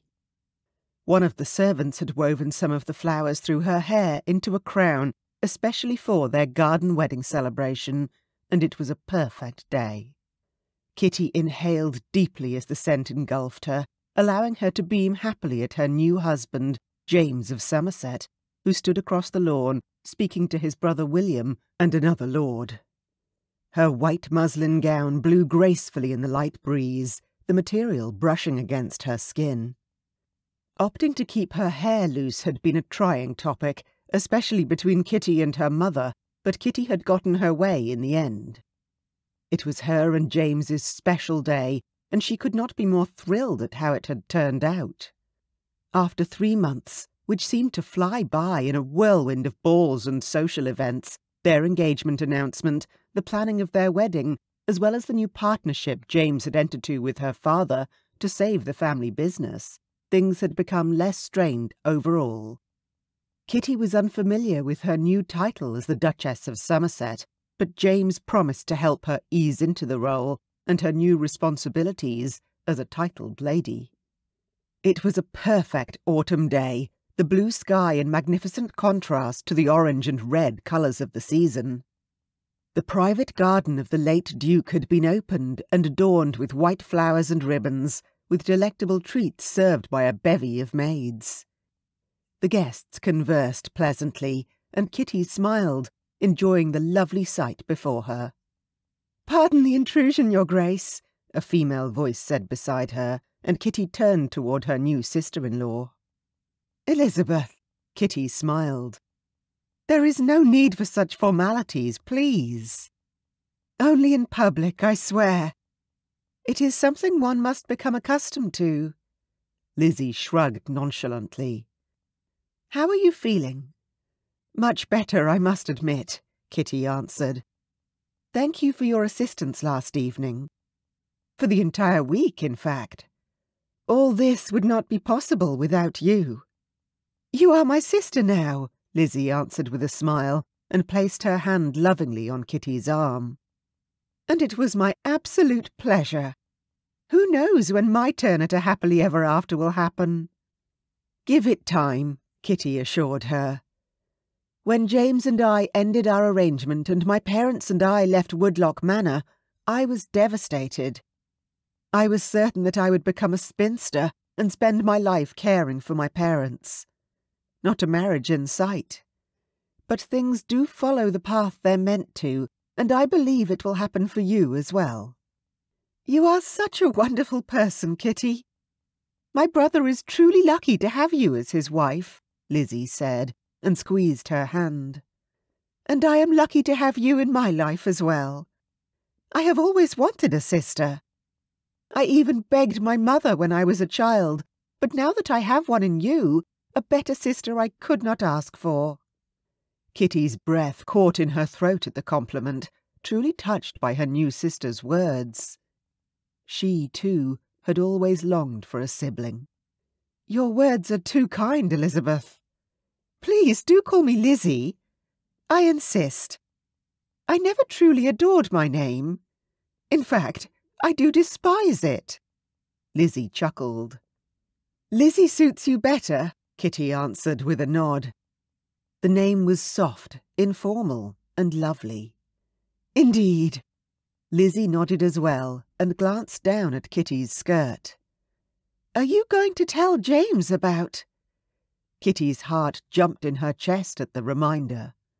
She opened her mouth to answer, but they were interrupted by William. Please don't tell me you ladies are still discussing the wedding, William exclaimed, before Kitty could respond to Lizzie's observation. James was directly behind his brother. He gave Kitty a wide grin, which she responded to wholeheartedly. The day has come. Things are perfect, so there is no need to discuss it any further, William continued. Lizzie and Kitty exchanged glances, and Lizzie turned to her youngest brother. Perhaps you should not have spent all your time at the refreshment table, as you are beginning to sound like a foxed gabster, brother. I am most certainly allowed to kick up a lark at my own brother's wedding, am I not? William chuckled. Allow me to escort you to find some water, as I am most certainly not nursing you back to health tomorrow morning, Lizzie said, and took William by the arm. Excuse us, she whispered, and winked at James. Kitty watched the siblings walk away and marvelled at marrying into a family where she got not only a husband, but a sister and a brother as well. What a wonderful day! Kitty smiled brightly at her handsome husband. And I am delighted that everyone is having a wonderful time as well. Perhaps too wonderful. James chuckled and motioned to William. Kitty giggled and took James's hand in hers. Thank you, James. This wedding, the garden, the decorations, it is everything I had dreamed it would ever be. It's a perfect day. Even with my foxed brother, James asked, his lips kicking up with amusement. Even then, she smiled, pure and unadulterated happiness flowing through her. There is something I wish to tell you, but not here. James tenderly caressed her cheek and glanced around them. I am certain that we could slip away for a few moments. I know just the place, she whispered. Lead the way. James winked. Kitty led James through the back of the garden, and his eyes widened as he recognized the hill in the distance. It was the hill he and Kitty had raced to, the race that she had won without a shadow of a doubt. It was also the hill where they had shared their first kiss, as two people wary of love. We are not racing again, are we? James asked with amusement. Kitty chuckled and shook her head. Not today, my love. I wished to bring you here, within sight of the hilltop, to show you how far we have come, and remind you of the wonderful journey that is ahead of us. There is no other man in the entire world I desire beside me, except you. My love, my husband and my friend. Kitty took James's hand, pressing it against her stomach. And now, the father of our child. James's eyes widened with a mixture of disbelief, happiness, and fear. You are with child? Yes, I am. Kitty laughed, happiness unlike anything she'd ever felt before pulsing through her. How did this happen? James exclaimed, and shook his head. Of course, I mean, I am aware, but... He looked shocked, but a dawning joy shone through in his expression. Kitty laughed at her husband's reaction to the news. They had spent many mornings speaking of children and how they wished to start a family. They had even toyed with possible names for their future children, but when Kitty had felt the early signs of pregnancy, she had been overwhelmed. It had taken her a week to fully grasp the situation, with the aid of Lizzie, of course, and she wanted to inform James as soon as she felt ready. Today, at their wedding, felt like the perfect moment. You are such a silly man, Kitty chuckled and placed her hands around James's shoulders. Tell me what you are thinking, please. I hope you are happy. I am thinking that I did not believe it was possible to love you more than I already do, but now my love for you has simply exploded. I watched you walk toward me from across the garden wearing this beautiful white gown, like an angel, my angel, and time stood still. I love you with all the depth and breadth of my heart, my beautiful Kitty. And I am very happy indeed about our news. He curled his hand briefly across her stomach, and she covered his hand with one of her own. I love you, James Seymour, in all your entirety, with everything in me, Kitty declared. We will go on many adventures together, hand in hand, side by side, and we will have the best life imaginable. As long as I have you beside me. James tenderly kissed her lips. You will always have my heart, as you have had from the start, until the day I perish, and likely even after that. As James's kiss became more urgent, Kitty melted into him. The sweet smell of the white flowers from her floral crown filled the air as their love ignited. She knew, deep down inside, that she and James had discovered an everlasting love that would never grow dim. Epilogue Five years later. Do not fret, my old graceful lord. Today we shall both take it slow, Kitty whispered reassuringly as she lightly patted the old horse, Lord Windsor, on the back. Even though it had been five years since the illness that had caused her to leave James, Lord Windsor showed no signs of weakness, not even in his advanced years, which came as a great relief for Kitty. During her childhood, she had seen several horses over the Rainbow Bridge. Every one was difficult for her heart to cope with. She was left devastated and heartbroken on each occasion, often for months on end. She was so happy that Lord Windsor's health had rallied so well.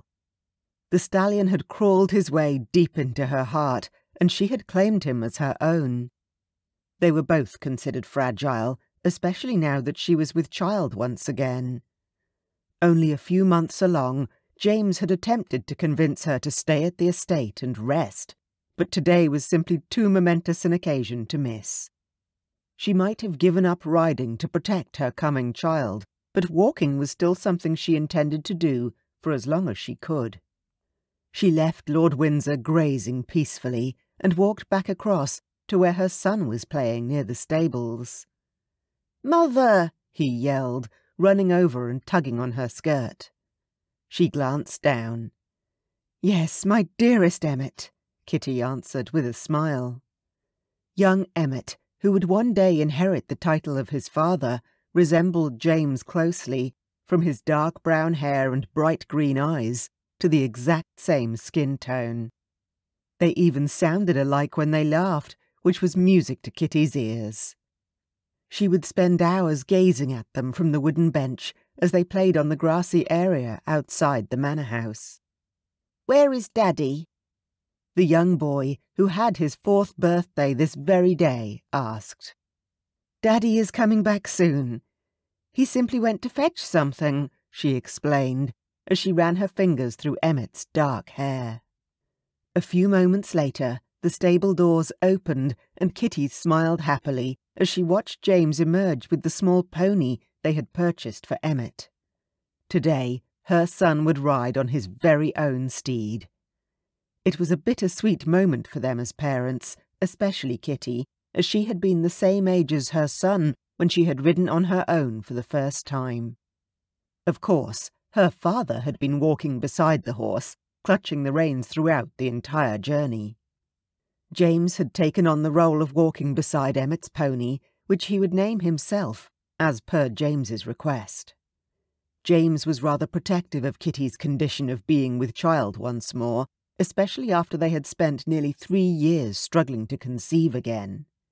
She understood her husband's concern, but that didn't stop her from inviting herself on this excursion. They would only walk to the meadow, or until Kitty grew tired, but she was adamant not to spoil this wonderful day. James's smile set Kitty's heart ablaze, and the pride he showed as he stood in the sunlight caused an overwhelming feeling inside her. She was the luckiest woman in the entire world to have James in her life. Daddy! Emmett exclaimed as he ran toward his father. My dear boy, come here. I want to show you something. James scooped up his son in his arms and turned to the light grey pony that stood beside them. This, my beautiful boy, is your pony. My pony? Indeed, James answered. I can keep him, Daddy? Emmett asked, wriggling with excitement. You can keep him as long as you wish, James answered. Emmett's small body vibrated with glee as he cheered and threw his arms around James's shoulders. Thank you, Daddy. You are most welcome, son. May you have the happiest of birthdays. Kitty smiled, fighting back tears of happiness that threatened to run down her cheeks. She watched the two most important men in her life share a special moment, simply basking in the joy on both their faces. Are you ready for your first ride on your very own pony? Kitty asked as she approached them. All by myself? Emmett asked, his green eyes sparkling. Indeed, James answered. But there is no reason to be afraid. I will be right beside you. Emmett is not afraid, their son proclaimed. James and Kitty exchanged glances, and she chuckled. He reminds me of myself. Independent beyond his years, James pointed out, and tickled Emmett, who roared with laughter. As I was, Kitty smiled. And still are, James added.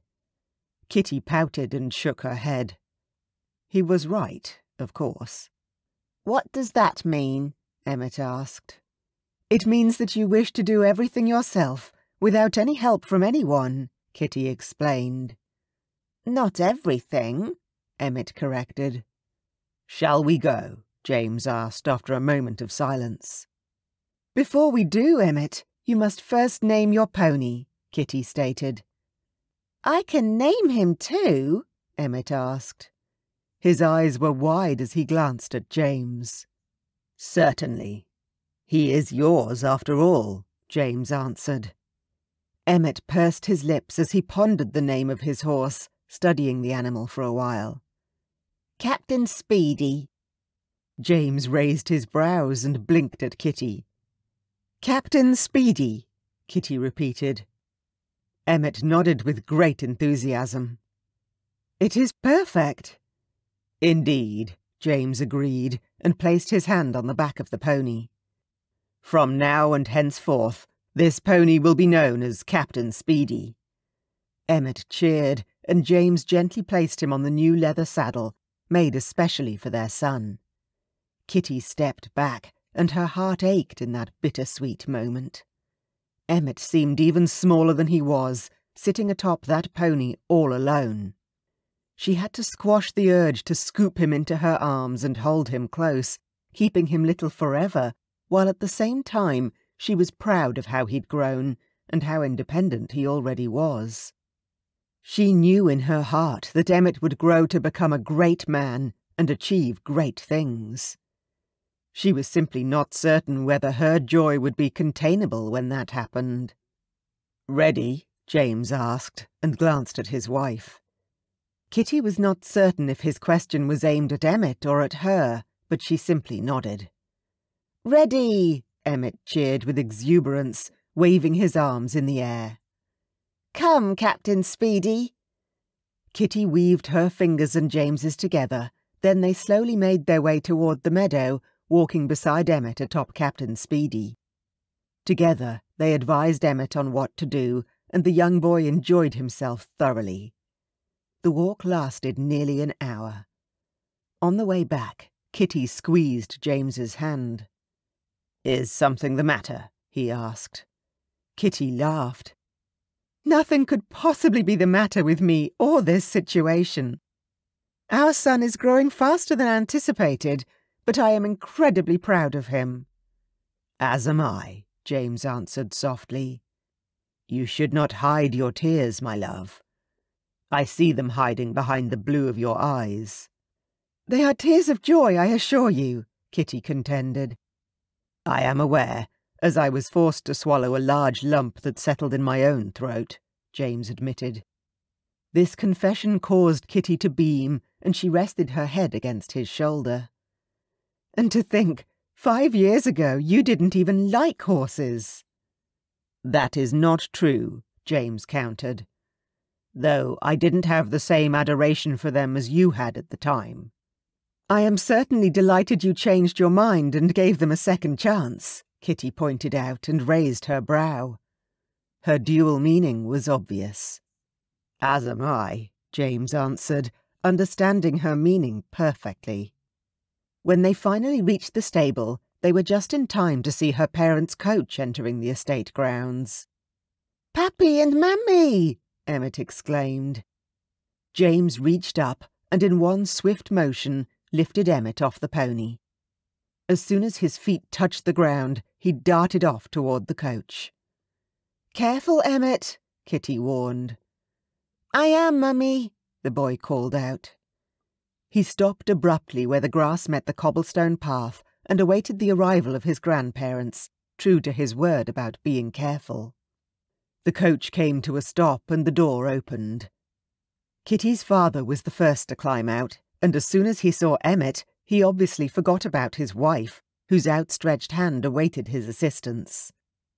James chuckled and ran toward the coach, so Kitty led the pony to the entrance of the stable. Kenneth was there waiting for her and offered his assistance. Allow me, your grace. Thank you, Kenneth. The walk back from the meadow was further than I thought, she said, a little out of breath. Are you well, your grace? Perhaps you should sit for a while, a rest. Your offer is kind, Kenneth, Kitty said gratefully, and motioned to the carriage. But I am perfectly fine. Unfortunately, my mother will disagree and will be sure to send me to bed upon sight. It is good that I got the walk out of the way first. Kenneth chuckled and said, Her ladyship means well. Does she always? Kitty asked. If I may be frank, your grace, her intentions seem noble, but her execution requires some work. Kitty laughed heartily and nodded. You are absolutely correct. My love, James called out to her, and she glanced across at him. Thank you for your kindness, Kenneth. May you have a lovely day. You as well, your grace. I wish you the best of luck. Kenneth smirked. Kitty laughed once more and made her way to James, her parents, and Emmet, who was now perched on his grandfather's shoulders. As they entered the manor house, Emmet telling his grandparents about his pony ride, James grabbed Kitty's hand, and they both stopped walking. Are you well, my love? James asked. You are breathing quite heavily. It means I am out of breath, not dying, Kitty answered. Truth be told, she did feel rather weary. I am perfectly well. Are you certain? You are starting to sound like my mother.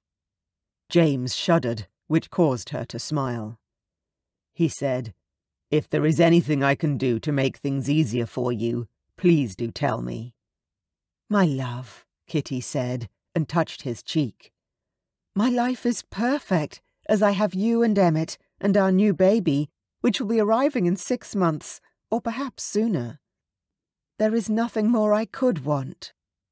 James smiled in return and nodded. I feel the same. They walked hand in hand into the manor, with their future bright, filled with happiness, laughter, and more love than most people knew in a lifetime.